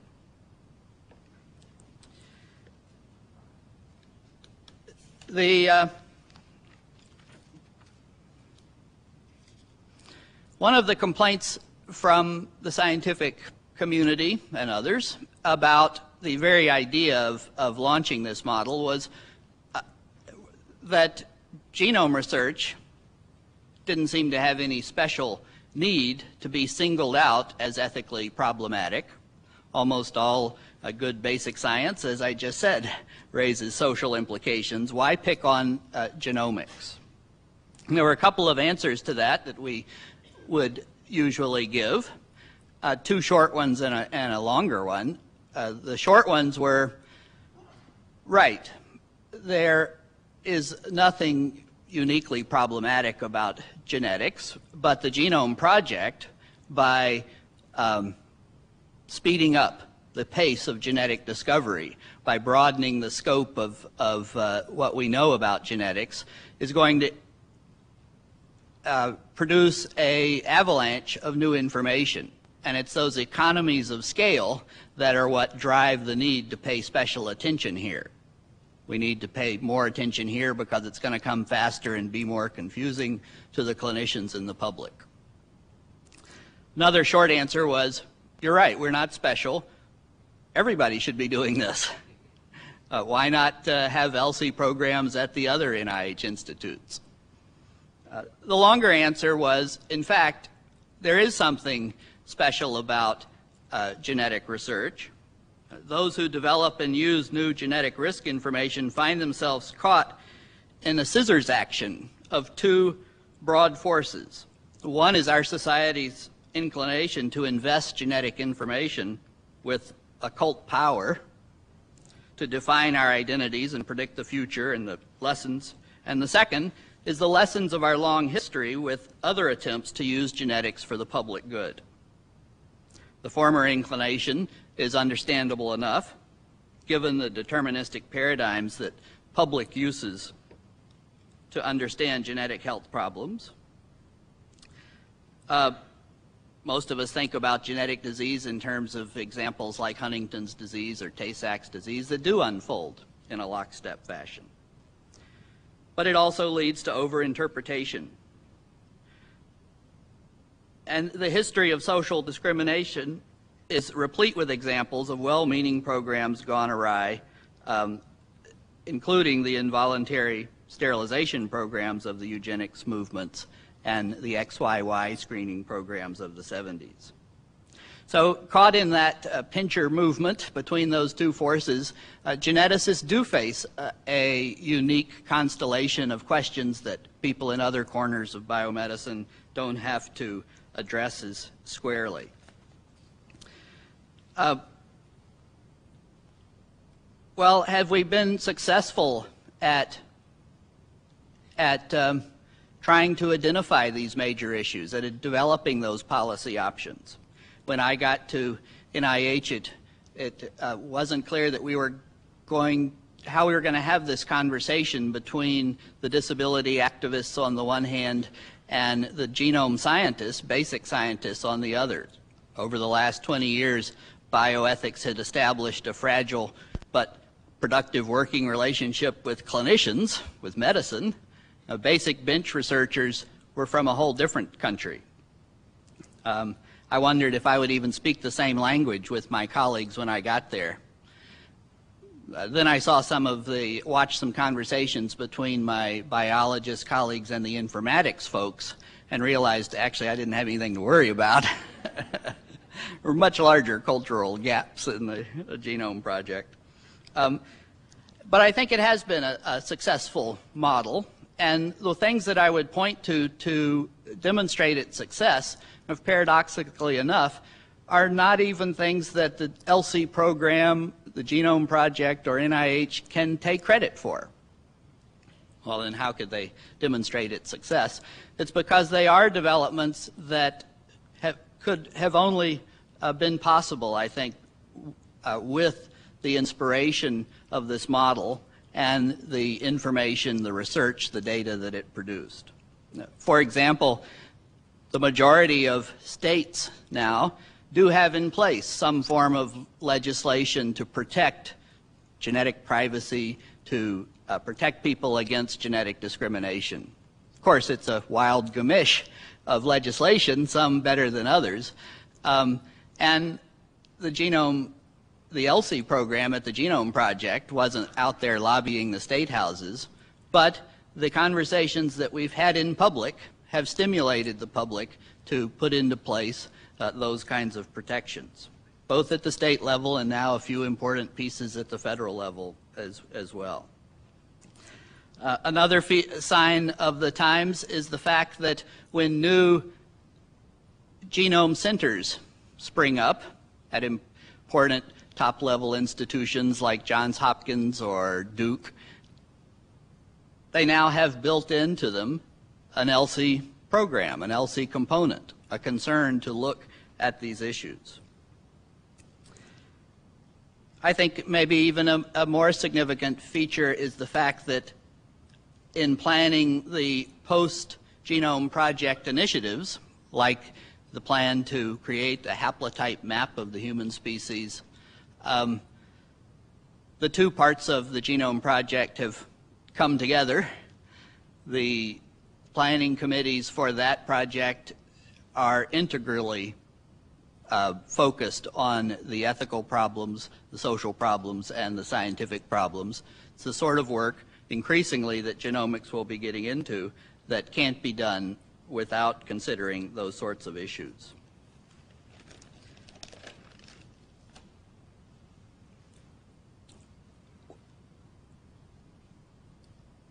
It's quite an accomplishment and is only the beginning, I think, for this kind of uh, two cultures conversation. The new vision for the next, for the future of the of the Genome Institute reflects this. Uh, increasingly, as you'll see, the the ethical dimensions of the work are being integrated throughout the spectrum of the initiatives. Um, I understand that the plan is to eventually move the ELSI budget from 5% to 95%. No, that's a joke. Uh, uh, but it kind of, when you look at the topics on the list of initiatives, you begin to see that increasingly this is going to have to be a natural part of, of doing the science. I'm thankful that we can say in the genome community um, that in the process of producing the Human Genome Project, uh, we can quote Watson's famous line, it has not escaped our notice that this work has implications for the larger society. Thanks.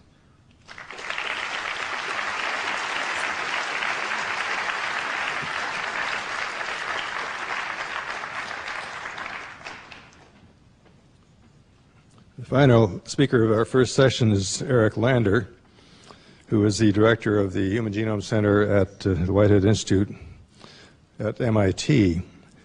And Eric has uh, a career history that has fascinated me from the beginning, starting out life as a mathematician and really going quite a long way down that road before he moved into biology, where he has also distinguished himself. And I am almost tempted to ask whether this is his third incarnation that we're viewing of Warning this morning as a futurist. He's going to speak to us on Beyond the Genome.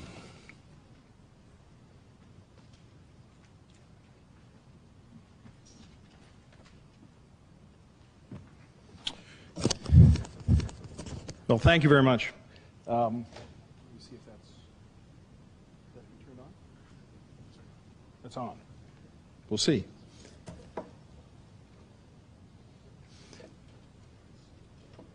Huh? It is on.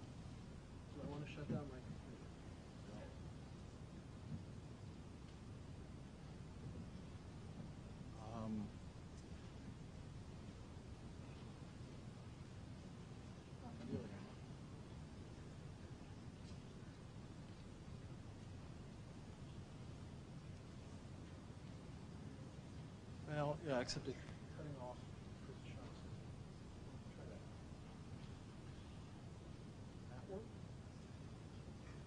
That works. Okay.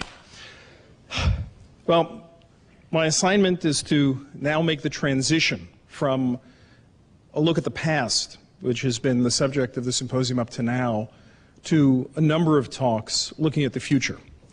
In the spirit of the Human Genome Project, we laid out 25 minutes to do that. There remain three. This makes me feel right at home in the spirit of the Human Genome Project. Uh, we just had the press conference at lunch to announce the completion of the genome, and we're already behind the eight ball. But before I start, though, let me just share the, the sense that I know so many of our colleagues are feeling, a couple of thousand people around the world, that it's an extraordinary day. Um, for so many people who have spent so much of a very important part of their life doing this. It was extraordinary to wake up this morning and realize it's done. There were more days than not when we woke up with doubts. And to wake up this morning with no more doubts and just to see the product there was tremendously satisfying. And, and I want to say personally to the many people who are here, who are my colleagues, I could not imagine working with a more extraordinary group of people. Uh, could not ever hope to and, and don't imagine that I ever will again. So we should all cherish this day. But we should also look forward. We got here for a reason. We got here because in the mid 1980s, we saw what could happen if we could just delay our gratification a little bit and build the infrastructure, build the tools, build the foundations. In the mid 80s, everybody knew we were going to, we wanted to go off, find disease genes, do all sorts of things. And of course, a lot of that has happened in the course of the 80s and the 90s. But we knew that the solid foundation had to be laid, and we're finally here. So where does it go? Well, my assignment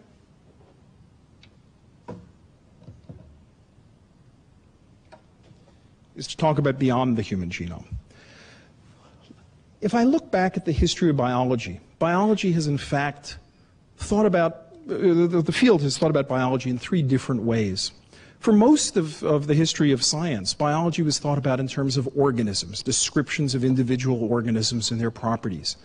The major intellectual change occurred just before the 20th centuries, in the 1890s, with the beginnings of biochemistry when it was realized that you could, in fact, purify away functions away from the organism, purify away what were thought to be vital functions that could digest uh, molecules, enzymes in yeast.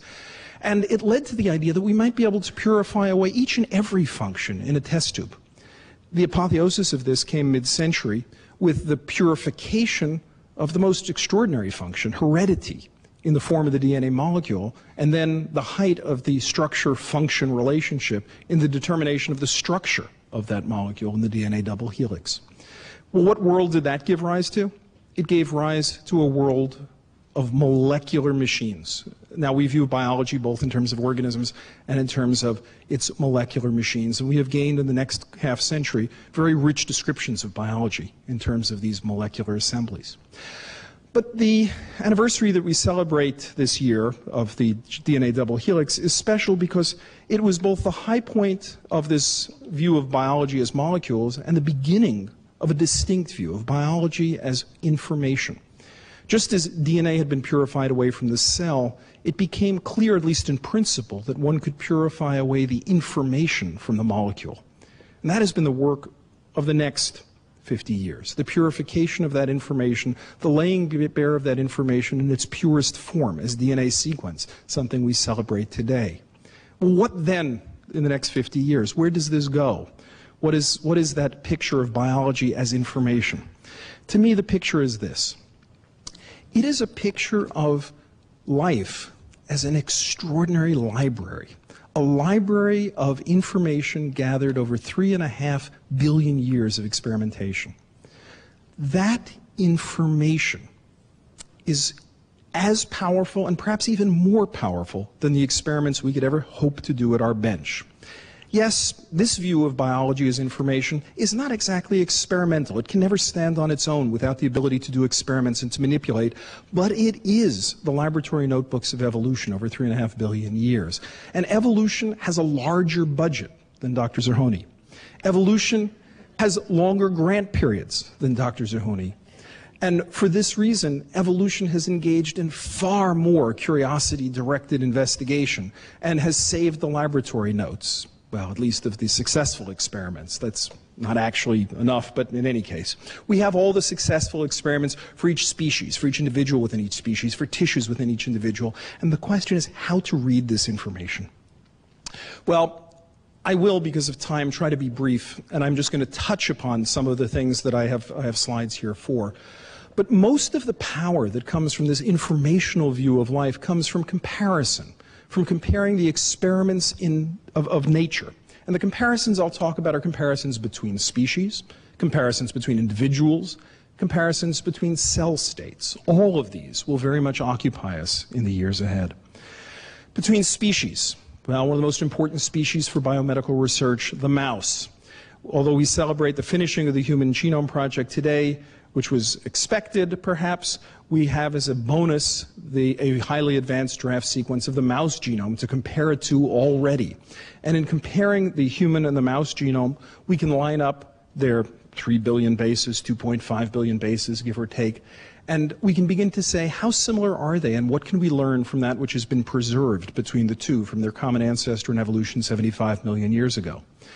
Well, if we take any stretch of, of human DNA, a typical stretch of mouse DNA corresponds to it of over one, two, three million bases or so of DNA. Because in fact, these both represent the same ancestral region passed down along two lineages over the course of those 75 million years. And one can in fact build a cross index, a lookup table, taking you from any region of the human genome to any corresponding region of the mouse genome and back and forth again. So now for every bit of the human genome, we can compare it to something in the mouse. If we take sequence, this is just meant to be illustrative, if you take a, a, a, sequence of apparent gibberish in human and mouse and put them through a computer, it's capable of finding hidden messages, like, if you've spotted it, this is hidden. And it's there. And computers are good at finding these sorts of things that have been better preserved than they ought to be by chance. And when you do this in reality on stretches of sequence like a favorite gene of ours, PPAR gamma, you find that there are all sorts of hidden sequences here, that is, sequences that evolution has preserved lovingly over 75 million years, and they correspond to exons, the protein coding regions of genes. But to our surprise, we also find that there's about an equal number of non-exonic sequences uh, scattered across the genome, and these correspond to, we don't know. And that's what's so much fun about the Human Genome Project. That's what makes it so much more than just the engineering, is we're now at a loss to explain what about a quarter of a million of these, well, I know what two, two or three of them are. I recognize a few of them as enhancers that, that people have studied, but there's most of them are mysteries to us. And in fact, if we look across the whole genome, that is the picture, that there is about 5% of the human genome that is better preserved by evolution than it should possibly be. And I won't, I'll spare you the analyses that lead one to reach that conclusion. And much of the work ahead is going to be figuring out what that does, what the what those are. Are they untranslated regions for genes, regulatory elements, genes we've missed, RNA genes, structural elements, etc. And the young students today are getting tremendously excited because they have no intention of doing this one region at a time. They're trying to come up with high throughput methods that still can extract that information. Well, one of, one of the great things is we don't just have to look at human and mouse. The power of the Human Genome Project uh, allowed us to get the mouse quickly and cheaply. It's allowing us to get the chimpanzee, which will be along sometime uh, by the end of the spring, I'm sure. Dog is coming, cow is coming, chickens are coming. All sorts of animals are lining up to get sequenced, and I think we will see the ability to get more and more of these sequences, and thereby to really extract signal from noise, to refine the parts that are really functional, to identify these functional elements. Now, of course, we're, un- we're impatient folk. And so when we're impatient, we try to go to a model organism to get some, some uh, inspiration. And so already, folks in the Genome Project have begun trying to play these comparative evolutionary games with species like yeast. Yeast, sequenced in 1995, one of the foundations for sequencing, but lots more to learn, it turns out, by comparison, by looking at Evolution's lab notebook. For example, we sequenced three different species of yeast, separated from Saccharomyces cerevisiae, roughly like human to lemur to dog to mouse. Comparing those four together, we can see all sorts of things. First off, genes, just like mouse and human, roughly in the same order, very easy to line up any particular region with any other region. But when we look closely, we find that although yeast genome has been known for eight years and annotated very richly, the annotations aren't fully right. There are more than 500 putative yeast genes that ain't really genes. It's very clear by evolutionary comparison that they are not real genes but were spurious open reading frames. New genes are found, genes are merged. The stop codons have to be changed in about 75 cases, the start codons in 200 cases. 60 new introns are found, and the, the entire yeast annotation is actually much more powerfully done by asking evolution than by running any single genome analysis program we have today. But not just that, we can go beyond genes. By looking at the intergenic spaces to begin to study regulation of genes, we can look for these telltale signatures of sequences that are far better preserved across these different species. And I'll just give you an example. A favorite of yeast geneticists, the GAL4 binding site, a particular regulatory site. It's kind of crummy. It's just got six bases, CGG, CCG. It's all over the place. Can't make much sense out of it. But if you intersect all four species, most of them go away. The ones that stay are the ones preferentially that appear in front of genes. In fact, they are much better preserved than a random sequence would be uh, in front of genes compared to inside of genes. Oh, but that's a signature. You could look for any old sequence that shows this funny property of being better preserved in intergenic regions than genic regions and say that must mean something. And in fact, of course, with computers, you can look at every sequence. And when you do, you find out most of them don't show any special properties, but quite a remarkable number do show this very unusual property of being preferentially conserved in some places more than others, and our friend GAL4 is right there. So you can begin to generate a long list, and I've shown only the beginning of the list, of, of a hundred of these different elements across the genome there that say they must do something. But now what do they do? Ah, again, you can begin to combine biological information already available on the web. You can take those particular binding sites and ask, where do they occur in the genome? Well, if we just look at one yeast, all over the place. But again, if we intersect four yeasts, they correlate very strongly with carbohydrate metabolism, which is, of course, just right, because that's what GAL4 does. But of course, we knew that one. But it turns out you can apply many different databases on the web for functional classifications, chromatin immunoprecipitation, et cetera, et cetera, et cetera. And it turns out that the vast majority of the sequences that can be extracted by pure information can actually be assigned tentative meanings by making use of pure information found on the web. Often experiments involving expression data sets or proteomics data sets, but, it, but data that you yourself didn't collect but could download from the world. And I'll skip that in the interests of time. So, in beyond the human genome, we need to identify all of the functional elements in the human genome, all of the functional elements in the human genome, and infer their function through correlation and experiment. And it will take many new things, much more genome sequence. We have to be able to read where and which proteins sit along chromosomes in much less primitive ways than we can do today. Chromatin structure, correlation of structure and expression. But already the young people are imagining just what data they need, like we needed the sequence of the human genome, to be able to extract this information. Second type of comparison, the comparison between individuals in our species. This is some human sequence. The Human Genome Project produced a reference sequence, but any two people on the planet differ from this reference sequence, and they differ by about this much. I'll circle that for you. That is uh, about one letter in 1,300. Any two people in the world differ from each other or from the reference sequence that went on the web today by about one letter in 1,300. Not a lot as these things go. Two chimpanzees in Africa differ by two to three times as much. Two orangutans in Africa and in Southeast Asia, they differ by eight to ten times as much. Humans have relatively little defined variation. And that's because we're a pretty tiny species.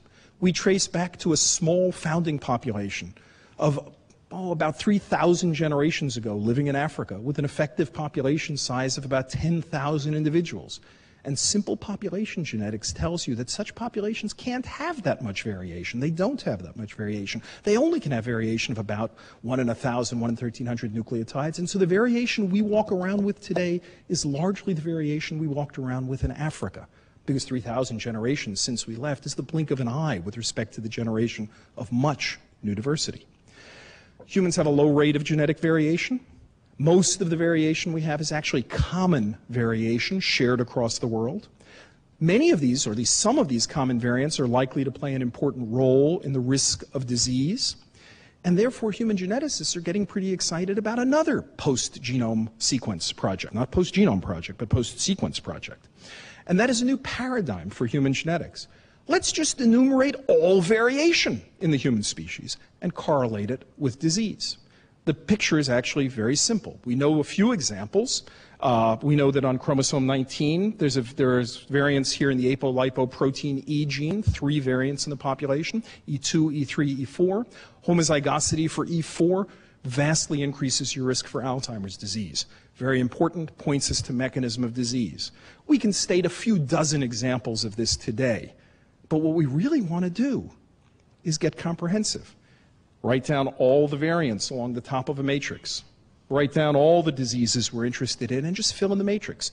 Is that variant enriched in this disease? Is that variant enriched in that disease? And all of human genetics can become, at least conceptually, one very large Excel spreadsheet in which we can tick off these sorts of boxes. All we have to do is enumerate all the variants. Ah, but the number of variants, there must be 8 or 10 million variants in the human genome, which used to be a big number. But it's not as big a number as it used to be. Already, by the time of the publication of a draft sequence, more than 2 million of the common variants had been identified. By today, 3 to 4 million of the common variants have been identified. And if we need all 8 to 10 million, that's no longer something that, that keeps uh, folks in the Human Genome Project up late at night. It can be done. Beyond that, in fact, we've learned that these variants don't just occur at random, they tend, in fact, to be locally correlated with each other. There's structure to the variation, reflecting, again, our ancestral origins in the population of back in Africa and in populations that have, have uh, left Africa since.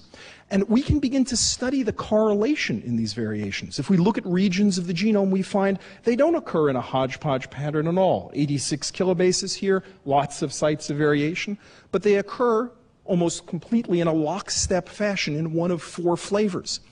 These are called haplotypes. And if we can begin to define all of the haplotypes across the length of the human genome, we can pick out a modest number, perhaps 300,000, 400,000 representative variants to proxy for all the key haplotypes in the human genome.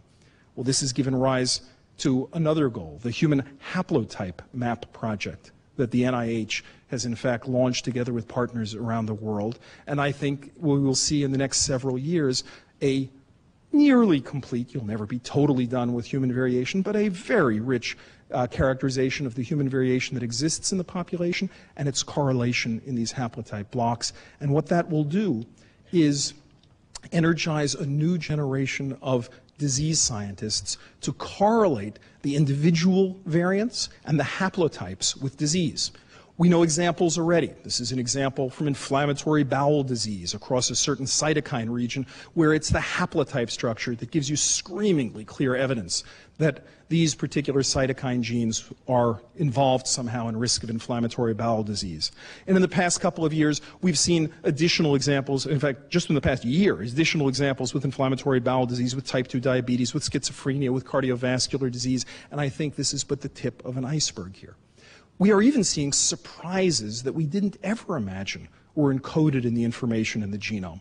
I'll digress for a brief moment on just one of them. We can actually read out aspects of evolution, recent human evolution, simply by looking at human variation and how it's scattered across the chromosomes. Here's the idea. Stay with me if this seems to, to get a bit complex, but if there's a variant in the population that is fairly common, Simple population genetics tells us that it has to have taken a long time to get common. Things drift up to high frequency slowly. Well, if they took a long time, there has to have been a lot of recombination in the course of that history. If there's a lot of recombination, it means that the correlation between this and things nearby will have largely broken down. So common variants shouldn't show long range correlation. Well, if something has been subject to positive selection because it has been advantageous, there's a telltale sign. Because it could have risen to frequency very quickly before the long range correlation is broken down. So, in theory, it might be that you could simply look at many, many alleles across uh, many, many different variants and correlate their frequency with their extent of long range correlation. And when you see something that has unusually high frequency and unusually high long range correlation, it's the signature of positive selection. And so a postdoctoral fellow actually at the, Whitehead Institute tried this for two genes implicated in resistance to malaria, and bingo, screaming signals in both cases. The putative malaria resistance allele shows extremely strong evidence of selection over the last 5,000 years. This has now been shown for several other genes. Lactase, pers persistence of lactase, has an even huger extent of these blocks. And so we can read out the history, but note we actually didn't need to be smart enough, really, to know about lactase or malaria. One could, in principle, take any variant in the human genome and just compare its frequency to its long range correlation and run across the genome and make a map of positive selection that has occurred over the last five or 10,000 years. Now, this, this particular technique only goes back five or 10,000 years, but golly, that's an interesting time. It corresponds roughly to civilization, density of populations, high infectious disease, change of diet. I'll settle for that. But of course, others are going off, coming up with different ways to detect selection in our history going back much, much further. And all of this is coming together to tell us there is more information in this book than we had realized. Beyond the human genome, too, we need to characterize all of that human variation. We need to systematically correlate that variation with disease and disease resistance, which will prove as interesting as disease susceptibility. Many new techniques are needed, large data collections are needed, patient populations are needed. But again, the next generation of young scientists have their sights set clearly on this. The last thing, the comparison of cellular states. Well, there has been a huge explosion made possible by the information from the human genome and by the technologies to now interrogate cellular readouts. Technologies such as DNA microarrays that allow that you'll again all of these things you'll hear more about where you can take RNA from tumors, grind it up, label it and wash it over microarrays and get a readout of the expression levels of now all the genes in a genome. And this is made possible tremendous work by many groups around the world now classifying cancers not based on what they look like in the microscope, but based on what they look like under the hood, based on the complete expression patterns of these cancers, breaking apart, for example, the acute leukemias into two parts. This is, a, this is of course, a demonstration of something that was known, but further splitting of acute of the ALL leukemias, of lymphomas, of lung cancers, of breast cancers, of prostate cancer, of medulloblastomas, and we will enter upon a world where cancers are classified based on information, because of course the tumors know more about what they're intending to do than we can possibly see by any other method than simply asking them. And already the young scientists are thinking of ways to integrate all of this information together, all the information from so many different sources. I mean, the human genome sequence, they take it for granted now.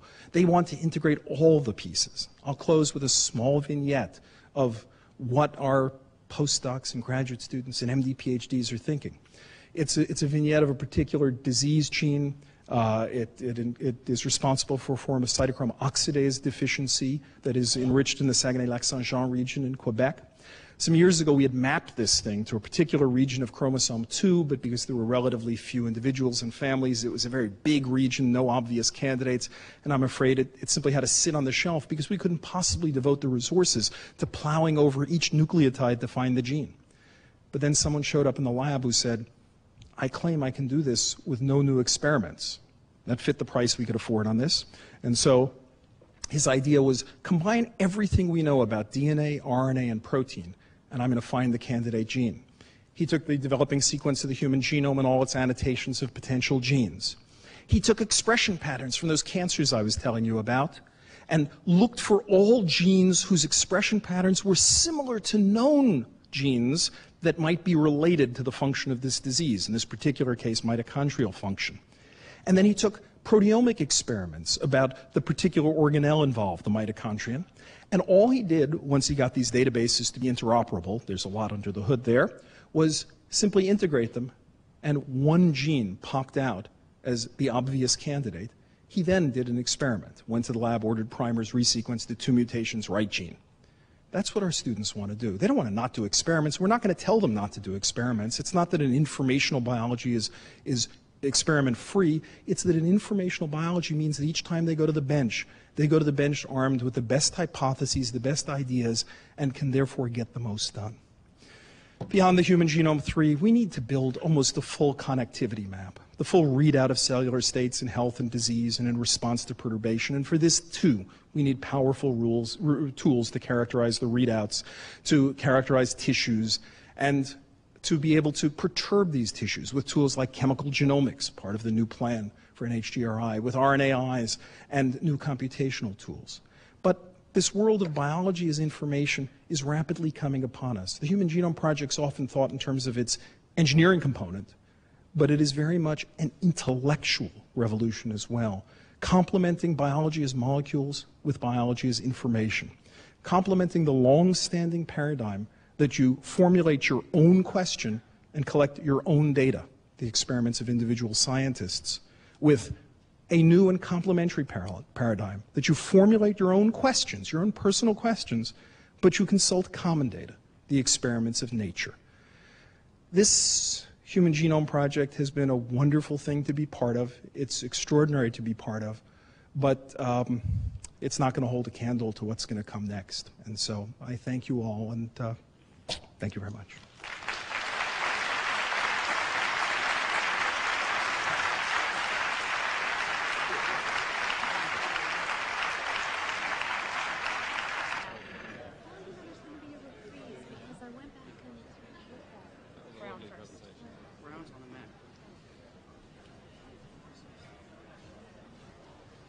Okay, thank you. We have an action-packed final session for you uh, this afternoon, and the uh, first presentation will be the Watson Lecture given by the um, President of Princeton University, Shirley Tilghman, and to introduce her, uh, we'll invite Kay Redfield Jamison um, from Johns Hopkins University, the Chair of the Genome Action Coalition, author of several wonderful books, uh, to, to introduce Shirley.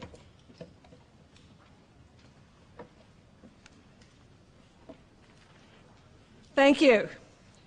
As the chair of the Genome Action Coalition, I'm delighted to welcome all of you today for the James Watson Lecture. The Genome Action Coalition is an alliance of more than 140 patient advocacy and professional groups, as well as pharmaceutical and biotechnology companies. The purpose of the coalition is to create an environment within the government and within the general public in which genome research and public education about that research will continue to enjoy strong support. Our coalition decided early on and with great enthusiasm to name our annual lectureship in honor of James Watson. Our previous Watson lecturers have included Francis Collins, Vice President Al Gore, and the Surgeon General of the United States at that time, David Satcher. This year, in the 50th year celebrations of the discovery of the structure of DNA, we are particularly delighted to name Professor Shirley Tilghman as our Watson Lecturer. Dr. Tilghman's work in molecular biology is well known and extensively honored. A member of the Princeton faculty since 1986, she served there as Howard A. Prior Professor of Life Sciences and subsequently as the director of the Lewis Sigler Institute for Integrative Genomics.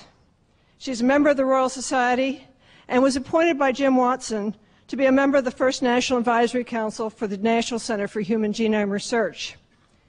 Two years ago, Professor Tilghman was chosen to be president of Princeton University and by all accounts has done a marvelous job. Shirley Tilghman has been an innovative scientist, outstanding teacher, and a wonderful advocate for science. She's also been a wonderful advocate for women in science. Oops. Uh-oh. Sorry. We are delighted she will be given, giving this year's James Watson Lecture.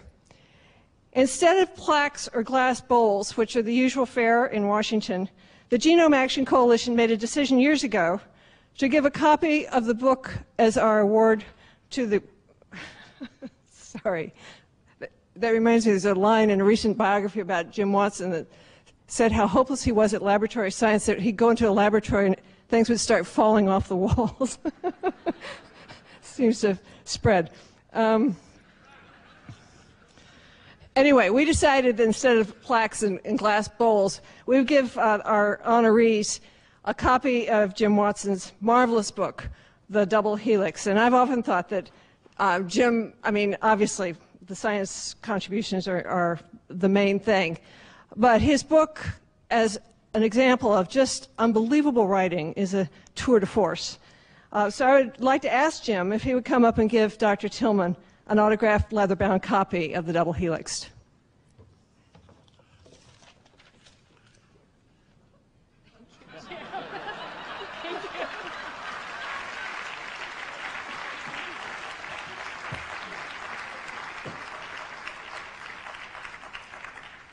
This will definitely look better on my shelf than the dog-eared paperback that I have of this book. Uh, Jim, thank you very much.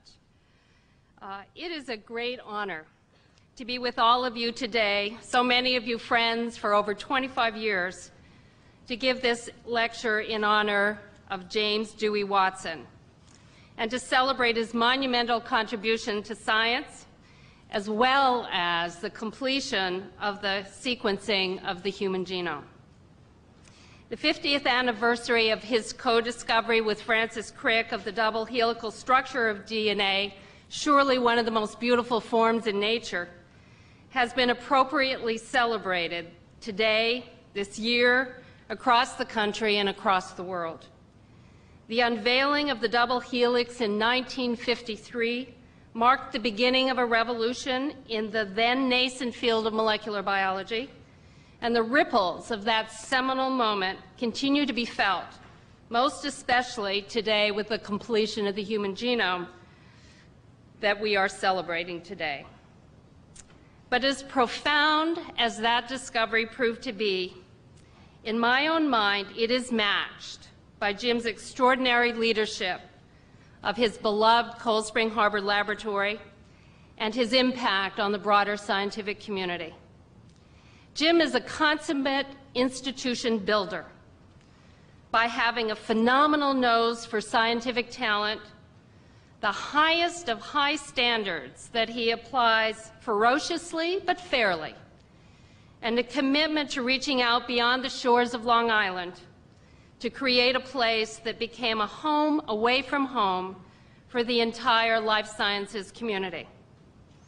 The lab has been a magnet for the brightest minds interested in science, from middle school students who discover the wonders of DNA at the Learning Center from the graduate students and postdocs at the Watson Graduate School who are receiving an innovative and intense graduate education designed to give them a fast start to an independent career. From students and postdocs who come to the lab to study, and each summer who come to take courses that will change their scientific lives by opening up new areas of exploration to the thousands of scientists like myself from ages 18 to 80 who attend the meetings, always held in an atmosphere of high energy, heated scientific debate, lots of beer, and no sleep.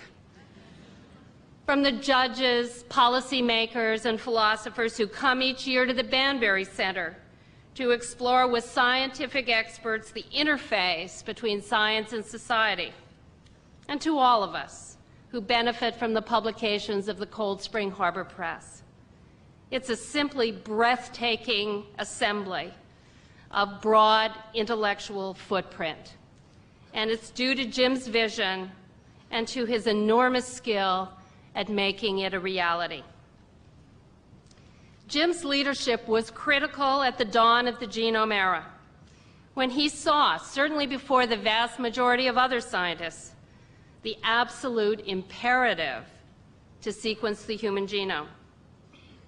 By the force of his intellect, which is prodigious, and the force of his personality, which is, shall we say, interesting.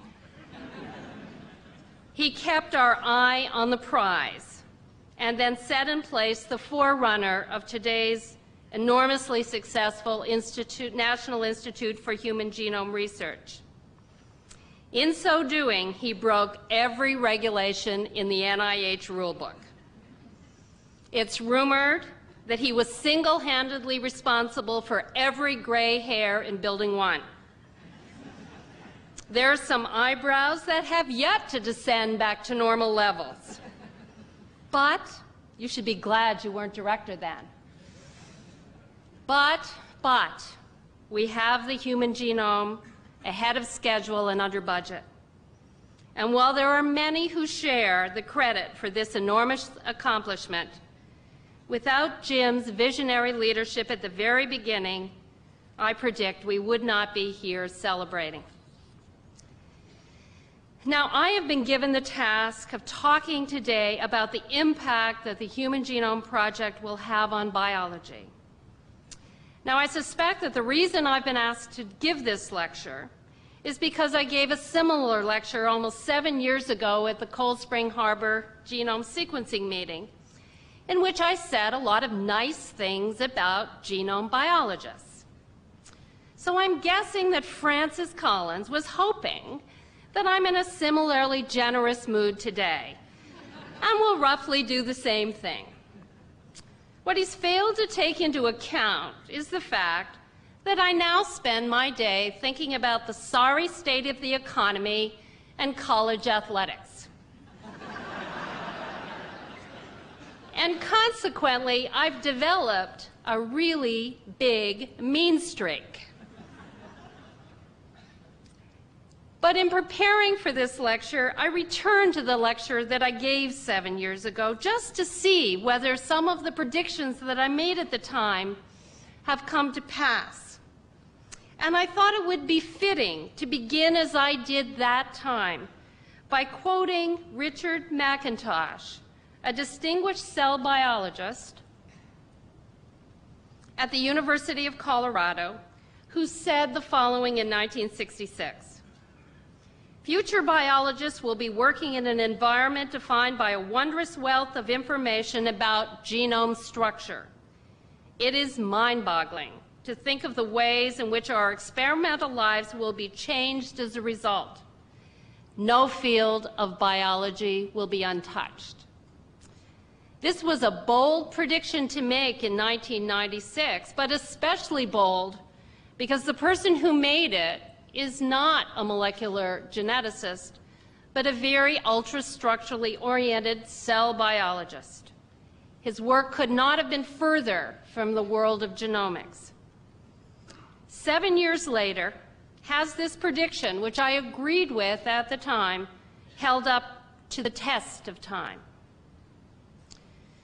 For my money, the most profound impact of the Genome Project has been the way in which, is, which it is demonstrated and legitimized what can, for want of a better phrase, be described as data-driven science, to distinguish it from hypothesis-driven science.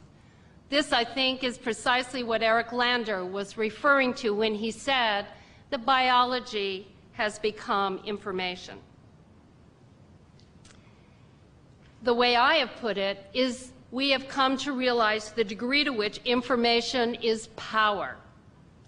It is not that hypothesis-driven science, the tried and true method whereby a scientist sets out to test a very specific hypothesis, is diminished in its importance.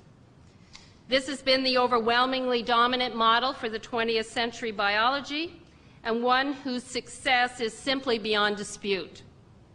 It is rather that biologists have come to appreciate a different and equally powerful way of promoting the progress of science by generating a large body of data and then using it to construct hypotheses to be tested by the tried and true method.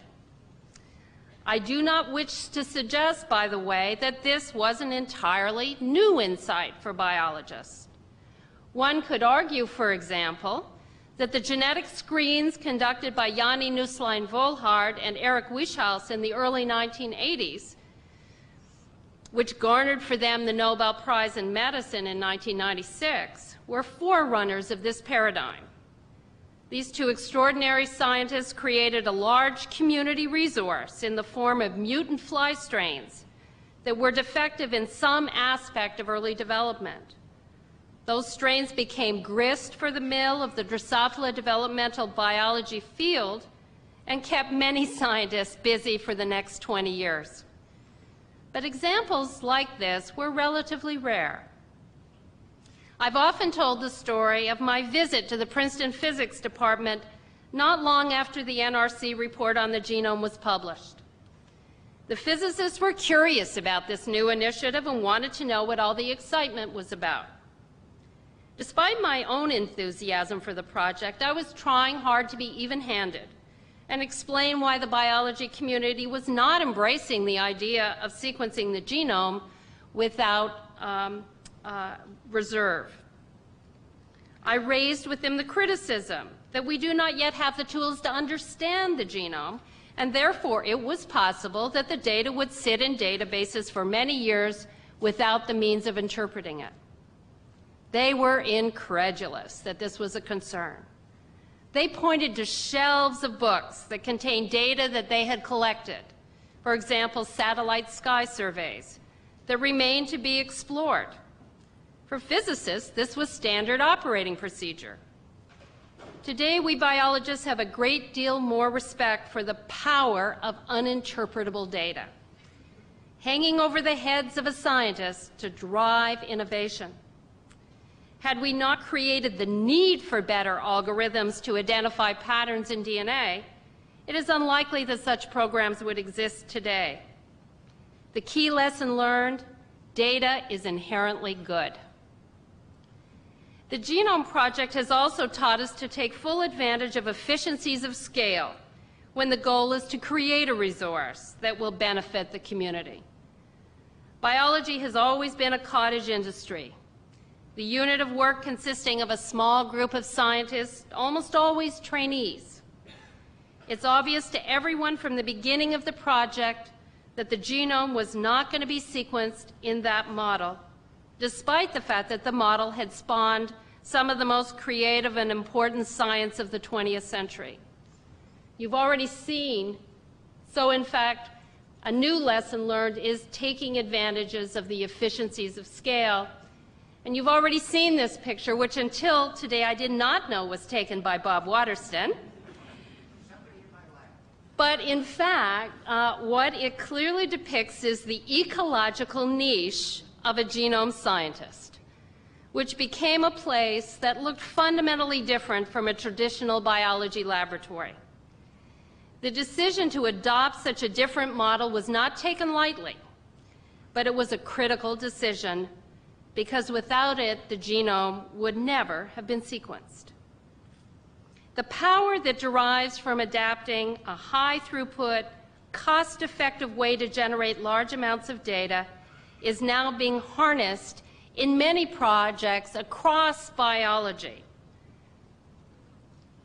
And the lesson we have learned here is if something is worth doing once, it's worth doing 384 times.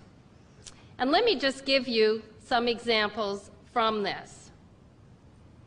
This is um, a, an example taken from structural biology. This is a group of scientists in the Northeast who have banded together to develop methods to do automated NMR analysis. Now, for anyone in the audience who knows anything about NMR analysis, what you know is that it is incredibly slow and time consuming and usually is done on one protein at a time basis. What the Genome Project, I think, put in place in the minds of uh, NMR scientists is the idea of, in fact, doing NMR analysis on a large scale with random proteins as a way to begin to assign function for proteins.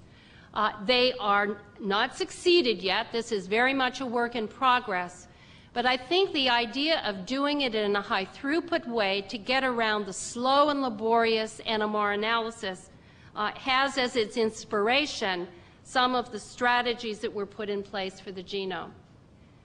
We are going to hear from Pat Brown the real revolution that has occurred for us who studied gene expression, the notion that we have gone from studying the expression of a single gene, painstakingly, carefully, to now being able to measure the expression of all genes in a cell, all measured simultaneously.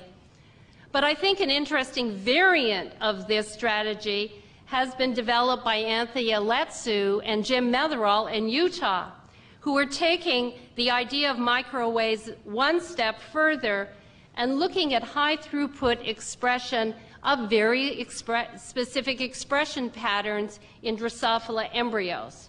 So beginning with a random cDNA library, uh, each one of those is then in a very high throughput way uh, being used in, in situ hybridization to identify random cDNAs that have highly interesting unique patterns of expression that suggest that they might be important in development. Again, the notion that you could take a technique like in situ hybridization and use it in a high throughput way, again, I think is inspired uh, by uh, the genome. Here's another example that is actually taken out of uh, science just a few weeks ago, and that is the idea that you could screen for the function of genes uh, using uh, RNAi analysis in a whole genome wide way. Uh, this is uh, an experiment that was uh, done in Gary Ruvkun's lab and uh, is clearly identifying genes in C. elegans that are involved in the regulation of fat by essentially taking random cDNAs and looking for those that affect the pattern of fat deposition in worms. Again, I think um, once again you can see the flavor of the Genome Project coming through a project of this kind. I would argue that these, all these projects were inspired by the powerful example of the Genome Project, especially in the way in which data gathered by brute force, repetition of a powerful technique, can move science forward. What these approaches are also pointing us toward is a fundamental paradigm shift from a reductionist approach to science in which we focused on a single gene, a single protein, a single cell surface modification toward an integrative way of thinking. For the past 25 years, biology has moved forward by investigators, investigators approaching the study of an organism much as in the fable of the blind man surrounding the elephant each one touching a different part of the elephant and therefore describing the elephant in very different ways. Legions of scientists have spent a lifetime studying one protein on the surface of a cell, describing in exquisite detail the ways in which the protein transduces information from the outside of the cell to the inside. Now we have the potential to know the identities of all the cell surface proteins expressed in a cell. We can begin to ask an entirely new kind of question. Does the cell coordinate the activities of all these cell surface proteins? Is there a conductor orchestrating the music of the cell, or is it a cacophony with the loudest instrument winning the day? using a different metaphor, this is the difference between taking the radio apart and putting it back together. These integrative approaches will inexorably lead us to a brand of biology that is far more quantitative and will therefore call upon biologists who have much more rigorous training in mathematics and in computer science the capacity to extract information from large data sets, as the example that Eric just gave us, and to use that information to develop theoretical models for experimentalists to test will become increasingly important. The close interplay between theory, modeling, and experiment has dominated many other branches of science, particularly physics and astrophysics but it has had little impact on biology until now.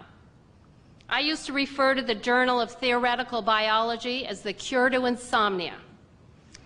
No longer will I be able to say that.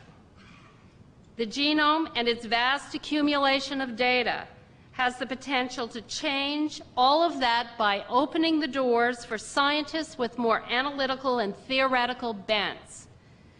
Such scientists tend to be very smart, and to think completely differently from experimental biologists, and that is a good thing for biology. The project also reminded us in the starkest terms of the central role that technology, and particularly the development of new technology, has on science. It is now much more widely accepted that as much as ideas are fundamental to the advancement of science, technological innovation is the engine of scientific innovation. As Emanuel Farber, one of my pathology professors, taught me 25 years ago, Ideas are a dime a dozen, it's experiments that count. And without advances in technology, ideas will often remain a glimmer in a scientist's eye. Technology is often the rate limiting step between a good idea and an experiment to test it. And the Genome Project made it crystal clear that biology had undervalued the importance of technology and thus had, no, had not organized the infrastructure to support its development, which is both expensive and risky. Hopefully that has now changed. I'd now like to turn in the last few minutes to some specific examples uh, in biology that have, in my view, been transformed by genomics. In the first example, and this could actually apply to all of the examples, the Genome Project has delivered a classical good news, bad news message. The good news is that it has created research projects and thus gainful employment for young scientists for many years to come. The bad news, the Genome Project has uncovered our great ignorance about the nature of the information contained within the genome. No one who has studied the genome as I have for the past 20 years can be anything but humbled when the human and mouse genomes were aligned and compared. And here I was intending to make a point that I think was just beautifully made uh, by Eric Lander, and I know is going to be reinforced by several of our next speakers. But clearly, uh, what is immediately apparent when you look at any part of the, those two genomes that have been compared is that evolution has indeed been hard at work conserving far more of the genome than we could explain by genes and their closely allied regulatory elements. This is just a, a, a close-up example of one random part of the genome I picked in which these blue boxes are recognizing homologies uh, that correspond to the exons of a gene. But these red boxes, which these uh, very uh, high, uh, these lines of uh, indicating homology between mouse and human, here and up in here, are elements for which we have no knowledge about what they could possibly be doing. Scientists should have a field day trying to understand what evolution had in mind when she paid so much attention to these little segments of DNA. One can't help but be reminded of Sidney Brenner's great exhortation to us at the beginning of the project when we were making pronouncements about all the junk DNA in the human genome. What Sidney reminded us was, don't forget that there's a difference between junk and garbage. Junk is what you store up in the attic because you know it's going to be useful someday. Garbage is what you throw away.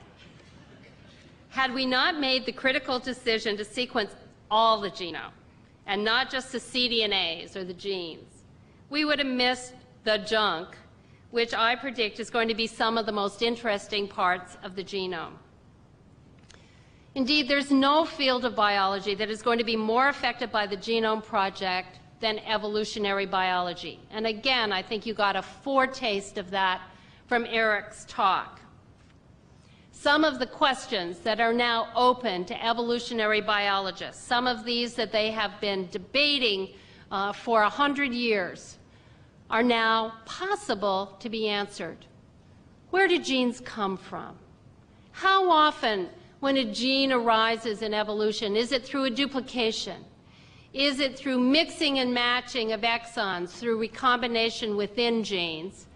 And how often are genes literally created de novo from the junk of the genome? How do genomes change with time? What drives the expansion of a genome like maize or the contraction of a genome like fugu? how do those genomes change with time? A point that Eric just mentioned. How much of the genome is under positive selection versus neutral selection versus negative selection? How often do we select for something as opposed to selecting against something? And finally, how much are mutation rates affected by where you are in the genome? Is there an architecture of the genome inside the nucleus that makes it more or less likely that point mutations will develop uh, in those genes? These are critical, fundamental questions to evolutionary biologists, and these are questions that now can begin to be approached uh, with genomic tools. Here's one of my favorite evolution stories. Uh, this is a place where genomics has come face to face with Charles Darwin. We've spanned the 150 years. Uh, this is, uh, on the left are depicted two evolutionary biologists at Princeton, Peter and Rosemary Grant, who for 25 years have been traveling each year to the Galapagos Islands uh, off the coast of South America uh, to live for three months on a rock uh, and study how populations of Darwin's finches have changed as a result of very dramatic climatic differences. And you can see that these are in fact quite different if you just look at the beak of this large ground finch, which has evolved to crack very hard, tough nuts, which are the only things in seeds, which are the only things that survive drought, versus the quite uh, narrow beak of this beech, which is designed for times when the islands are wet, when there are flowers, and where they need to stick their beaks deep into a flower in order to extract the nectar. What the Grants have been doing over 25 years is characterizing these birds morphologically so they understand in enormous detail uh, uh, the structural differences among them. What they are now doing is sequencing the genomes of these and now correlating these structural differences, which are critically important to the survival of these finches, and the genetic changes that led to them. Darwin meeting the 21st century. Likewise, conservation biologists and ecologists are having um, a, an enormous impact of the genome on their work as they begin to define the level of biodiversity on the planet. Uh, this is a slide that I took out of a re, uh, review in Nature that was written uh, several months ago in which um, the authors demonstrate the enormous ignorance that we currently have about the level of biodiversity on the planet. For example, in vertebrates, it's estimated that of the total number of predicted organisms, only a tiny percent of them have actually been uh, identified and studied. Uh, what genomics is now beginning to help do is define the relationships between animals within these groups to begin to understand population dynamics. Uh, scientists who study the dynamics of forests are beginning to understand who is related to who in a forest. When a large tree sends out sprouts, are those sprouts their daughters, their cousins, uh, their second cousin twice removed? All of these tools that were developed for the genome sequencing are now being used by these wonderful uh, scientists engaged in some of the most important scientific questions uh, that face us today. What is clear is that DNA-based taxonomy is going to be of enormous value in resolving many of the serious and fundamental problems that they are facing and that go back all the way to Linnaeus. The availability of genome sequences of obscure organisms, and obscure from the point of view of mainstream biology, of course, not necessarily obscure in the view of Mother Nature, will have, I predict, a dramatic effect on biology going forward. When the Genome Project it began, it began with what Jerry Fink called the Security Council of Organisms. These were the, uh, the, the privileged few whose genomes uh, were uh, identified for sequencing other than the human genome. They were chosen because, in fact, they had good genetic systems and large communities of scholars working on these organisms. I would argue those were the right choices. But today, because of the improvements in technology, we now have the United Nations. And uh, the United Nations is a much broader, uh, much more curious and interesting group of organisms, some of whom are going to allow us to ask questions that we could not ask with the classical model organisms. I was having lunch with Mark Kirschner yesterday. Many of you know him, a very distinguished cell biologist at Harvard Medical School. And he was regaling with me um, on the uh, placemat of the restaurant uh, with stories about uh, the acorn worm, a small uh, uh, animal mollusk that he is now working on. And, and the, the questions he was asking with this organism that could not be asked with any of the Security Council organisms. Uh, this is going to be a wonderful boon for biology. The fact that the ability to sequence the genomes of, of lots of different organisms is really going to uh, make biology a much more inclusive and interesting science. So in this short lecture, I've been able to mention only a handful of ways in which I see biology changing in the next decade as a result of the output of the many genome projects that will be undertaken. It's a wonderful time to be in biology, for the frontiers feel decidedly different to me and hold out the promise for an extraordinary ride ahead. However, I would only urge us to take this ride with the last and most important lesson that I learned from both Jim Watson and from the leaders of the Genome Project, which is to aim high and to be bold. Thank you.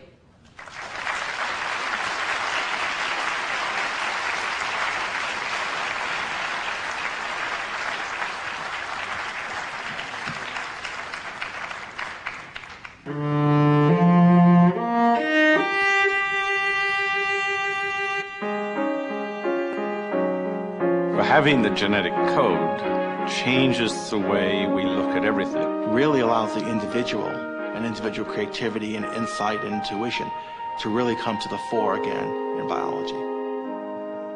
In 1960, there were so many things we said, will we ever be able to do these things? I don't think, we, we never even thought about sequencing the genome. Um, much simpler things seemed daunting at the time. Uh, and here I was, sitting 30 years later, and there was the sequence of the genome in front of me. And I just had this, this sense of history coming together, the pace of history moving at an incredible rate. And in fact, it has changed biology. There's just no question. We've moved into a new era. We're accumulating data in orders of magnitude more rapidly than we were before. In fact, I would go so far as to say, for the first time, we now have the tools commensurate to the task of understanding biological systems.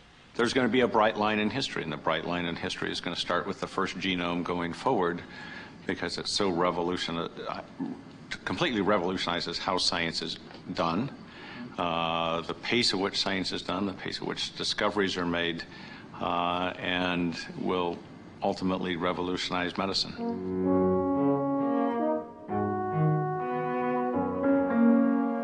Most of the analysis of genome sequences is really focused on the genes for obvious reasons, but the bits that code for proteins and how many proteins they make and what are those proteins are, what the so-called proteome of each individual genome is. For protein coding regions, we have the genetic code, we've had that for some time.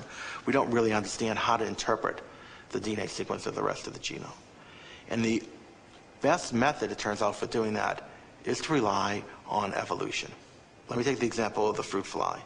If I showed you a Drosophila melanogaster and a Drosophila pseudoobscura, for all intents and purposes, they would look identical to you. Yet they're 60 million years different in evolution. And if you look at their genome sequences, only those sequences uh, that had some selective advantage that were important would be conserved. I think a lot of the challenges in genomics are really to understand what the rest of the DNA does in the organism. The future of DNA sequencing uh, over the next 10 years is going to see another uh, perhaps 6,000 fold increase in throughput. And the way we're going to do that technically is by being able to sequence single molecules of DNA. Just as with every area of biology, the key to future analysis is going to be nanotechnology, the ability to interrogate single molecules or uh, single cells.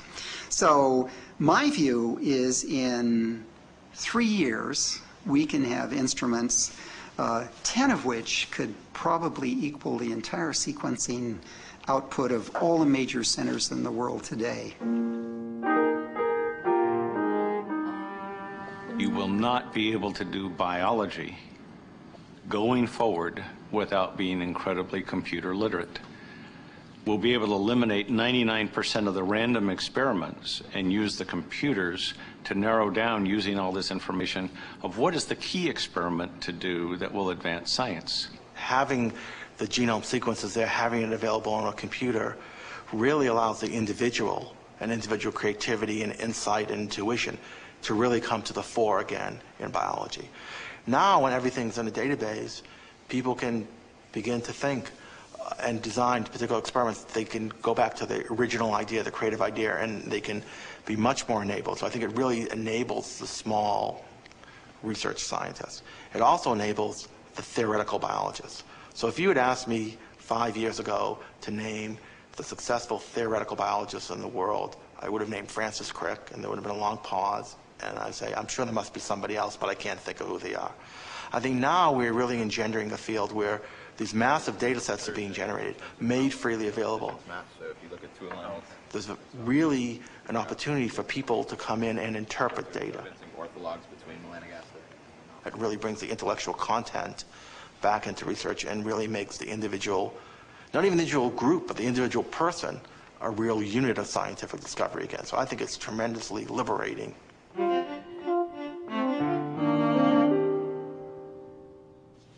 I think this is the groundwork for the human biology and, and uh, medicine of the future. In medicine, we can actually show that it's economically feasible to prevent diseases or catch them early versus waiting till symptoms appear. Uh, this is very clear cut in some types of cancer, for example, colon cancer. So genomics coupled with this new preventative medicine paradigm will enable individuals to have degrees of control of their own lives for the first time in human history. My favorite way of looking at the impact of the genome is a story which actually didn't involve sequencing of the genome, it involved sequencing of a gene.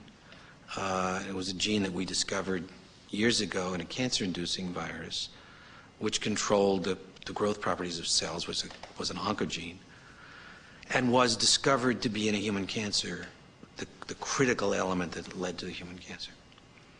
Um, and Novartis, drug company, took that information and built a compound which inhibits that enzyme. Uh, and that has now revolutionized the treatment of the disease of chronic myelogenous leukemia, the drug being Gleevec. That's the poster child. Because that's what basic molecular information can lead you to. It can lead you to drugs that are specific, that are powerful, that are safe. So we can design preventive drugs or design proteins or design genes or whatever, and, and, and, and in doing so, I expect we'll add easily uh, 20 plus years to the average lifespan, and those 20 plus years will be productive and creative years. Parenthetically, that poses a really interesting challenge for society of how we treat older people, and that generates all sorts of social and ethical issues.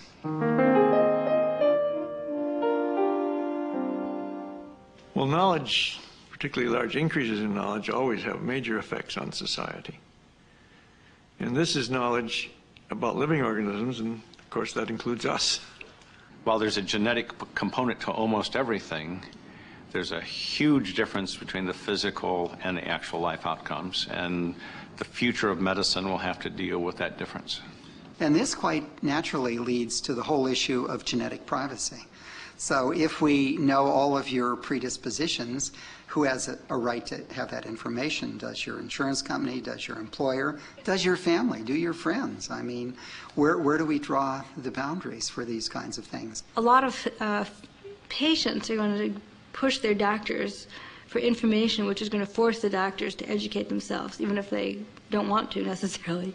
So if a patient comes in and says, you know, I have breast cancer, what's the likelihood my kids, my daughters are going to get breast cancer? You better go look it up.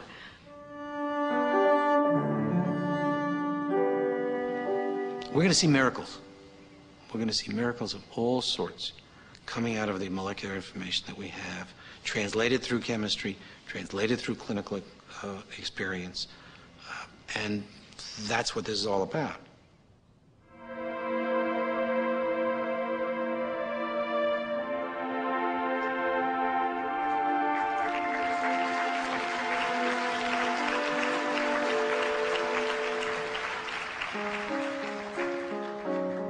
Thank you. We now move into a, a series of short talks on um, targeted areas from leaders in the field. And uh, the first speaker hardly needs an introduction. It's Bob Waterston, the uh, Gates Professor in the Department of Genome Sciences, at the University of Washington in Seattle. Uh, best known, of course, for the nematode and the human and the mouse. He's going to talk to us today about the mouse.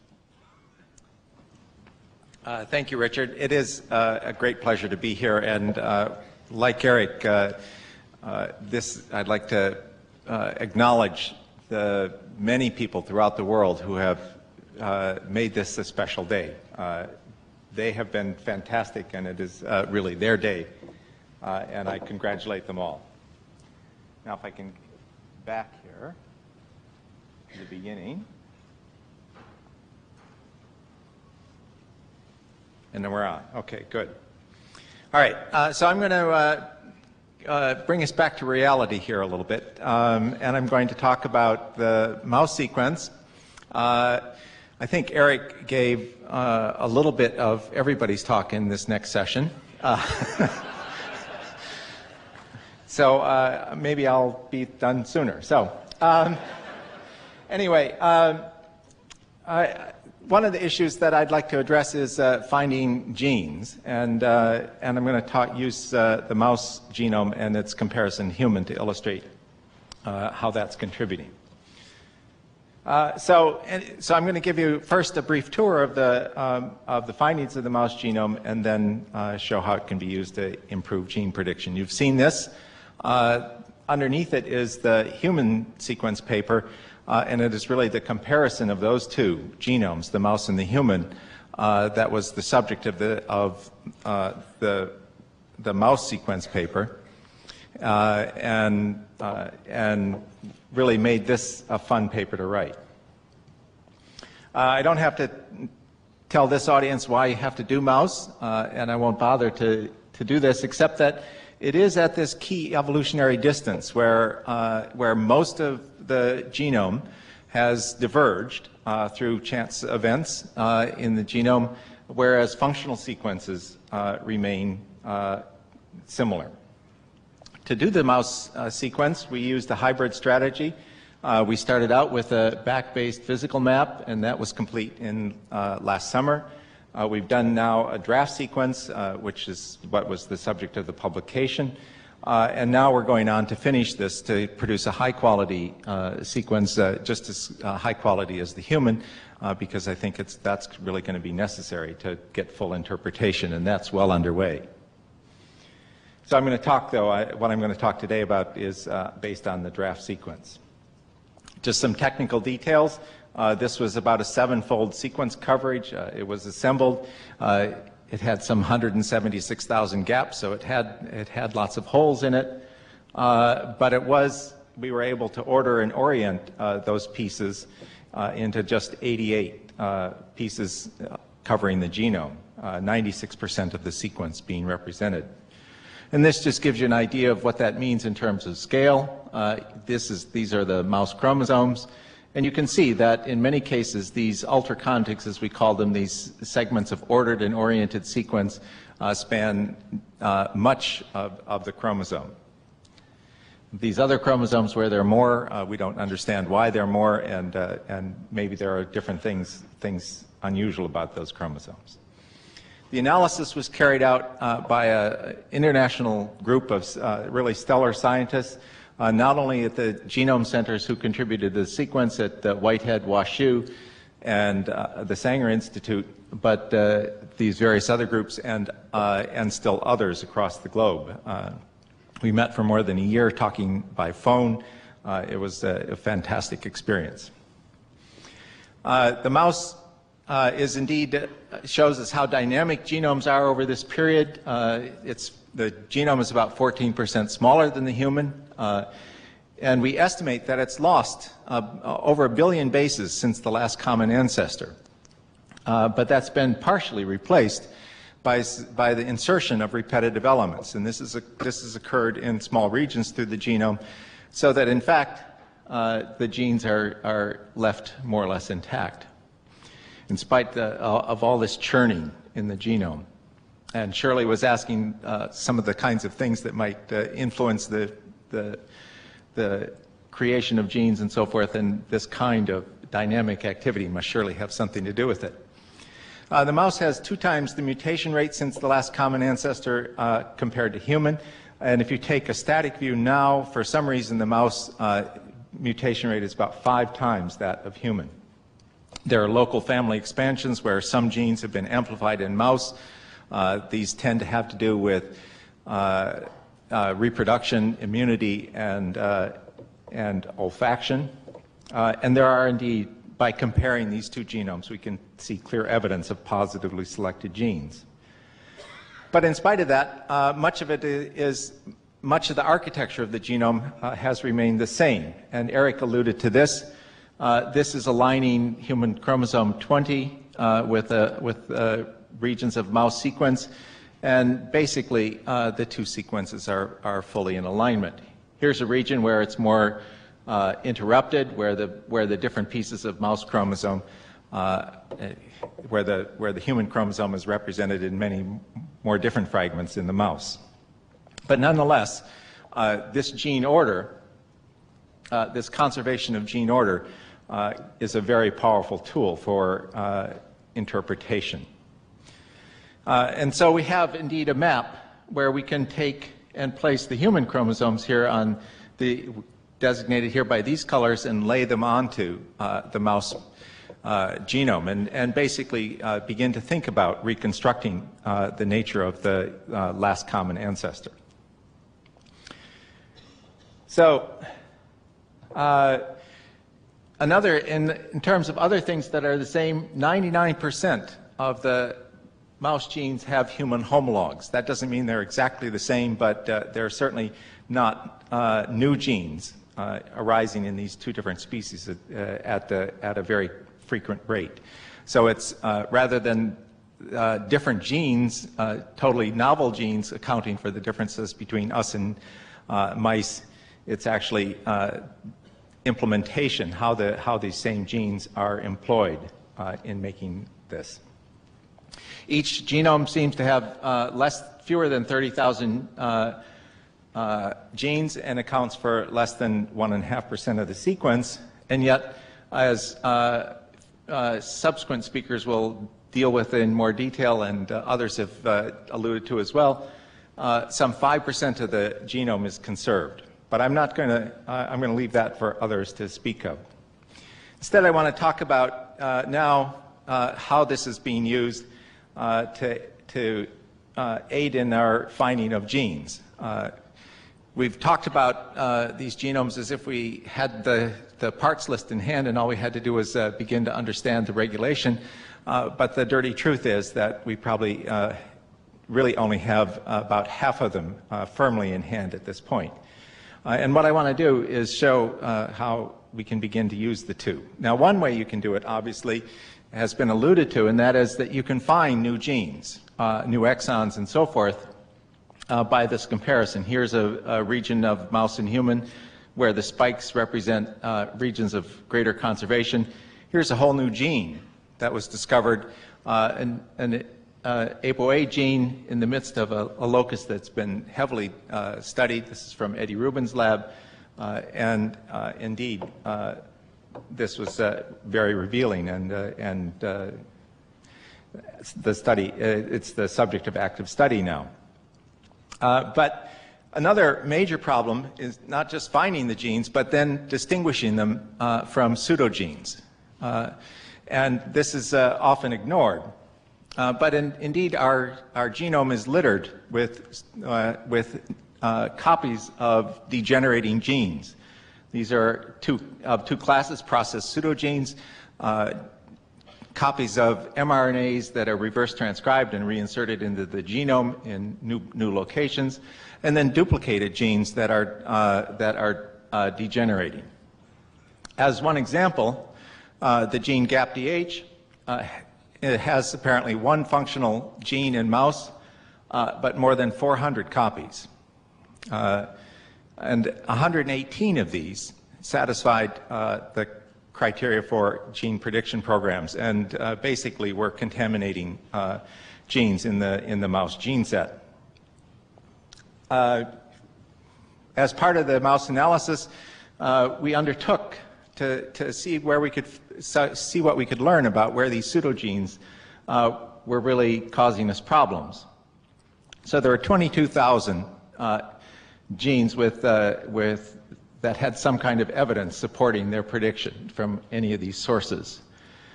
About 12% of those uh, had no uh, gene in the corresponding human region.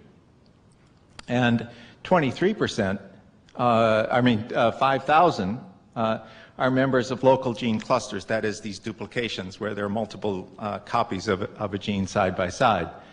When we looked at these two classes uh, in, in, by inspection of the, of the gene predictions, about three quarters of this group uh, appeared to be pseudogenes, and, only, and about 30% uh, of these were pseudogenes. So that's actually a quite uh, sobering percentage of uh, the total set.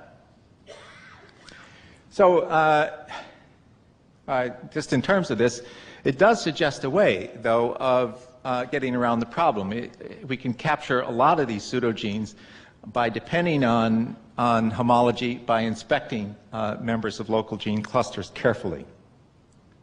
But we have to be careful when we uh, deal with these local gene cl clusters because in there seems to be a lot of the unique biology. Uh, there are 25 uh, clusters in mouse that appear to be specific in the mouse, and they involve uh, uh proteins involved in reproduction, immunity, and host defense. And some of these are the genes undergoing positive selection. Again, a clue as to where new genes may be coming from.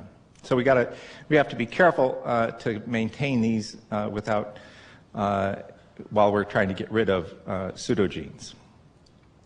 So anyway, I, uh, basically, we're going to try to take advantage of the fact that uh, processed pseudogenes uh, can be eliminated by conserved synteny, uh, and non-processed pseudogenes, these duplicated forms, uh, we can take advantage of rapid, relatively rapid divergence. and then also we can look for single exon genes as where multiple exon forms exist. So we carried this out on chromosome 7. We found uh, clear evidence based on cDNAs for 605 genes. And then using these criteria, using gene prediction programs and filtering them based on the suggested criteria, we ended up with another uh, almost 550, bringing the total genes to uh, almost 1,200 for chromosome 7. We then turned around and uh, searched intergenic regions for evidence of protein homologies uh, and pseudogenes. And we found a remarkable number, uh, some 940. Uh, so almost as many pseudogenes uh, in this chromosome as real genes, at least by this count. So we wanted to have some kind of check on this to see uh, what was, if, if we were on target or not. And so we took advantage of uh, the, the fact that there are synonymous and non-synonymous changes synonymous changes don't, don't change the coding potential of, of a gene, whereas non-synonymous changes change the amino acid and will change the function. And so one should occur at a neutral, neutral rate and the other will affect function. So when we applied it to 7, uh, only 5% of these uh, uh, 1,150 genes uh, appeared to be uh, likely pseudogenes by this uh, statistical analysis. By contrast, the, of the 941 pseudogenes that we had, by, again, by this kind of analysis, 97% uh, appeared to be uh, pseudogenes. So we'd actually done a reasonably thorough job of uh, both getting real genes and, uh, and uh, getting rid of pseudogenes. I think this is promising for the future. And indeed, when we looked at these pseudogenes, 80% uh, of them appeared to be processed pseudogenes. These are uh, made by this reverse transcriptase mechanism. 20% uh, came from duplications. Interestingly, uh, it also appears that genes uh, that are in these duplicated regions uh, of recent duplication that Eric alluded to appear to be under relaxed constraints. So, anyway, I think that this is a, a very powerful benefit of being able to compare sequences. Uh, I think you'll hear from uh, further speakers more on the same theme. Uh, but, I, but, I, but with this and maybe one or two other genomes, uh, I think basically we'll have a complete and thorough parts list for human.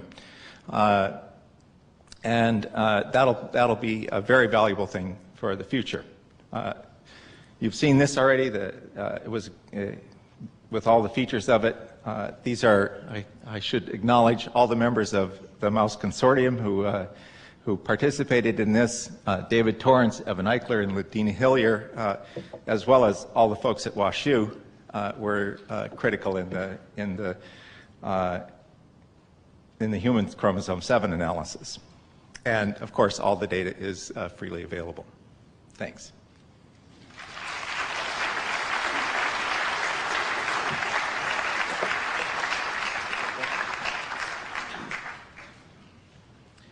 Uh, thank you. Our next speaker is also on the subject of comparative genomics. It's Eric Green, who's the scientific director here at the NHGRI. Um, moved there after his period at WashU and has made many contributions to genomics.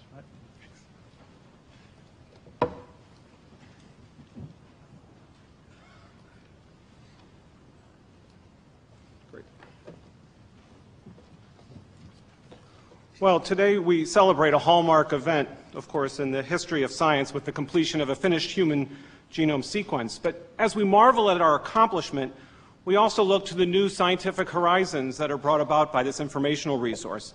And one of the many areas that you've certainly been hearing about in this session that we're going to pursue is the comparison of the human genome sequence to that of other organisms, as you just heard about uh, for the mouse and Shirley Tilghman alluded to and certainly Eric Lander talked about.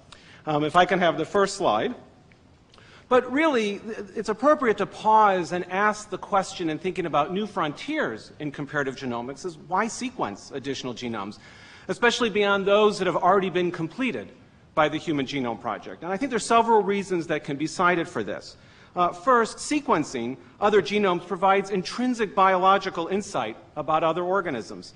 Uh, for the experimental models, the data facilitates research with those organisms, each with their distinct anatomical, physiological, and developmental features. But there's also great interest in gaining insight about the genetic blueprint of livestock and also companion animals. A second reason is that comparative sequencing provides tremendous insight about the, the basic uh, underpinnings of genome evolution. Uh, in, the, in the case of comparative sequencing, you gain insights about uh, the mutational mechanisms in DNA repair, the acquisition of new functions uh, through evolutionary change, and of course the molecular basis of speciation. But I think most important for this session is the fact that comparative sequencing is key for interpreting the human genome sequence. And because of its importance, I really plan to emphasize this last area in my talk today. So shown here is one ten thousandth of 1% of the human genome sequence. And really, the next great challenge in genomics is to identify all of the sequences in the human genome that are functionally important.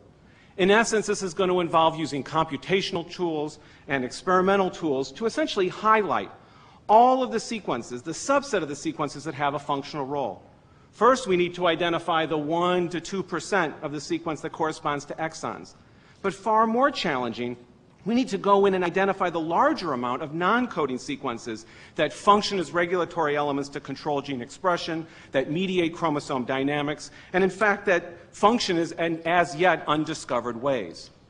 Indeed, I think it's really important to make a distinction between functional elements that do and do not code for protein, because the paths towards their identification is really so different. So for simplicity, I will make the general claim that coding sequences, that is genes, are relatively easy to identify. Uh, this is because we mostly know what we're looking for. Uh, we have complementary data sets such as ESTs and full-length cDNA sequences available to us. And because of our understanding of basic gene structure, we have ever-improving tools for using computational methods for doing gene predictions. And so, in short, while I recognize there's a huge challenge, as Bob just alluded to, to finding all the genes, I'm not particularly worried about our ability to find all of the coding sequences in the human genome. In contrast, we have a, a, just a huge task ahead of us in identifying all of the non-coding functional sequences because these are very hard to identify. Why? Well, first of all, little is known about actually what we're looking for in the first place. There's virtually no complementary data sets that are available to help us, and our general ignorance has basically left us in a state where we don't have very good computational methods that are available for actually identifying sequences among non-coding DNA that are functionally important. Indeed, the conclusion from my talk, which I'm happy to give now, is that a major role for comparative sequencing is going to be the identification of functionally important non-coding sequences in the human genome. And I now want to provide you some evidence to support this statement. Well, recognizing the value of comparative sequence analysis, the generation of the human genome sequence was quickly followed by the generation of the mouse genome sequence. And detailed comparisons have been performed, providing tremendous insight about the mammalian genetic blueprint, as you've heard about from several earlier speakers. I really find several findings from the initial comparisons of mouse and human particularly relevant for today's talk. First, 40% of the human genome sequence will align with the mouse genome sequence. But as you just heard about, only about 5% of the genome is estimated to be under evolutionary selection, implying that about 5% of the mammalian genome is functionally important. Of course, we don't yet know precisely which bases constitute this 5%. That functionally important 5% is divided up into about 1.5% that is protein coding, and the remaining about 3.5% that is non coding. The challenge thus becomes to identify this 5% from among this 40% by first identifying the 1.5%, which is protein coding, which I've already told you was relatively easy, eh, but then identifying this 3.5%, which I have already argued is actually going to be quite hard. Well, a powerful approach for tackling the challenge is to identify sequence from additional species, especially those selected at distinct evolutionary positions, and then look for sequences that are in common, since sequences that are shared over large evolutionary distances are likely to be functionally important. And indeed, efforts are already underway to sequence additional vertebrate genomes, such as the rat and zebrafish and chicken and chimpanzee and cow and so forth. But one limitation is that only a handful of additional genomes can be sequenced, at least for the foreseeable future, mostly because it costs upwards of about $100 million or more to sequence a vertebrate genome using today's technologies. Well, the comparative genomics program that I direct here at the NIH is interested in generating data to address the question what are the best combinations of species to sequence for identifying all of the functional elements in the human genome. And rather than tackling entire genomes, our program is sequencing limited or targeted regions of the genome, allowing sequences to be obtained from multiple other species. In turn, sequence comparison can be performed with an evolutionarily diverse, a more evolutionarily diverse set of species, providing quick insight about how to use such data sets for finding functional elements. We are now sequencing literally dozens of different targeted regions across the human genome, in some cases in greater than 20 species. I want to briefly show you some illustrative data generated for this region of human chromosome 7, which contains these 10 known genes. The one I want to highlight is the famous CFTR gene, the gene mutated in cystic fibrosis. This gene was identified in 1989, and since then it has become one of the most intensively studied genes in the human genome, with hundreds of investigators poring over this gene for the past 13 plus years and publishing well over a thousand papers. With so much work performed on this gene, one would think we now know everything there is to know about it, including all of the regulatory elements and all of the functional elements embedded within it. Indeed, this is far from the truth. So to illustrate this point, shown here is a 30 kb interval within the CFTR gene, encompassing exons 11 and 12, along with the intervening intron shown here with the various geometric shapes. They're just simply corresponding to different repetitive elements. Several years ago, we sequenced this region of the mouse genome and compared it to the human sequence, which was generated in partnership with the Washington University Genome Sequencing Center. Shown here is an output, which you've actually seen a version of. Um, it's a sequence comparison tool called PipMaker, developed by Webb Miller's group, with the middle section simply blown up here at higher resolution.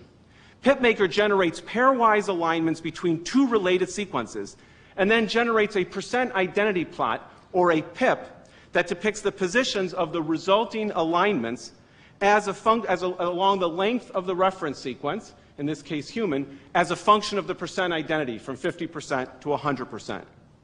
So in short, as you look across this interval, and you see all of these little dots and lines, they simply indicate regions where the human and the mouse sequence are highly similar, ranging from 50% to 100% identical. Immediately notice the striking sequence conservation in the two exons, which is exactly what you would expect. But in addition, if you look in the intronic region, you immediately see the point made earlier, that just under half of the human and mouse sequence aligns, with most of the alignments being within the non-coding intronic region. Now, presumably, some of these intronic uh, alignments correspond to functional elements. But how do you find the functional elements amongst all of the noise? Clearly, one vertebrate species, in addition to human, is not sufficient. But what about using multiple other species? Well, we have now sequenced uh, this region and multiple other vertebrates. So primate sequence, uh, such as from chimpanzee and from baboon, uh, revealed a very high sequence similarity in humans, as expected, well over 90% across the interval for both species. Various other mammalian species, such as cat and dog and cow and pig and rat, give patterns that are more like the mouse, with varying degrees of sequence conservation across the intron. Moving beyond mammals to a bird, the chicken, and, uh, and a fish, uh, one encounters a very, very different pattern, with the intron now essentially being devoid of any sequence conservation. Indeed, the only consistent feature among all of these vertebrates happens to be the presence of sequence alignments within the two the exons, as you can see. The patterns in sequence conservation among the intronic regions of the mammals certainly appear, quite chaotic and quite noisy. Nonetheless, we sought to investigate whether we could use these sequences as a group to try to identify discrete regions in that intron that are highly conserved among multiple species. Towards that end, a postdoctoral fellow in my laboratory, Elliot Margulies, working with Mathieu Blanchette, a, uh, a, a postdoctoral fellow in David Haussler's group, are developing algorithms for identifying highly conserved regions using multi-species sequences. Specifically, they take all of the sequences from this various species, and then through alignments and various sophisticated analyses, they can detect actively conserved sequences. And then in a final distillation step, they identify those sequences that are conserved in multiple species. We call these highly conserved sequences MCSs for multi-species conserved sequences. Well, by analyzing sequences from all of these species, we can identify a small number of MCSs within the interval. For example, MCSs shown now in pink overlap both of the exons, as expected. Another MCS just happens to sit right there. Interestingly, a little bit of database searching reveals that this region actually contains a rarely expressed alternately spliced exon. Two other MCSs sit there and there, and it turns out that these were found to overlap sites that are sensitive to cleavage by the enzyme DNase-1 and such DNase-1 hypersensitive sites are thought to be associated with regions of transcription factor binding. Thus, anecdotally, there appears to be evidence that indeed MCSs within this intron do correspond to functional sequences. In addition, though, there are a handful of additional MCSs within the intron, the functions of which are currently unknown. In total, we find over 100 MCSs across the CFTR gene, with roughly two-thirds of these residing in non-coding sequences. So despite the huge effort in studying the CFTR gene for all of these years, we can now identify literally dozens of new non-coding sequences within the gene that are highly conserved in multiple species, but for which virtually nothing is known about at a functional level. By analyzing the larger 1.8 megabase region encompassing the CFTR gene, we now find that about 4% of the sequence falls within an MCS. This value, of course, is nicely consistent with the estimated 5% of the mammalian genome that is thought to be under selection. Of the 4% corresponding to MCSs, about 27% corresponds to known coding regions, and a bit more fall within UTRs, leaving about 68% that reflect unknown, presumably non-coding regions. The bottom line is that sequences from multiple vertebrates, each of which individually looks hopelessly uh, noisy and confusing, can be used to find discrete, highly conserved regions that represent candidates for functional elements. But at the same time, I make absolutely no claim that the species that we've sequenced so far represent the best set for finding such elements. Indeed, if you look at the evolutionary positions relative to humans, you can quickly see that while we've sampled a nice distribution of vertebrates, we've really emphasized these conventional mammals. As our data reveals, there's still quite a lot of sequence conservation between humans and these mammals. In fact, there's almost too much conservation. But this falls off dramatically when you go all the way over here to a bird. In fact, often there's too little conservation. For some comparative studies, sequences from species residing at evolutionary positions between these birds and these mammals might prove to be very useful, such as marsupials and also monotremes. Indeed, if we return to that same region of the CFTR gene, sequence from two marsupial species, the North American possum and the Australian dunnart, reveal a much simpler pattern of sequence conservation. In particular, within the intronic region, less conservation than what you see in these mammals, but certainly more conservation than what you see in the bird or the, or the fish species. Suggesting that marsupial sequence may prove to be a valuable resource for finding conserved non-coding sequences, in particular when you consider the fact that these smaller regions of conservation very nicely overlap regions where I told you previously was exactly where the MCSs reside. So in short, our multi-species sequencing effort is providing a framework that we believe will help guide the selection of future genomes to sequence. This includes both establishing approaches that for assessing the relative value of different species sequences uh, for doing comparative analysis, and with the detection of MCSs being just one of many metrics one could imagine for doing that assessment. But it's also providing sequence data uh, from previously unexplored genomes. And I think really uh, that while the results of our program are still preliminary, uh, I think ultimately it's going to come to show that we should sequence an additional set of mammals, probably a marsupial and a monotreme, maybe another bird and a fish, certainly an amphibian, maybe a reptile or two. And I don't even have time to tell you a whole other set of reasons uh, why we would want to sequence multiple primates, but I would send you to a recent paper that's published last month in Science from Eddie Rubin's lab that I think nicely makes a case for that. So in summary, uh, the generation of a complete human genome sequence brings new challenges. They'll be greatly aided by a Noah's Ark approach for multi-species sequencing. Um, such evolutionary diverse genome exploration coupled with new, powerful computational methods will, I think, help illuminate all the functional elements in our genome and facilitate the comprehensive understanding of our genetic blueprint. And in closing, I just want to acknowledge the dedicated members of my laboratory as well as uh, my, the NIH Intramural Sequencing Center. I want to also acknowledge the various collaborators, uh, many of whom I know are sitting in this audience. Uh, but really, my presence on this stage today reflects a thrilling journal, a journey I've had in, in genomics for the past 14 years, including my extensive involvement in the Human Genome Project since its inception. But I really owe that presence uh, to the remarkable opportunities and support uh, that my parents actually provided to me. And they actually journeyed here from St. Louis to attend this important symposium. And so in closing, I want to acknowledge them. And actually, thinking about my journey, I want to thank them for their contribution to the Human Genome Project. And I want to thank all of you for your attention.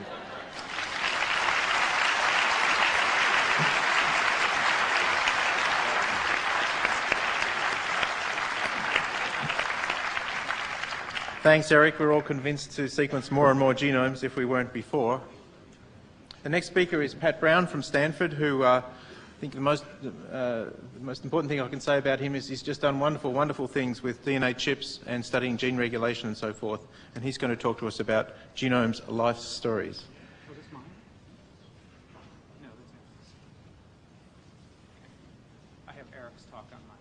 That's okay, I think. Eric has your slides, so you can. he has Eric's talk on his on the computer, not his.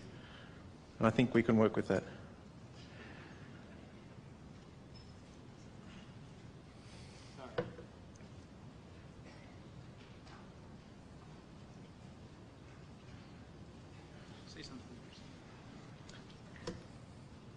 I'm afraid I can't spend any more time introducing Pat. He's the one of the five speakers that I really don't know.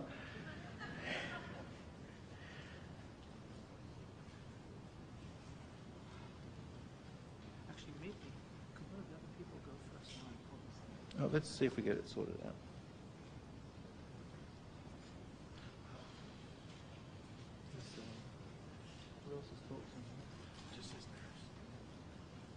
and the other one here.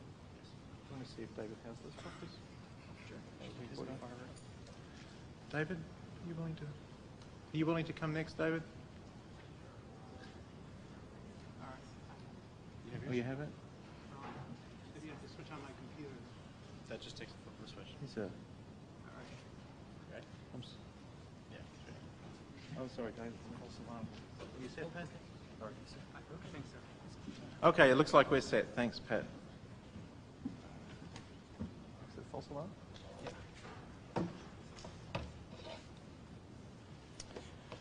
Okay. Thanks very much, uh, Richard. Thanks, everyone, for your patience while I mess around with my computer here. Um, the idea that variation in genes gives rise to variation in the form and physiology and behavior of people and other living things is one of the most powerful ideas in biology and really the central idea of genetics. Inherited variation in the sequences of genes ah, good, leads, leads to the kind of variation uh, between species and between individuals that's illustrated in this picture from this somewhat infamous issue of Science magazine, uh, and, and what's easy to see just by looking around this room. There's another kind of variation in genes that's much less familiar, but uh, much richer in variety and, and arguably even more important. And to see it, we need only uh, just to look closely at one person. The tens of trillions of cells in your body are so diverse in appearance and behavior that if we didn't know any better, we'd think they had to be thousands of completely different organisms. And yet, every one of these cells has an identical genome. The variation that produces this extraordinary diversity is not in the sequences of genes, but in their patterns of expression. And even though the sequence uh, of the genomes in these cells doesn't change over time, the structure and physiology and behavior of these cells is constantly changing in response to changing signals and conditions and life experiences. During development, a simple, tiny round cell, too tiny to see with the naked eye, can turn into a gigantic neuron that's more than a meter long, elaborately branched, and electrically active. And this nice, quiet, uh, resting uh, lymphocyte here, when it senses the presence of a bacterium, can turn itself into an angry, lethal cell that will hunt down and kill the bacteria. Well, if these uh, cells, if each of these cells has an identical genome, how can they be so fantastically different? Yes, each cell has an identical genome. The words in the genome's vocabulary are identical. But just as you can use your vocabulary of about 30,000 words to write a million different stories just by using them in different combinations and patterns, the genome can use its vocabulary of 30,000 or so genes in different patterns to write a different script for the life story of each cell in your body. And that's exactly what it does. Well, wouldn't it be wonderful if we could read all those life stories? There's a line that's often quoted, at least it's often quoted by scientists, from Marcel Proust that says, The real voyage of discovery is not in seeking new landscapes, but in seeing with new eyes. And I must say, I find it quite remarkable how much his handwriting resembles a PowerPoint font. well, as frankly, uh, uh, Francis Collins uh, rightly emphasized, the genome sequence is a public resource available to everyone, and anyone can use it to make new eyes that enable us to see ourselves in a new way. And here are, uh, here's an example of new eyes made possible by the genome sequence, a DNA microarray, which is made by simply printing tiny spots of DNA representing each of the 30,000 or so human genes in an ordered array on a simple glass microscope slide using a simple benchtop robot. And you can barely see the um, pattern of these 30,000 tiny spots in visible light. It really doesn't look like much. But when we use the microarray to look at the gene expression pattern in a cell or a tissue or a tumor, it lights up. Each of the colored spots that you see here represents one of the 30,000 genes, and we can visualize the gene expression pattern by using red and green fluorescent dyes to label the messenger RNA that we isolate from cells so that the color of each spot shows us whether a gene is expressed and at what level. This particular picture actually comes from an experiment that my son Zach, a high school sophomore, did last summer, uh, looking at how the gene expression pattern in his dad's blood uh, he particularly enjoyed the blood drawing part, actually, of this experiment, changed hour by hour over a couple of days. And I think it's an example of how the big science of the Genome Project enables lots of smaller scale science. A high school student with, with his own hands and eyes uh, can see the whole genome come alive. well, with these new eyes, we've now embarked on a voyage of discovery, reading the life stories that the genome writes for every cell and every tissue in the human body and we're just getting started on, on this, of course. Uh, but okay, so we have lots of colored dots um, that I'm claiming uh, represent a life story of some kind. But if this is supposed to be a story, uh, it's not in any language that we understand. But there's hope because the genome's language has a beautiful intrinsic logic and order that mirrors the intricate molecular choreography of the cell and the diversity of cells and tissues in our body. And we can use this inherent logic to organize the data that we collect on this voyage of discovery into a new kind of map of the genome that's not a map of its physical structure, but a map of its expression program, its voice, so to speak. And the format of this map is like a table. Um, each of the horizontal rows you see here represents a single gene, and in this particular map, we're only looking at the 6,000 that vary the most in their expression in these samples. Uh, and then each of the horizontal columns represents one of the samples we analyzed, and it's pretty much a, a grab bag of a bunch of human uh, uh, cells and tissues, with about half of them being, being uh, non-malignant and half of them being cancers. And then each um, individual pixel of the several million pixels in this, in this map um, represents the expression level of a single one of these genes in a single one of the samples. And we use a color code with the very dark blue color representing uh, no detectable expression and the brightest yellow representing the highest levels of expression, and all these shades of turquoise in between representing intermediate levels to um, make the, to, to, to, allow visualization of the data. And the final thing that we do is to um, uh, reveal the intrinsic order in this program uh, is we use uh, a statistical clustering method to group together genes that have similar expression patterns, and we do the same thing to cluster the cells and tissues according to the similarity uh, in the gene expression scripts for those um, tissues. So um, notice how diverse um, and intricately patterned uh, this gene expression program is, which really uh, um, parallels the diversity, uh, the molecular diversity and the, the functional diversity of the cells and tissues in our body. Now, if the gene expression patterns are really the genome script for the life story of each cell, as I said, then we would expect that um, similar cells and tissues should have similar scripts, and they do. For example, um, right here in this, in this series of about 12 samples, here are, these are all uh, normal brain samples, and you can see how they have a very characteristic and distinctive uh, gene expression pattern with subtle differences depending on the region of the brain, but that distinguishes them readily from all the other samples in this set. And right next door, we have a set of, of samples that are all uh, brain tumor samples, and you can see that, again, they have uh, considerable similarities to the normal brain, but, but also uh, uh, distinctive differences that, that uh, separate them from the normal brain samples and also from all the other samples in this set. And you could do the same thing with the dozens of other kinds of cells and tissues and tumors here, each one of them has a very characteristic and distinctive gene expression pattern uh, that causes it to be localized in a particular way uh, in the map here. Now, um, this means that we can use these uh, gene expression programs uh, in principle to identify uh, and classify an unknown sample. So for example, if one of you were to walk up uh, to me with a, a, a, little tube containing a sample of RNA from an unknown tissue, I, would, I could analyze it using a DNA microarray, and by comparing it with a map like this, I could have a pretty decent chance of being able to tell you not only what tissue it came from, but also quite a lot about the physiological state of that tissue. And I think it's easy to see how this uh, uh can become a pretty powerful diagnostic technique. The expression patterns also tell us a lot about the genes. We learned uh, what the words in our vocabulary, the vocabulary that we use in our everyday lives, basically just by observing how they're used. And we can use the same strategy to learn the meaning of the words in the genome's vocabulary, the functions of the genes. um, these detailed pictures of each gene, if you just read along the rows here, you have a very detailed specification, distinct for each gene of each gene's expression pattern, that specify where basically evolution has said it's, it's, uh, it, it, improves fitness to have that gene expressed, in what tissues and under uh, what conditions. And by looking at these rules for usage, we can start to build up a, a pretty well-developed idea about the uh, function of the many thousands of genes that are newly discovered by sequencing and for which we have no experimental data as to their function. And then as we learn this language, we begin to uh, use what we know about specific sets of genes, the words that we're able to recognize, to read the scripts, just in a sense as we might read the script of a play and then visualize in our mind's eye the action on the stage.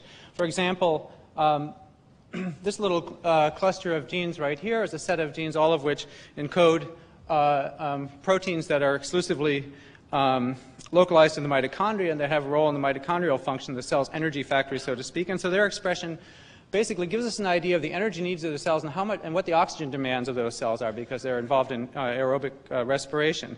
And you can see obviously that the brain uh, needs a lot of oxygen and so does so does the heart here. Okay. And this little cluster here is a set of genes that are exclusively expressed in cells and tissues from males. And so basically this tells us which of these samples come from men and boys. And, um, and then this cluster uh, of genes here um, is specifically expressed during cell division and dividing cells. And so its pattern of expression shows how fast the cells are dividing.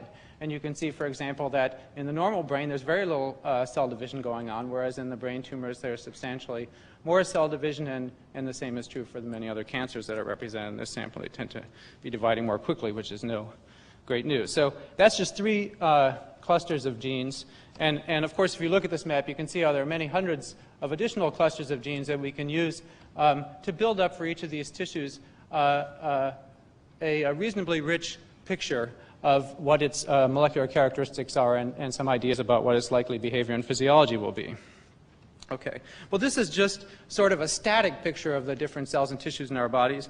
And, um, and we know that uh, every one of these cells and tissues is sort of continually reinventing itself. The living genome doesn't impose sort of an authoritarian, hardwired program on the cells, but it sort of sits right at the interface uh, between um, uh, nature and nurture, so to speak, and uh, it is continually writing new pages of the story in response to its life experiences. And so corollary of that is that we really want to be able to get dynamic pictures of the, of, of the expression program under all the different conditions to which each of these cells can respond.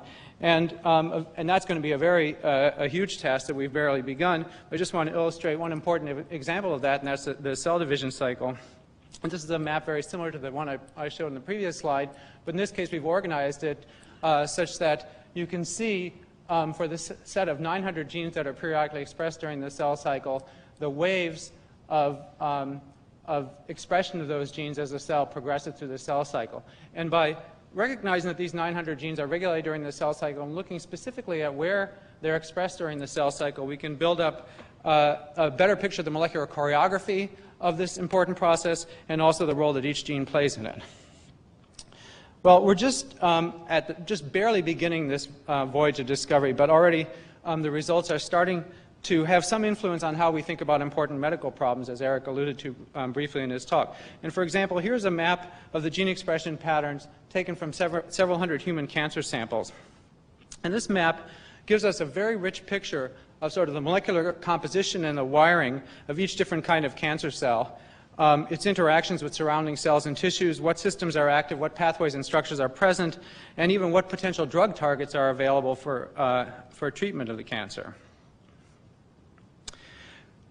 and you can see from the color coding of the tumor samples here, kidney, brain, prostate, breast, stomach, ovarian, etc., with uh, uh, um, these little branches at the, the top here, that um, each of these cancers that we can distinguish by sort of classical pathological means also has a very distinctive and characteristic gene expression pattern. This already suggests the potential diagnostic usefulness of, of this kind of analysis uh, for identifying molecular markers that could be used for early diagnosis and screening and so forth. But if you look more closely, it's also evident that cancers that originate from the same tissue, in this case um, breast, cancers that we would uh, today give the same diagnosis, um, are not all the same in their expression patterns. In fact, there's a lot of diversity in their molecular programs. And this parallels the clinical observation that cancers that we call by the same name and treat the same name can actually behave very different, differently. And this is a very um, uh, challenging clinical problem. So these gene expression portraits of cancer have now become uh, the focus of a large-scale effort by, by hundreds of groups around the world that's starting to begin to define a new uh, uh, more precise and hopefully predictable molecular classification of cancer uh, that I think in the next few years will lead to more individualized and hopefully more effective uh, treatments. Okay, now there's an important subtext to this story and also to, to every story that you've heard uh, and every story that you'll hear today and tomorrow, and it's probably the most important and the least appreciated story of the Genome Project, but it's been touched on by virtually every speaker. Um, this morning, uh, Francis Collins rightly emphasized that the Human Genome Project has been a model for the value to science and society of immediate, open, and unrestricted access to new scientific discoveries, in particular genome sequence information. None of this would have happened were it not for the fact that for the past 20 years, DNA sequences have had a unique status among scientific information. They've, they've been kept in an open public resource, freely available to everyone uh, from online databases like GenBank uh, for anyone to use for any research purpose. Our ability, for example, to make and use DNA microarrays absolutely depend on our ability to find, organize, and analyze copies of, uh, and copy every gene sequence. And just to give a fresh illustration of this, ripped from uh, the newspaper, um, literally, of the public benefits of open access. Um, Joe DeRisi, is a brilliant young scientist at UCSF uh, with these colleagues here, made a DNA microarray by simply downloading every viral genome sequence that was available in GenBank, a little over 10,000 of them, and synthesized little bits of DNA for each of them and printed them in this microarray that you see here.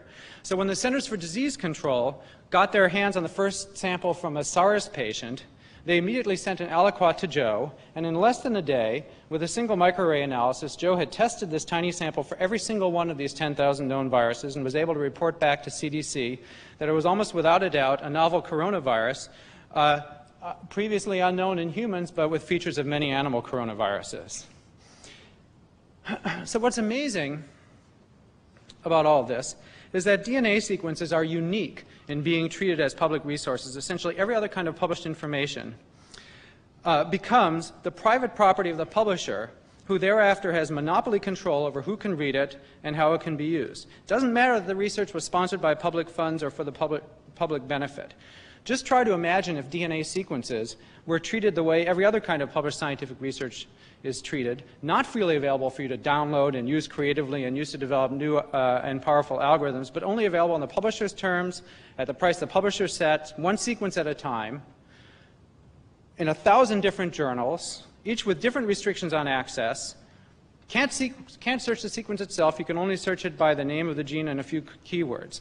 All the things that we've taken for granted that we can do with sequences wouldn't exist today. And the value of the sequence information to the scientific community would be so diminished that it's very unlikely that there would have been a genome project. So why, are, why should any other kind of scientific information be treated differently from the information from genome sequences in GenBank? Imagine if all other scientific publications were open available for creative development of new tools like we've seen in genomics to search, annotate, interlink, integrate, not just DNA sequences, but the whole body of scientific knowledge, what, what, what uh, Shirley was alluding to and, and, many of the other speakers. I think you'd see a transformation of science and medicine that would make what we've seen in the genome, uh, that would match what we've seen in the Genome Project. And why should a college or a high school student with a passion for science or a cancer patient who wants to learn about the latest research on her disease or her physician the people whose taxes paid for the research, or for, for that matter, why should uh, a physician or a scientist in Addis Ababa or Bombay, the people around the world who could benefit from ready access to the latest research, why should they have any less access to the published results of publicly funded research than I have at a wealthy research institution uh, like Stanford that can afford to pay for access? Is this what scientists and the public and the government want? Of course not. But that's what we have today. And every day that we put up with this system is a loss to science and society. And I think we as scientists owe the public who supports our research the full benefits of the research they support, and we owe each other the full benefits of the work we do as part of the scientific community. And this is an easy problem to solve. Uh, it's not rocket science. And so let's fix this system. Um, there's an active grassroots movement of scientists to make all scientific publications freely and openly accessible. Check out this website. And in closing, I want to urge all of you to do what you can uh, to help us make all scientific research a public resource the way the human genome is today. And I want to just say thanks and congratulations to the Genome Sequence team.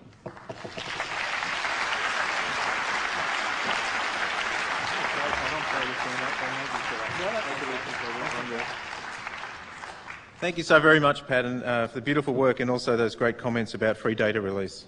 Um, and now we're going to shift over to some computational genomics and welcome David Haussler from um, UC Santa Cruz. And he's, of course, very well known for us for the beautiful work out of his group on the, uh, the browser and the work in assembling the draft. Thanks very much, uh, Richard.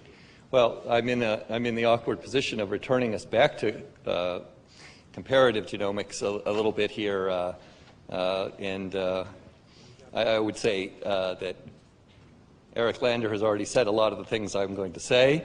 And then uh, Bob Waterston stole my opening joke that Eric Lander is going to say has already said a lot of the things I'm going to say. So we are in some kind of a recursive function here, moving backwards.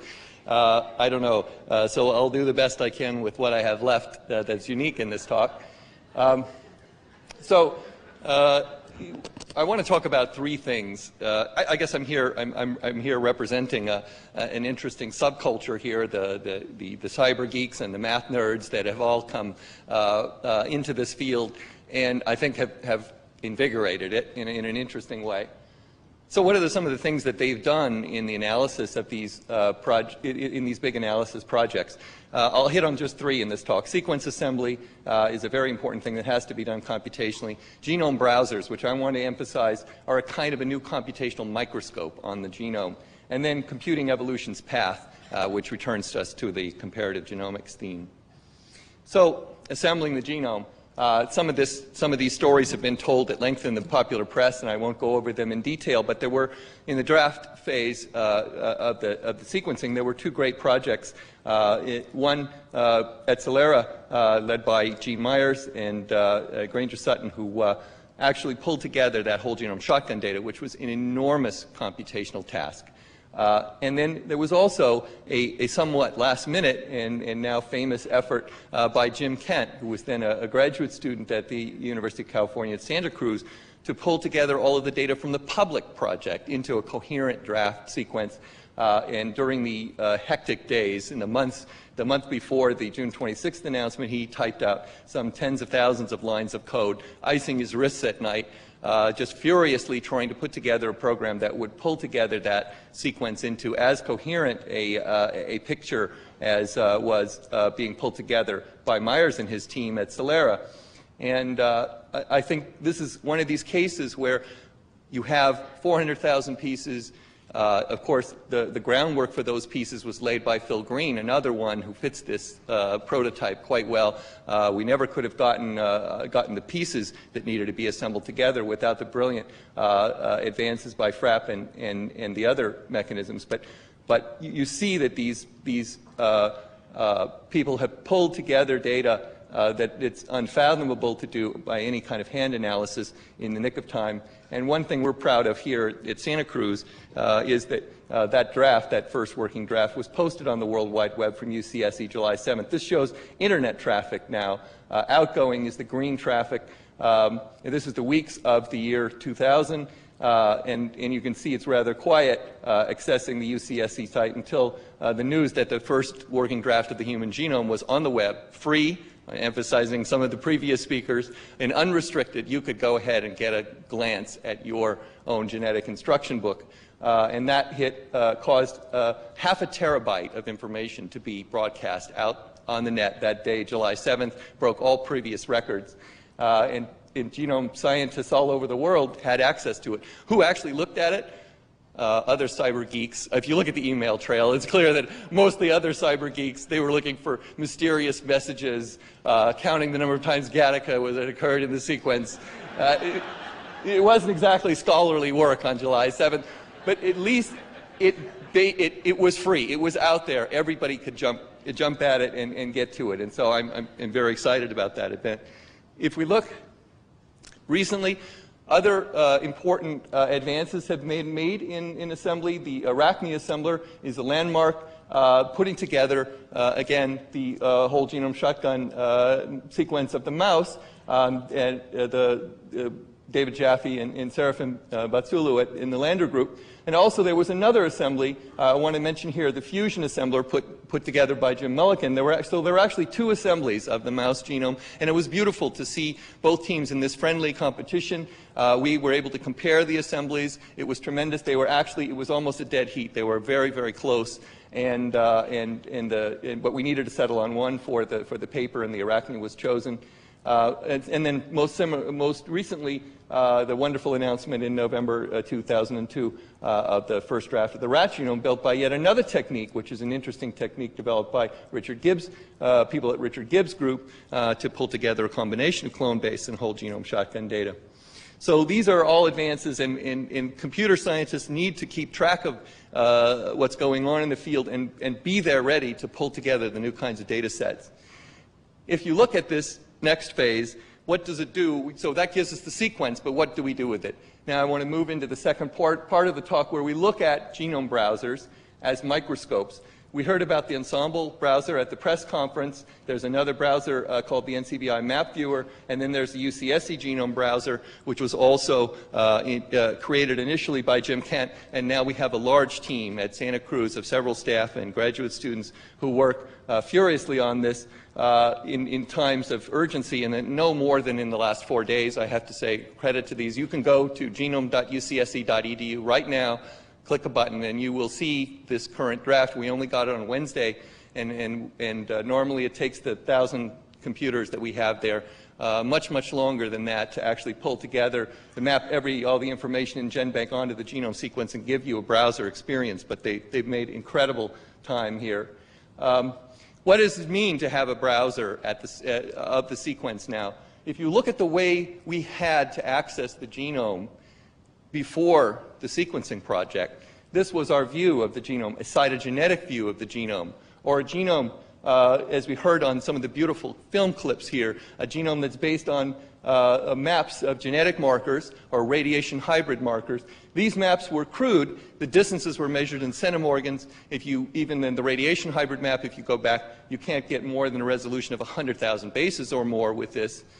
Now we have an opportunity to go much richer. And if you think about the great uh, the great things that happened uh, based on these early crude maps, it is amazing. Think about the discovery. Uh, if we think about um, the discovery of the Huntington's genes, I was just talking with Nancy Wexler about this. I mean, the, the story is amazing. Uh, lucky Jim Gusella getting it on the first, uh, on the first marker in, in Housman's lab. That's amazing. Nowadays, you shouldn't need that much luck. So uh, the bad news is we're kind of taking away the luck, fact, luck factor here uh, with these browsers. If you look at this, we can take a piece of the, of, of in this case, uh, chromosome 4, and start to zoom in on this and, and what the first thing you notice is that that old world, the cytogenetic world, the way we thought about the chromosomes in terms of bands, has been mapped on to the genome sequence, along with the full genetic maps and radiation hybrid maps. And this is the work of Terry Furey in my uh, laboratory here, who's here today. Uh, and, and it was a very, very difficult informatics task to actually connect the two worlds. The previous, our previous maps of the genome, connect them and tie them to the sequence. There's so much literature and culture that lives in those old worlds. It has to be pulled forward. So you zoom in to a certain part of the genome, and immediately you start to see these large blocks of synteny that Eric Lander talked about. Uh, you can see the relationship with mouse at this very, very large level. These are pieces of mouse chromosome uh, 5 and 7 that are orthologous or derived from a common ancestor with these regions.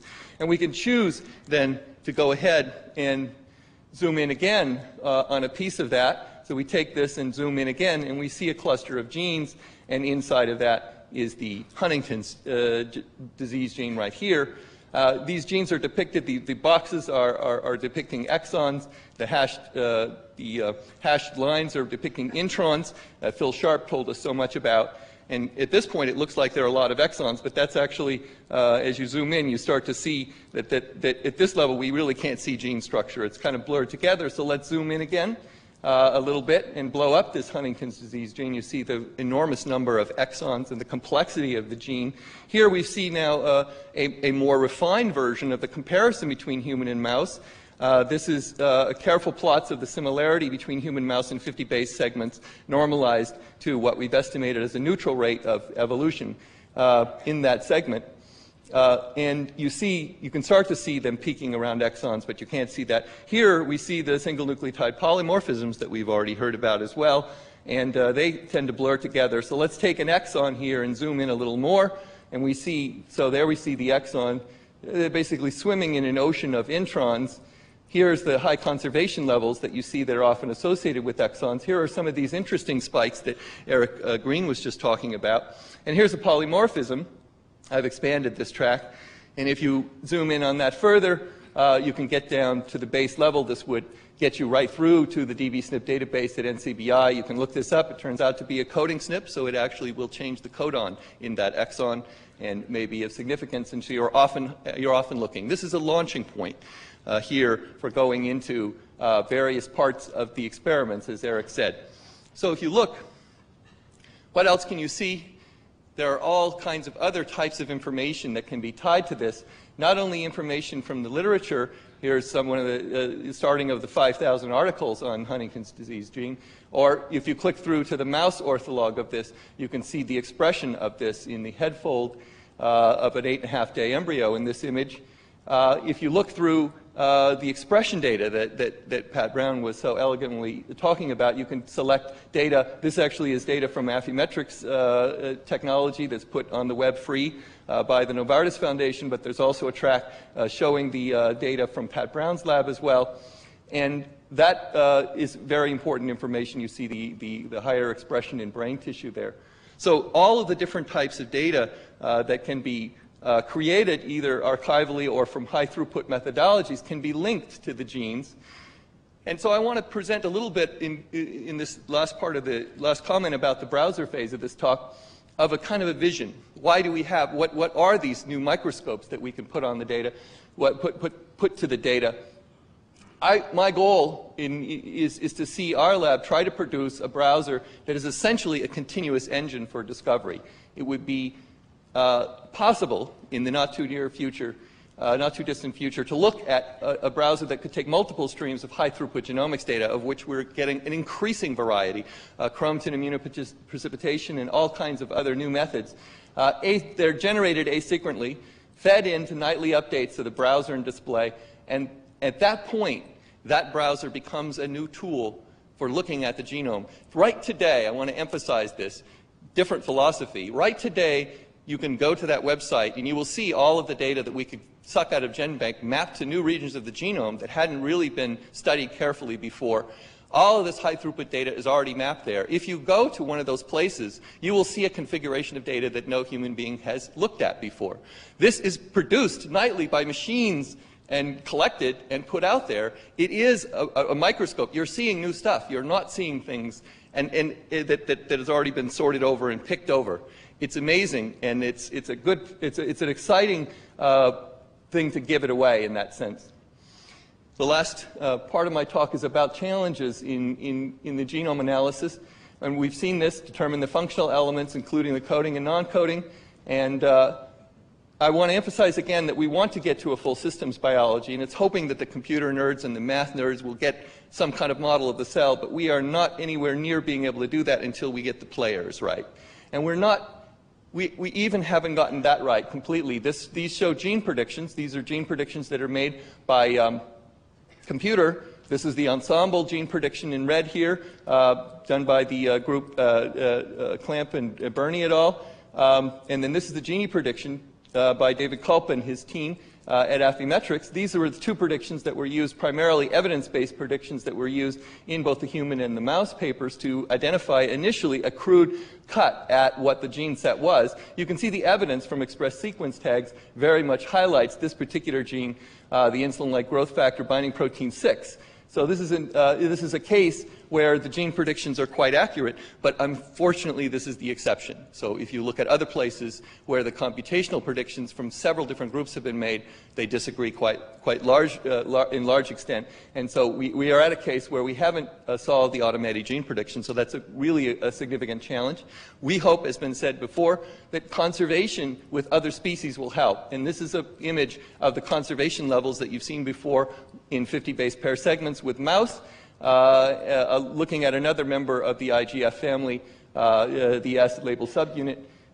And, if you look at this, these peaks represent chance 1 in 10, chance 1 in 100, or chance 1 in 1,000 on this log scale of seeing that much conservation uh, under neutral model. And, and outside of the coding region, there's a distinctive peak here, and this is, in fact, associated with a known transcription factor. So we can, in principle, identify this.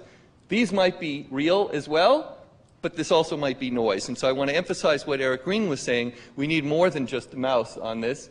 Uh, if you look at the data that uh, Eric Green's lab has produced, uh, you can get a fascinating uh, uh, glimpse at some of the other structures that lie hidden from our current view. The computational analysis can bring these out. And here I'm emphasizing a different type, uh, just, just to be different, instead of looking at, at, at, at, at, at the sites, the kind of sites we've seen before, here we're looking at Mathieu Blanchette's uh, program looking at blowing up the region here in, in the 3' prime side of genes that has a structure to this. So computers can also be applied, in this case the M-fold program, to predict a structure. And we get, in combination with the high conservation in this structure, a, a prediction, a stronger prediction of functionality and maybe even a hint. And here, uh, here I go really giving away something that uh, is kind of crazy. We're currently looking at this one in, with Manny Ares in the laboratory. This is about a 90 base pair region in the middle of the ST7 uh, gene, which is associated with uh, tumorigenesis and even in, a, in, autism in one study. Uh, this thing is right, in, right 72 kb from either flanking exon. We have 90 bases of DNA that is conserved with only one substitution in all nine mammals. And look at its structure. This thing does something. I have no idea what it does at this point. I'm just stupid enough of a geek to give it away uh, at this point for anybody to look at, I guess. But it's fascinating. Uh, it, it's fascinating to see the kinds of things you can discover with a sensitive computational analysis. And I was very gratified to see Eric's data on how accurate the computational predictions were when you got the marsupials uh, and, and essentially confirming. Well, okay, just to wind up here, We've seen this about 5% of the human genome. We estimated that about 5% of the human genome uh, was visibly under selection. This was based on comparison with a, with a neutral mutation rate estimated from ancient uh, ancestral transposons that we believe are, are, under neutral rate. There are a lot of caveats on this. I, I want to say, uh, uh, let's be cautious about this. We haven't actually observed the selection in this. We need more species to really get a model of this. We want to go far beyond these simple two-species experiments uh, and crude, crude estimates like this 5%. We want to actually have a model of the way molecular evolution is happening. There's Adam Siepel in my group has got an exciting new uh, model that's starting to get at the way codons evolve with about 500 different parameters. Um, we can get much more richly uh, parameterized mathematical models, continuous time Markov models of the evolutionary process in different types of functional sites, and those will be ever more powerful microscopes on the sequence. In summary, I think all of the uh, previous speakers have led up to this, but I'm not sure that anybody has said it uh, in, in, in kind of simple terms. There is a grand challenge out here of comparative genomics from the point of view of the human genome, and that is to reconstruct the evolutionary history of each base in the human genome going back as far as we can. We should do that. I love, uh, I love, the, uh, I love the analogy of origin stories uh, that, that we, we heard earlier we care about how things got here, not just for recognizing their function, but I think we all care about how we got here. Thanks. So I want to acknowledge a lot of uh, the people in my lab. I, I, again, I'm, they could throw me off the stage if I read all the names. Uh, I've acknowledged a number of people there in the, in the uh, in the, in, in, in, the previous talk, but there are a huge number of people that go behind the scenes, uh, under, the, under the, the, the, hood, so to speak, on all of this, and they deserve credit. And then, of course, uh, Eric uh, spoke eloquently of this amazing collaboration, the most amazing experience to work with this group of people. We all hated the conference calls, uh, but in fact, uh, it, it, was an extraordinary, extraordinary experience, and this is unfortunately a very limited list, so I, I won't read it. Uh, so they don't drag me off with a hook. Thanks.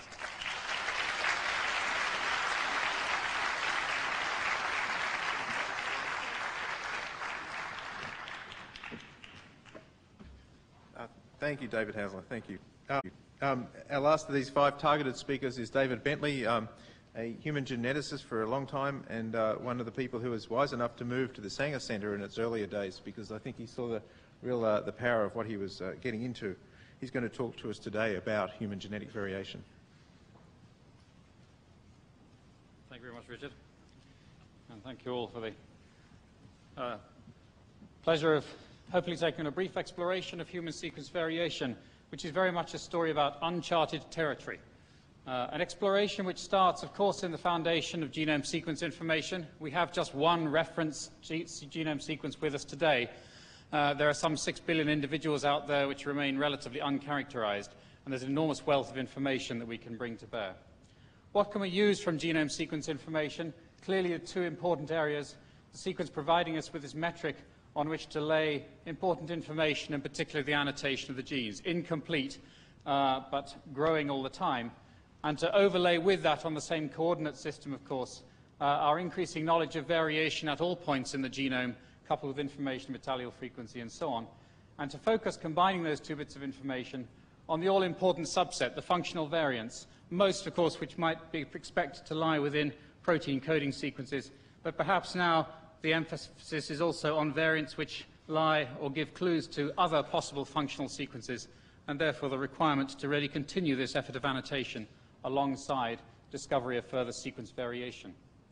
What about the origin of sequence variation? Just very briefly, uh, of course, it arises from an ancestral sequence by a combination of substitutions or small insertions and deletions, but also by recombination, which results in the reassortment or, or re, re, uh, combination, new combinations of previously existing variants, uh, providing uh, an increasing number of independent but coexisting haplotypes, which can then undergo uh, selection, positive or negative, or genetic drift, which results in gradual alterations in the frequency with which those haplotypes occur uh, within a population as we move to look at a present-day population.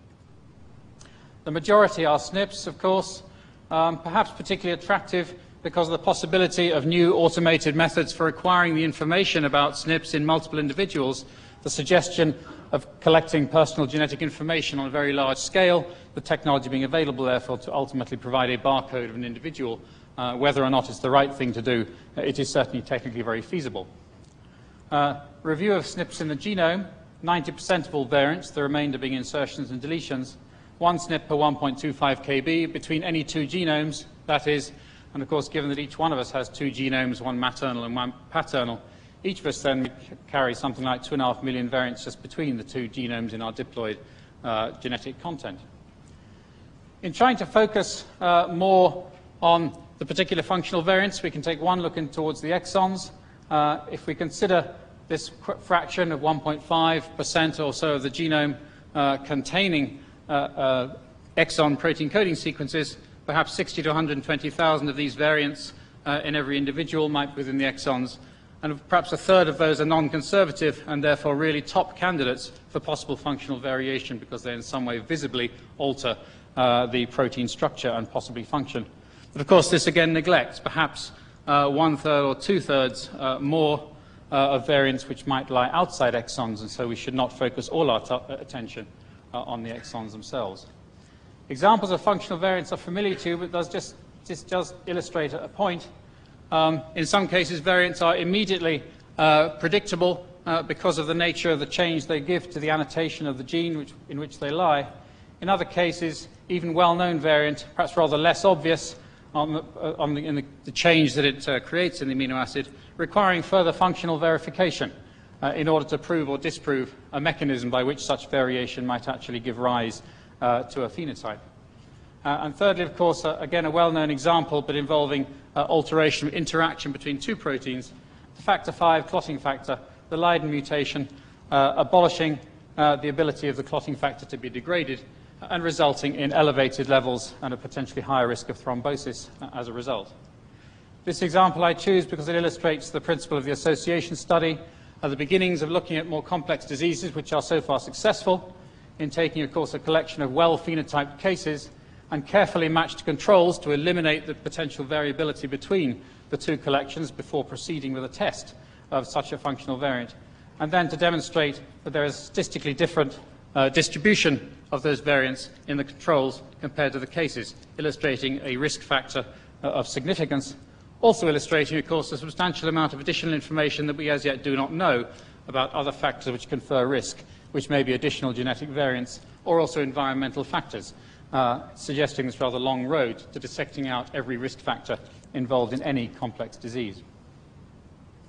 This then is an example of the direct approach for association studies, where we have the gene, we have candidate functional variants, and we go ahead to test them, the most powerful method of examining such a genetic association.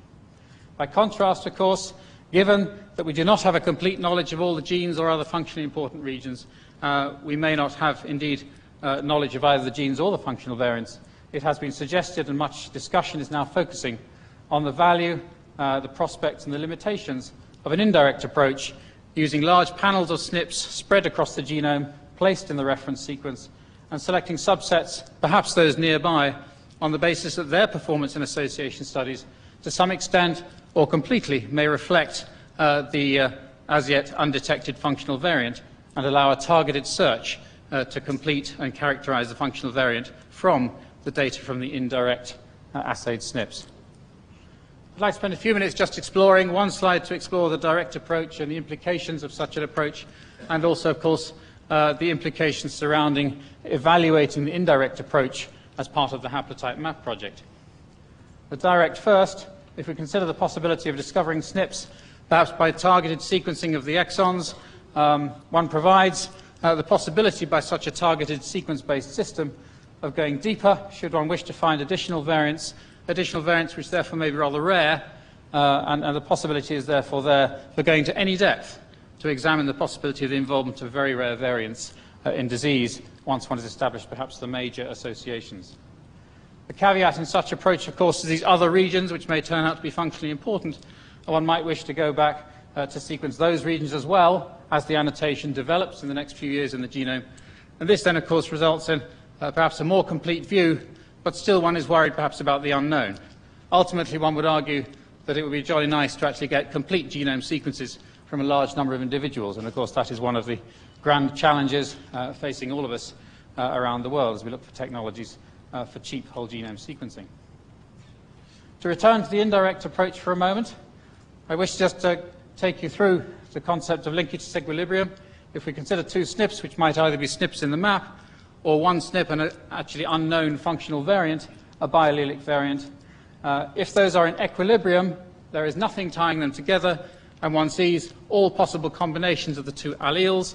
There is no linkage disequilibrium or no LD. Uh, by contrast, if there is in fact complete LD, uh, a scale of 0 to 1 on a D prime value indicates complete LD, there has been no ancestral recombination in the population to disrupt the two uh, ancestral haplotypes, the two alleles, and therefore uh, one sees only a subset, a limited number of the possible, theoretically possible haplotypes. And this principle then gives the first view of the possibility one might obtain a simplified view of the variation in the human genome on the basis of the LD between SNPs, uh, a simplified view which would be enormously useful in, in applying uh, more refined uh, analyses of association studies. Haplotypes then can be defined these are the limited number of haplotypes. Um, and LD, therefore, is reflected in this limited number of observed haplotypes in the genome. Um, LD, to look at the properties of LD, association studies indirectly will only work if this LD applies across the genome. LD does decay with distance from the early study we took on the chromosome 22 data, led by Ian Dunham's group, uh, to illustrate that basically SNPs which are close together do have a high LD, and it decays over 50 to 100 kb in general, looking at all pairwise comparisons of SNPs. If we look along the entire chromosome 22, you see this marked feature, of the very variable levels of LD. Great peaks covering several hundreds of kb, where there's very high LD between SNPs, indicating therefore the association between variants in these sorts of regions uh, would be likely to be uh, very substantial and very useful for association studies, but also other areas, uh, troughs, uh, where at this level of density of analysis, it's an approximate figure, uh, indicates there's more work to be done. The all-important correlation, uh, given that LD is perhaps highest at areas where there is least ancestral recombination, correlates very nicely with the observation of present-day recombination in pedigrees, giving an important clue or confirmation of the correlation uh, between uh, present-day recombination and the presumed driver ancestral recombination of LD. If we look in greater detail on chromosome 20, this is now a 10 megabase region from a current study as you increase the density of SNPs in the study, uh, the actual pattern uh, of LD is very robust. these, these uh, LD plots, uh, to marker density, uh, so a reliable, robust data set. And furthermore, again, you see the correlation uh, with genetic distance, the flat areas uh, correlating uh, with the, with the um, areas of high LD. I now want to show you just two uh, views as we begin to develop views of looking at LD within the human genome, uh, views which as yet will stand further refinement, um, but ways perhaps to try to infer useful reagents for association studies and also useful ways of looking at the underlying processes which have given rise to LD. Uh, first of all, a proposal from the Whitehead group examining the D prime values between pairwise markers and if it extends over all combinations of pairwise comparisons within a group, one can declare it a block, uh, a block of, uh, uh, uh of, high LD. On the basis, therefore, one assumes uh, that there is little or no ancestral recombination in the entire region, and therefore, uh, as one carries along the genome, one then selects from these regions a subset of reference SNPs, which actually still captures the limited set of common variant haplotypes which occur within these regions. These other regions are not stu studied at this stage to sufficient detail and additional work is required. But we have at this base one way of looking at a simplified view of the genome, uh, clumping together the variation, and also a way of developing uh, a simplified set of reagents uh, to reduce the cost of association studies uh, without loss of information. If we look on chromosome 20 for a moment, a slight contrast to the previous data that I showed you, here as you increase the SNP density you do see marked changes development of the block structure as you move to higher density. So the analysis is not particularly stable at low marker densities and really does require a gradual development, up to, in this case, something like 65%, two-thirds of the chromosome, uh, looking in well-established uh, blocks of high confidence. So, towards an endpoint, but not there yet. The other view I'd like to share with you, uh, again, an early and incomplete view, the concept, instead of looking at the blocks uh, of high LD, uh, to look for the events of recombination, uh, the minimal number of recombination events uh, which are required to fit the data uh, for the pairwise LD between SNPs. If we look at a, a, simple run of part of the genome along here, in comparison of pairwise LD, what is striking then is that areas where, which are white uh, reflect very high levels of recombination which must have occurred. Red reflects the absence of detected recombination. An incomplete data set as yet, but clearly one can see this very uh, heterogeneous uh, distribution of recombination uh, and a very marked hotspot. If we look at this part of the plot, uh, it's a hotspot in a West African population. The data was provided from the Whitehead group, analysis done at Oxford, but also the same point identified in the Ceph pedigrees, in, indicating a level of correlation between different populations, which needs further exploration. Um, I don't have a slide, but just to mention briefly, um, much of this work does involve the acquisition of further data, uh, one looks hopefully to the work of Alec Jeffreys and the Leicester Group, where a very small region of the genome was nevertheless covered to 95% in regions of high LD, blocks of 60 to 90 kb, and the areas in between, by now only 1 to 2 kb, were directly confirmed experimentally uh, to be rich in recombination events, uh, which would be an attractive uh, and important outcome if the same pattern could be uh, developed over the entire genome. So what about the prospects for applying uh, our increasing knowledge and hopefully simplification of sequence variation to the discovery of disease genes. Just reflect for a moment on the progress to date. Um, during the course of the, the, last 15 years, this data from online Mendelian inheritance in man provided by the NHGRI uh, office illustrates certainly an encouraging growth in the discovery of genes involved in human disease. Uh, but one should point out, of course, uh, most of these are Mendelian uh, high penetrant alleles, monogenic disorders on the whole, and therefore this is uh, certainly a valuable approach, and we should not ignore it will continue to be valuable. Uh, there are additional Mendelian traits segregating in families that can be approached by this sort of uh, approach, which has really been the foundation of much of disease gene discovery over the past 15 years.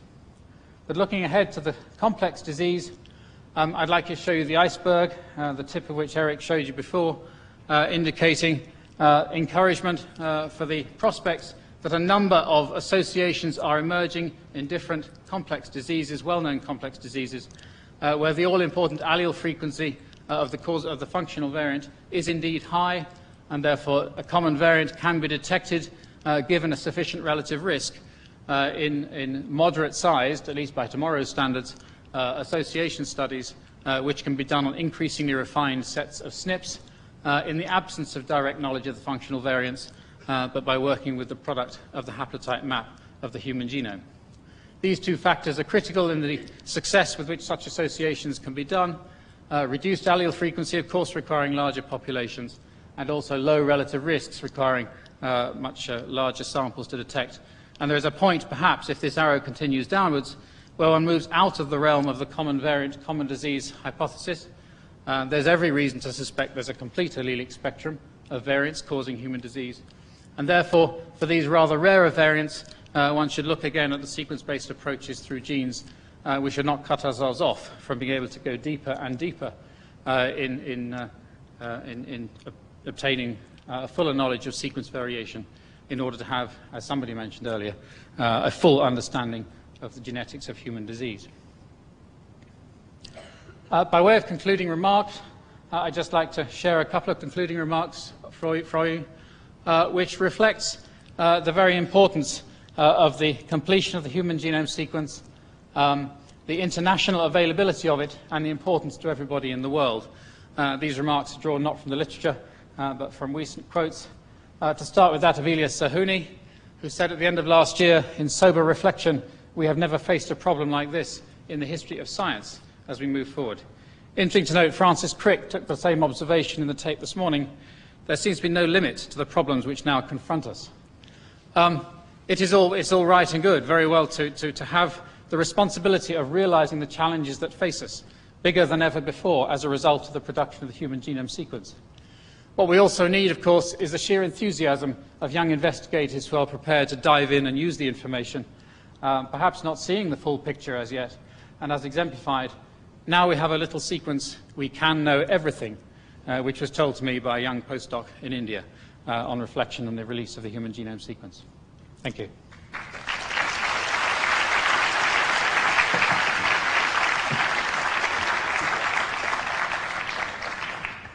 Thanks very much, David Bentley. We're going to hear from uh, two more speakers um, about the future. The first one, uh, it's an enormous pleasure for me to introduce Ari Patrinos, the Associate Director for Biological Environmental Research at DOE. Really needs no introduction to you, though.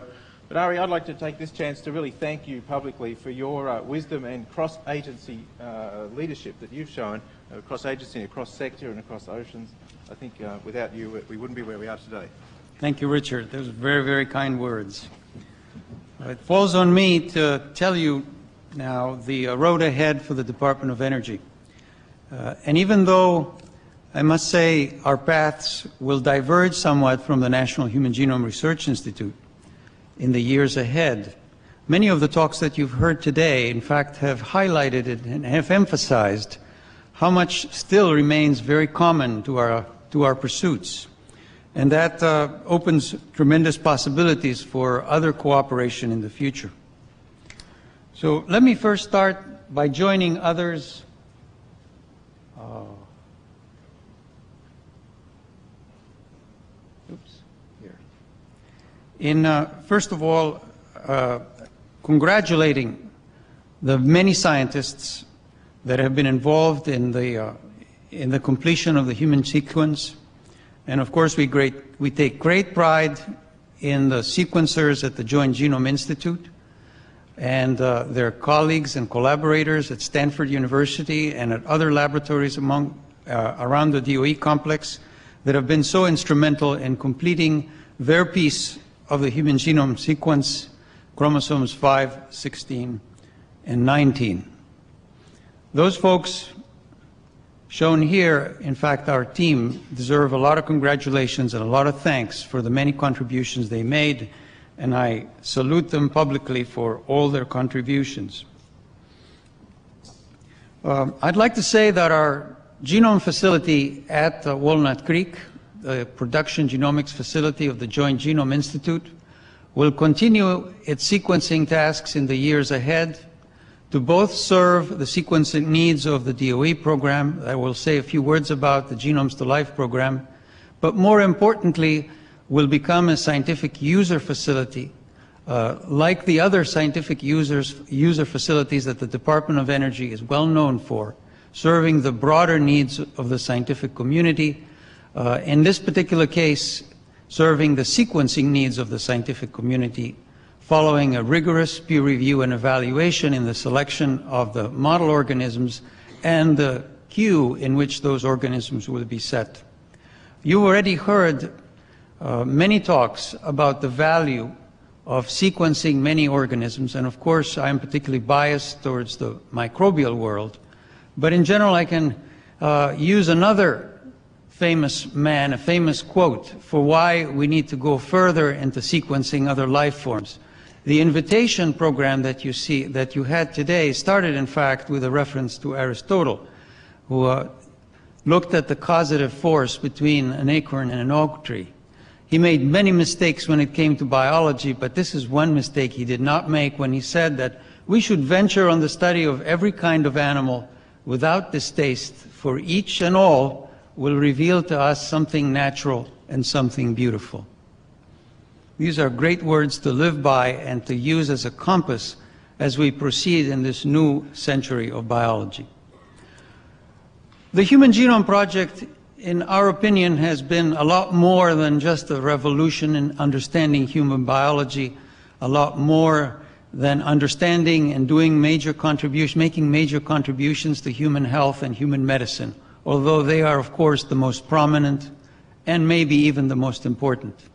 For us at the Department of Energy, it was also in terms of setting the stage for the future, in terms of developing the technologies, pursuing aggressively computational science, building the resources, emphasizing high throughput, and yes, building better public and private partnerships. For us, it's been more than just biology, even though for the little island that we represent within the Department of Energy, biology has always been central, but we see it as encompassing the other disciplines, computational sciences, engineering, chemistry, material sciences, and so on.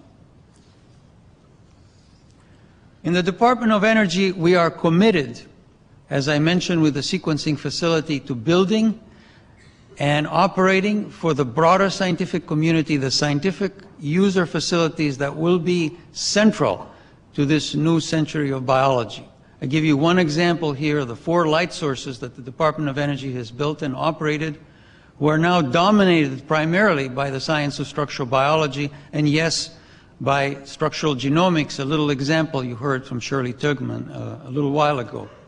The Department of Energy is committed to maintaining these facilities and in fact building the next generation, the fourth generation of light sources, perhaps based on the free electron laser, that can do even more for structural genomics and structural biology. Very important in this vision for the future is computational science. And on this also, on this field, we intend to play a major role in order to support the broader scientific community's pursuits and needs in computational biology. Here's a little graph that we came up for in the context of the, the Genomes to Life program representing our future in the post-human genome program world. This is one example of the kind of challenges we face in computational biology and the various problems we have, uh, starting from where we currently are with respect to co comparative genomics and maybe a bit in terms of genome scale protein threading. This is in fact our current computational capability, which is in the 10 teraflop for those that are teraflop literate. Uh, the, the fact of the matter is, if we are to accomplish some of the goals that you've heard about with respect to uh, molecular-based cell simulation that Francis spoke of, or the protein-machine interactions that Eric alluded to, we need orders of magnitude greater computational prowess. We need something in the petaflop range, in the multi-petaflop range, this 10 to the 15th floating operations per second. And in order to accomplish this, we need to make significant investments in the computing, science, the basic computing science, uh, to realize that vision. Clearly for us, the future in the Post-Human Genome Project world is the program that was identified uh, earlier and that's in the issue of science that you picked up perhaps this morning. It's the Genomes to Life program, a labor of love from many, many people, starting by our Statutory Advisory Committee, the Biological and, Envi- and Environmental Research Advisory Committee, chaired by Ray Gesteland and many of his colleagues, uh, and across the scientific community that brought, came together over the last three years uh, to give substance to this vision. And it's a vision that, have, that has significant and potentially valuable applications to the Department of Energy's goals and missions.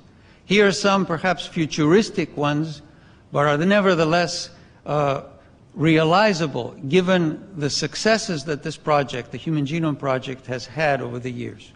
I show three examples here in terms of bioremediation and the potential to save billion of, billions of dollars in toxic waste cleanup and disposal, which is one of the tasks the Department of Energy is, is saddled with from the legacy of the Cold War.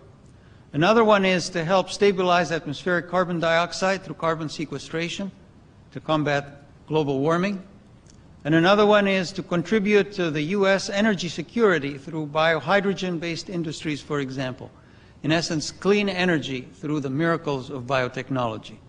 Uh, one can say these are futuristic dreams. They are, however, dreams that could be realized with the proper investments in the basic science that is described in the Genomes to Life program. In just a few words, the Genomes to Life program has four basic goals. The first goal is to understand the fundamental multi-protein molecular machines of life that make a cell work. The second one is to understand the regulatory networks that drive these molecular machines of life. The third goal is to elucidate the functional diversity of microbial communities, whose tasks are primarily focused on microbes and microbial communities, especially in the case of bioremediation, microbial communities that exists at our contaminated sites. The fourth goal, which underpins all others, and it's one that I made reference to, is the computational infrastructure that needs to be built to support these goals and many other goals that you'll hear from Francis and that you've also heard from other speakers earlier today. So join us in realizing this potential of the genome revolution and read about us in the Science magazine article that you received today or visit us at our uh, website, doegenomestolife.org. I think we all stand at the edge of an incredible uh, region of undiscovered territory. And we are excited and thrilled by the potential of exploring it properly and putting it to use for our goals and for the good of humanity. I hope we will be able to meet that challenge and accomplish those goals. And I thank you for your attention.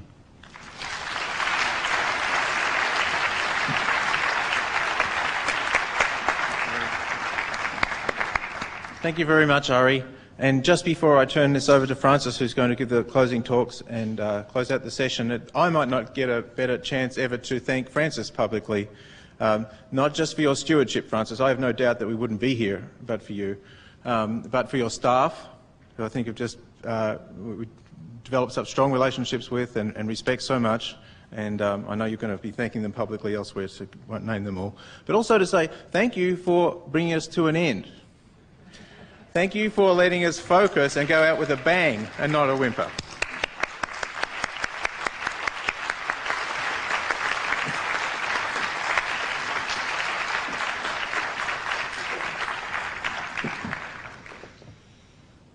Thanks, Richard.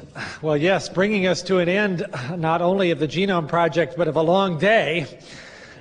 And a wonderful day it has been. I hope you also have had the same sense of awe at the lineup of presenters that have come to this podium since this morning. And a similarly spectacular lineup will be here tomorrow. I am impressed by you stalwart souls who are still here, and I will not abuse you by going on at great length.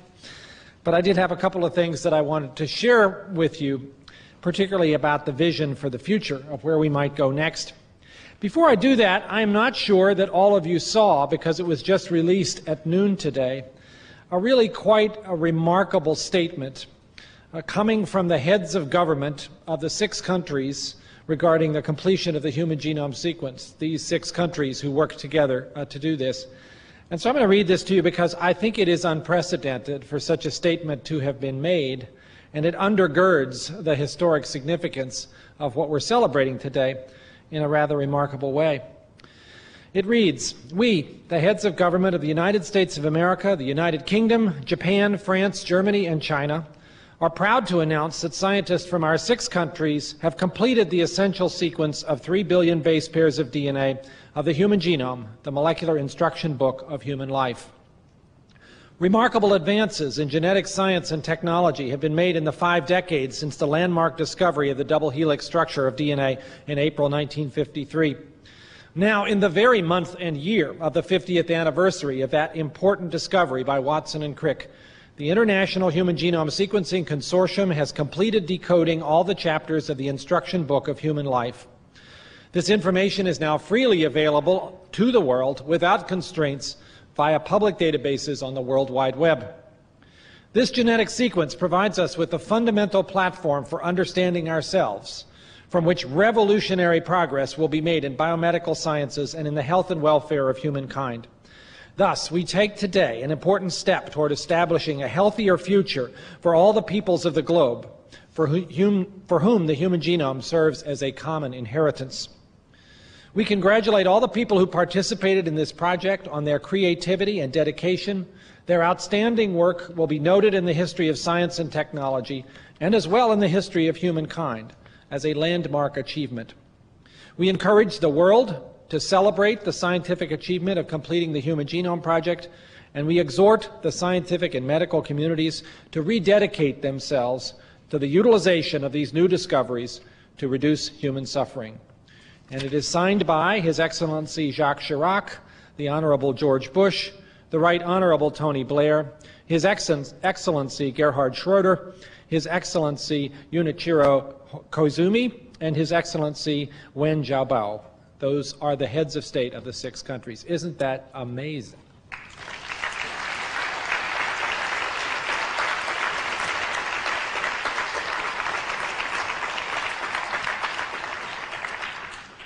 So I couldn't deny myself the chance to read that to you. That was just uh, too, too stunning uh, to find that uh, coming out here in the middle of today. Well, what I want to do in a few minutes, and it will be only a few, because I'm going to exhort you to read more about it in this article that you were given as you came to the meeting today. I want to say a word about this vision for the future, a vision which we at NHGRI have been working on for more than uh, 18 months. And many of you in the room, uh, if you didn't run fast enough, found yourself being pulled into that process by being invited to workshops, uh, to Airlie House meetings, by being called on the phone by various of us to seek your advice. So this is very much a joint enterprise, and well, it should be. We've heard a lot today about the Human Genome Project, about the things that were accomplished uh, during its 13-year uh, enterprise all of which are detailed in this visual, which is the centerfold of this uh, Nature article on the vision for the future.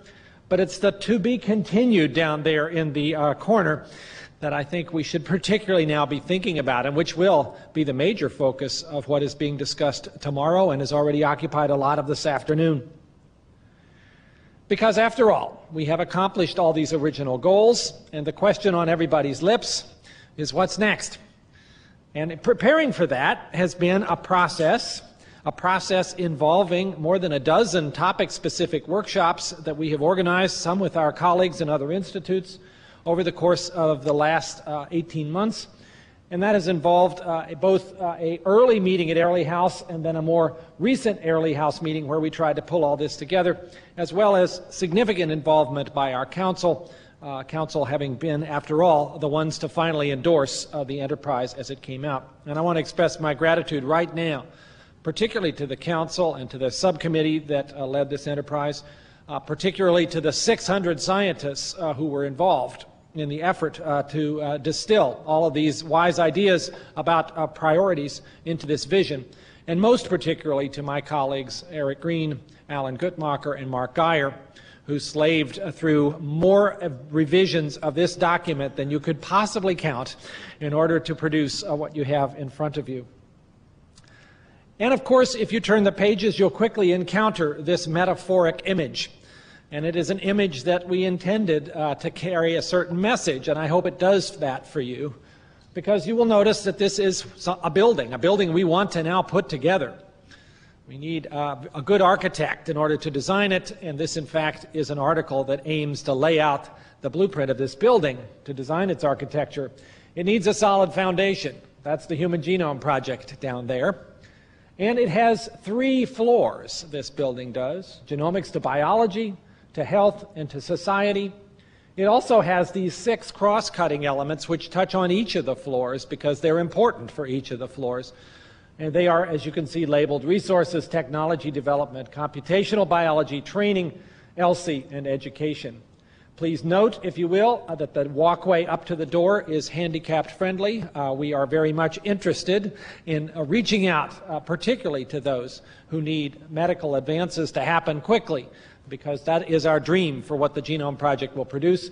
And notice also that the door is wide open because we will continue the process of having our data open and accessible to all, and that is very much underlined by the words in this document and by a recent important meeting in Florida where the importance of pre-publication data release of all kinds of data that represent community resource projects uh, was laid out in, in a uh, fashion that I think uh, was very well received by both data producers and data users.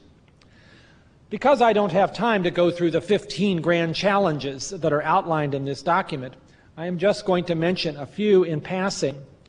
And again, I think it's important to note that this is unlike the previous plans for the Genome Project that you may have read in uh, previous years in science, where we were basically putting together a, a description of how we would achieve the goals of the Human Genome Project. Those are now achieved.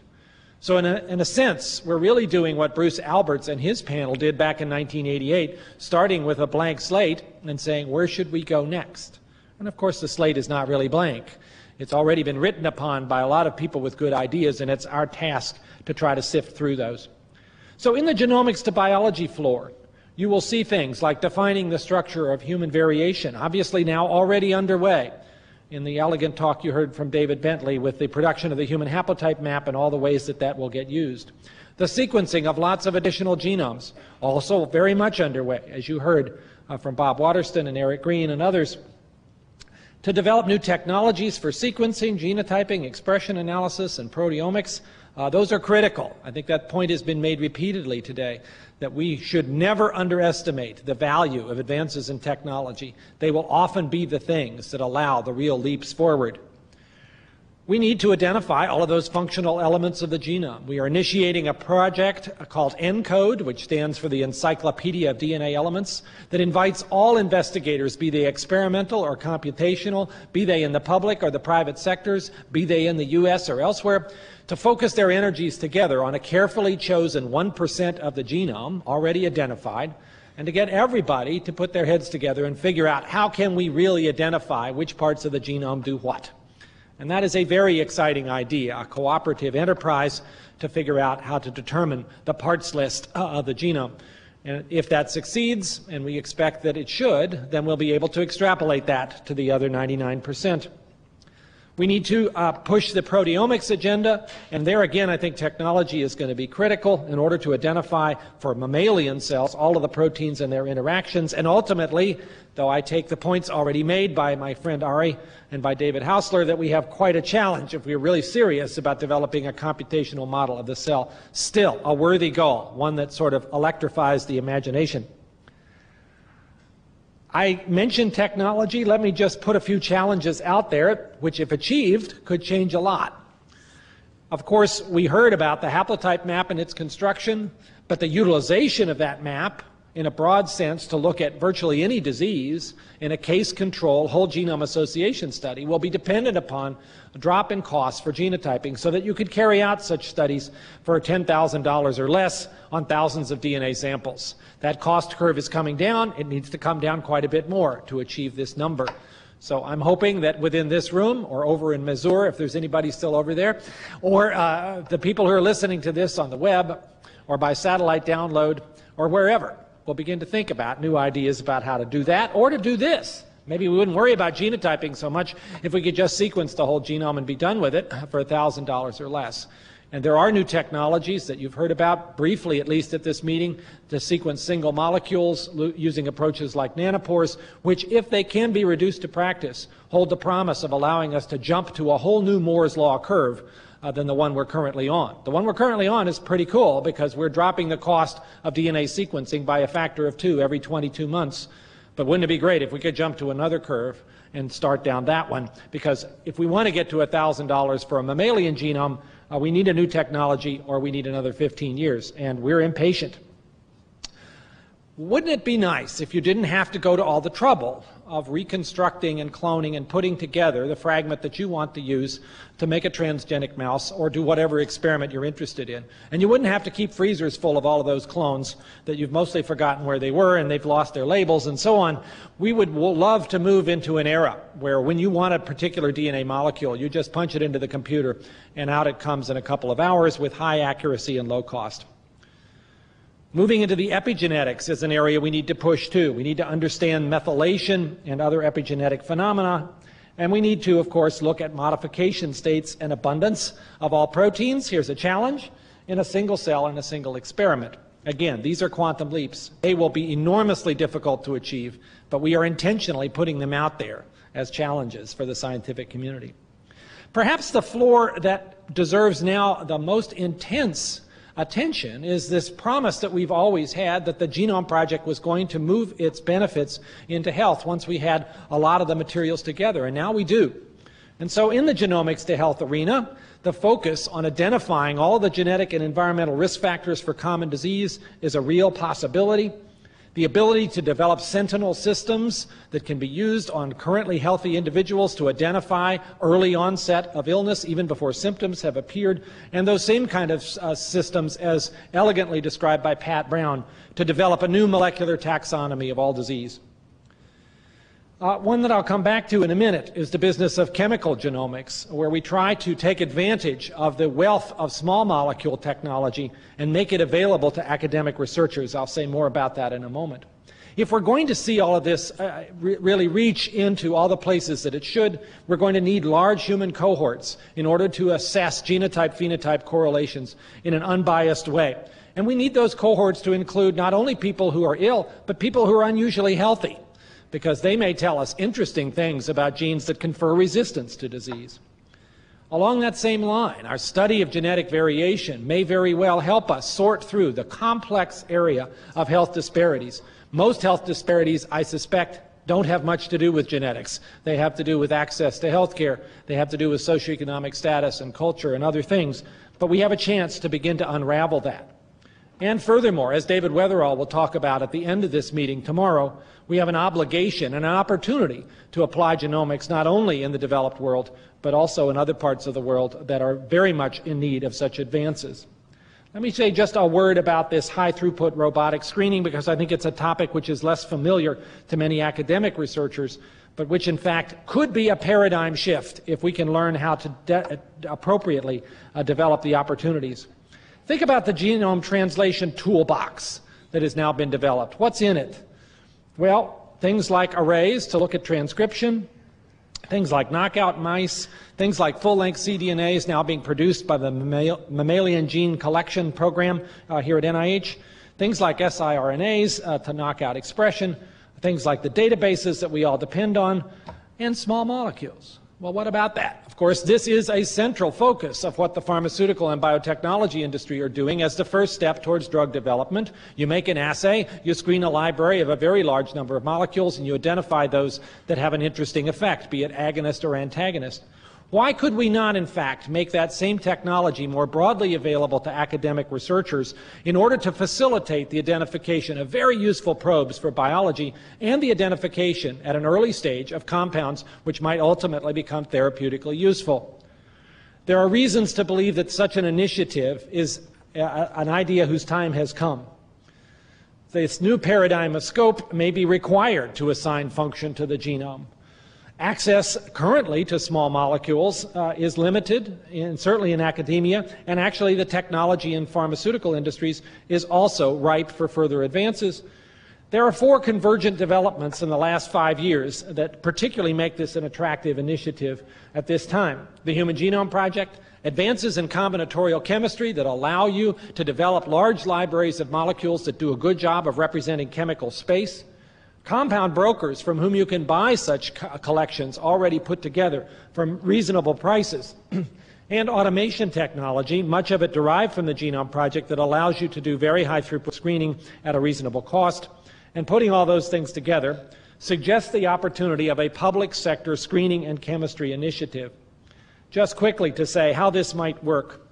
Those of you involved in drug development uh, would be familiar with this pipeline, which begins with identification of a target and then development of an assay, a screening, uh, high throughput or otherwise, uh, some limited medicinal chemistry to take that first set of hits and convert them into compounds of reasonable specificity and solubility, and then the really hard work begins if one is going to go on uh, to put this into clinical trials with lead optimization, toxicology, uh, safety, and then phase one, two, uh, three, and sometimes more than that trials. The uh, success rate and the cumulative cost curves for this pipeline look like this. Now, what is the public sector's current role in contributing to this? Well, it actually is fairly limited. It is probably primarily, in most academic labs, devoted to the business of identifying targets. But notice this sweet spot that's here in terms of the success rate and the cumulative cost.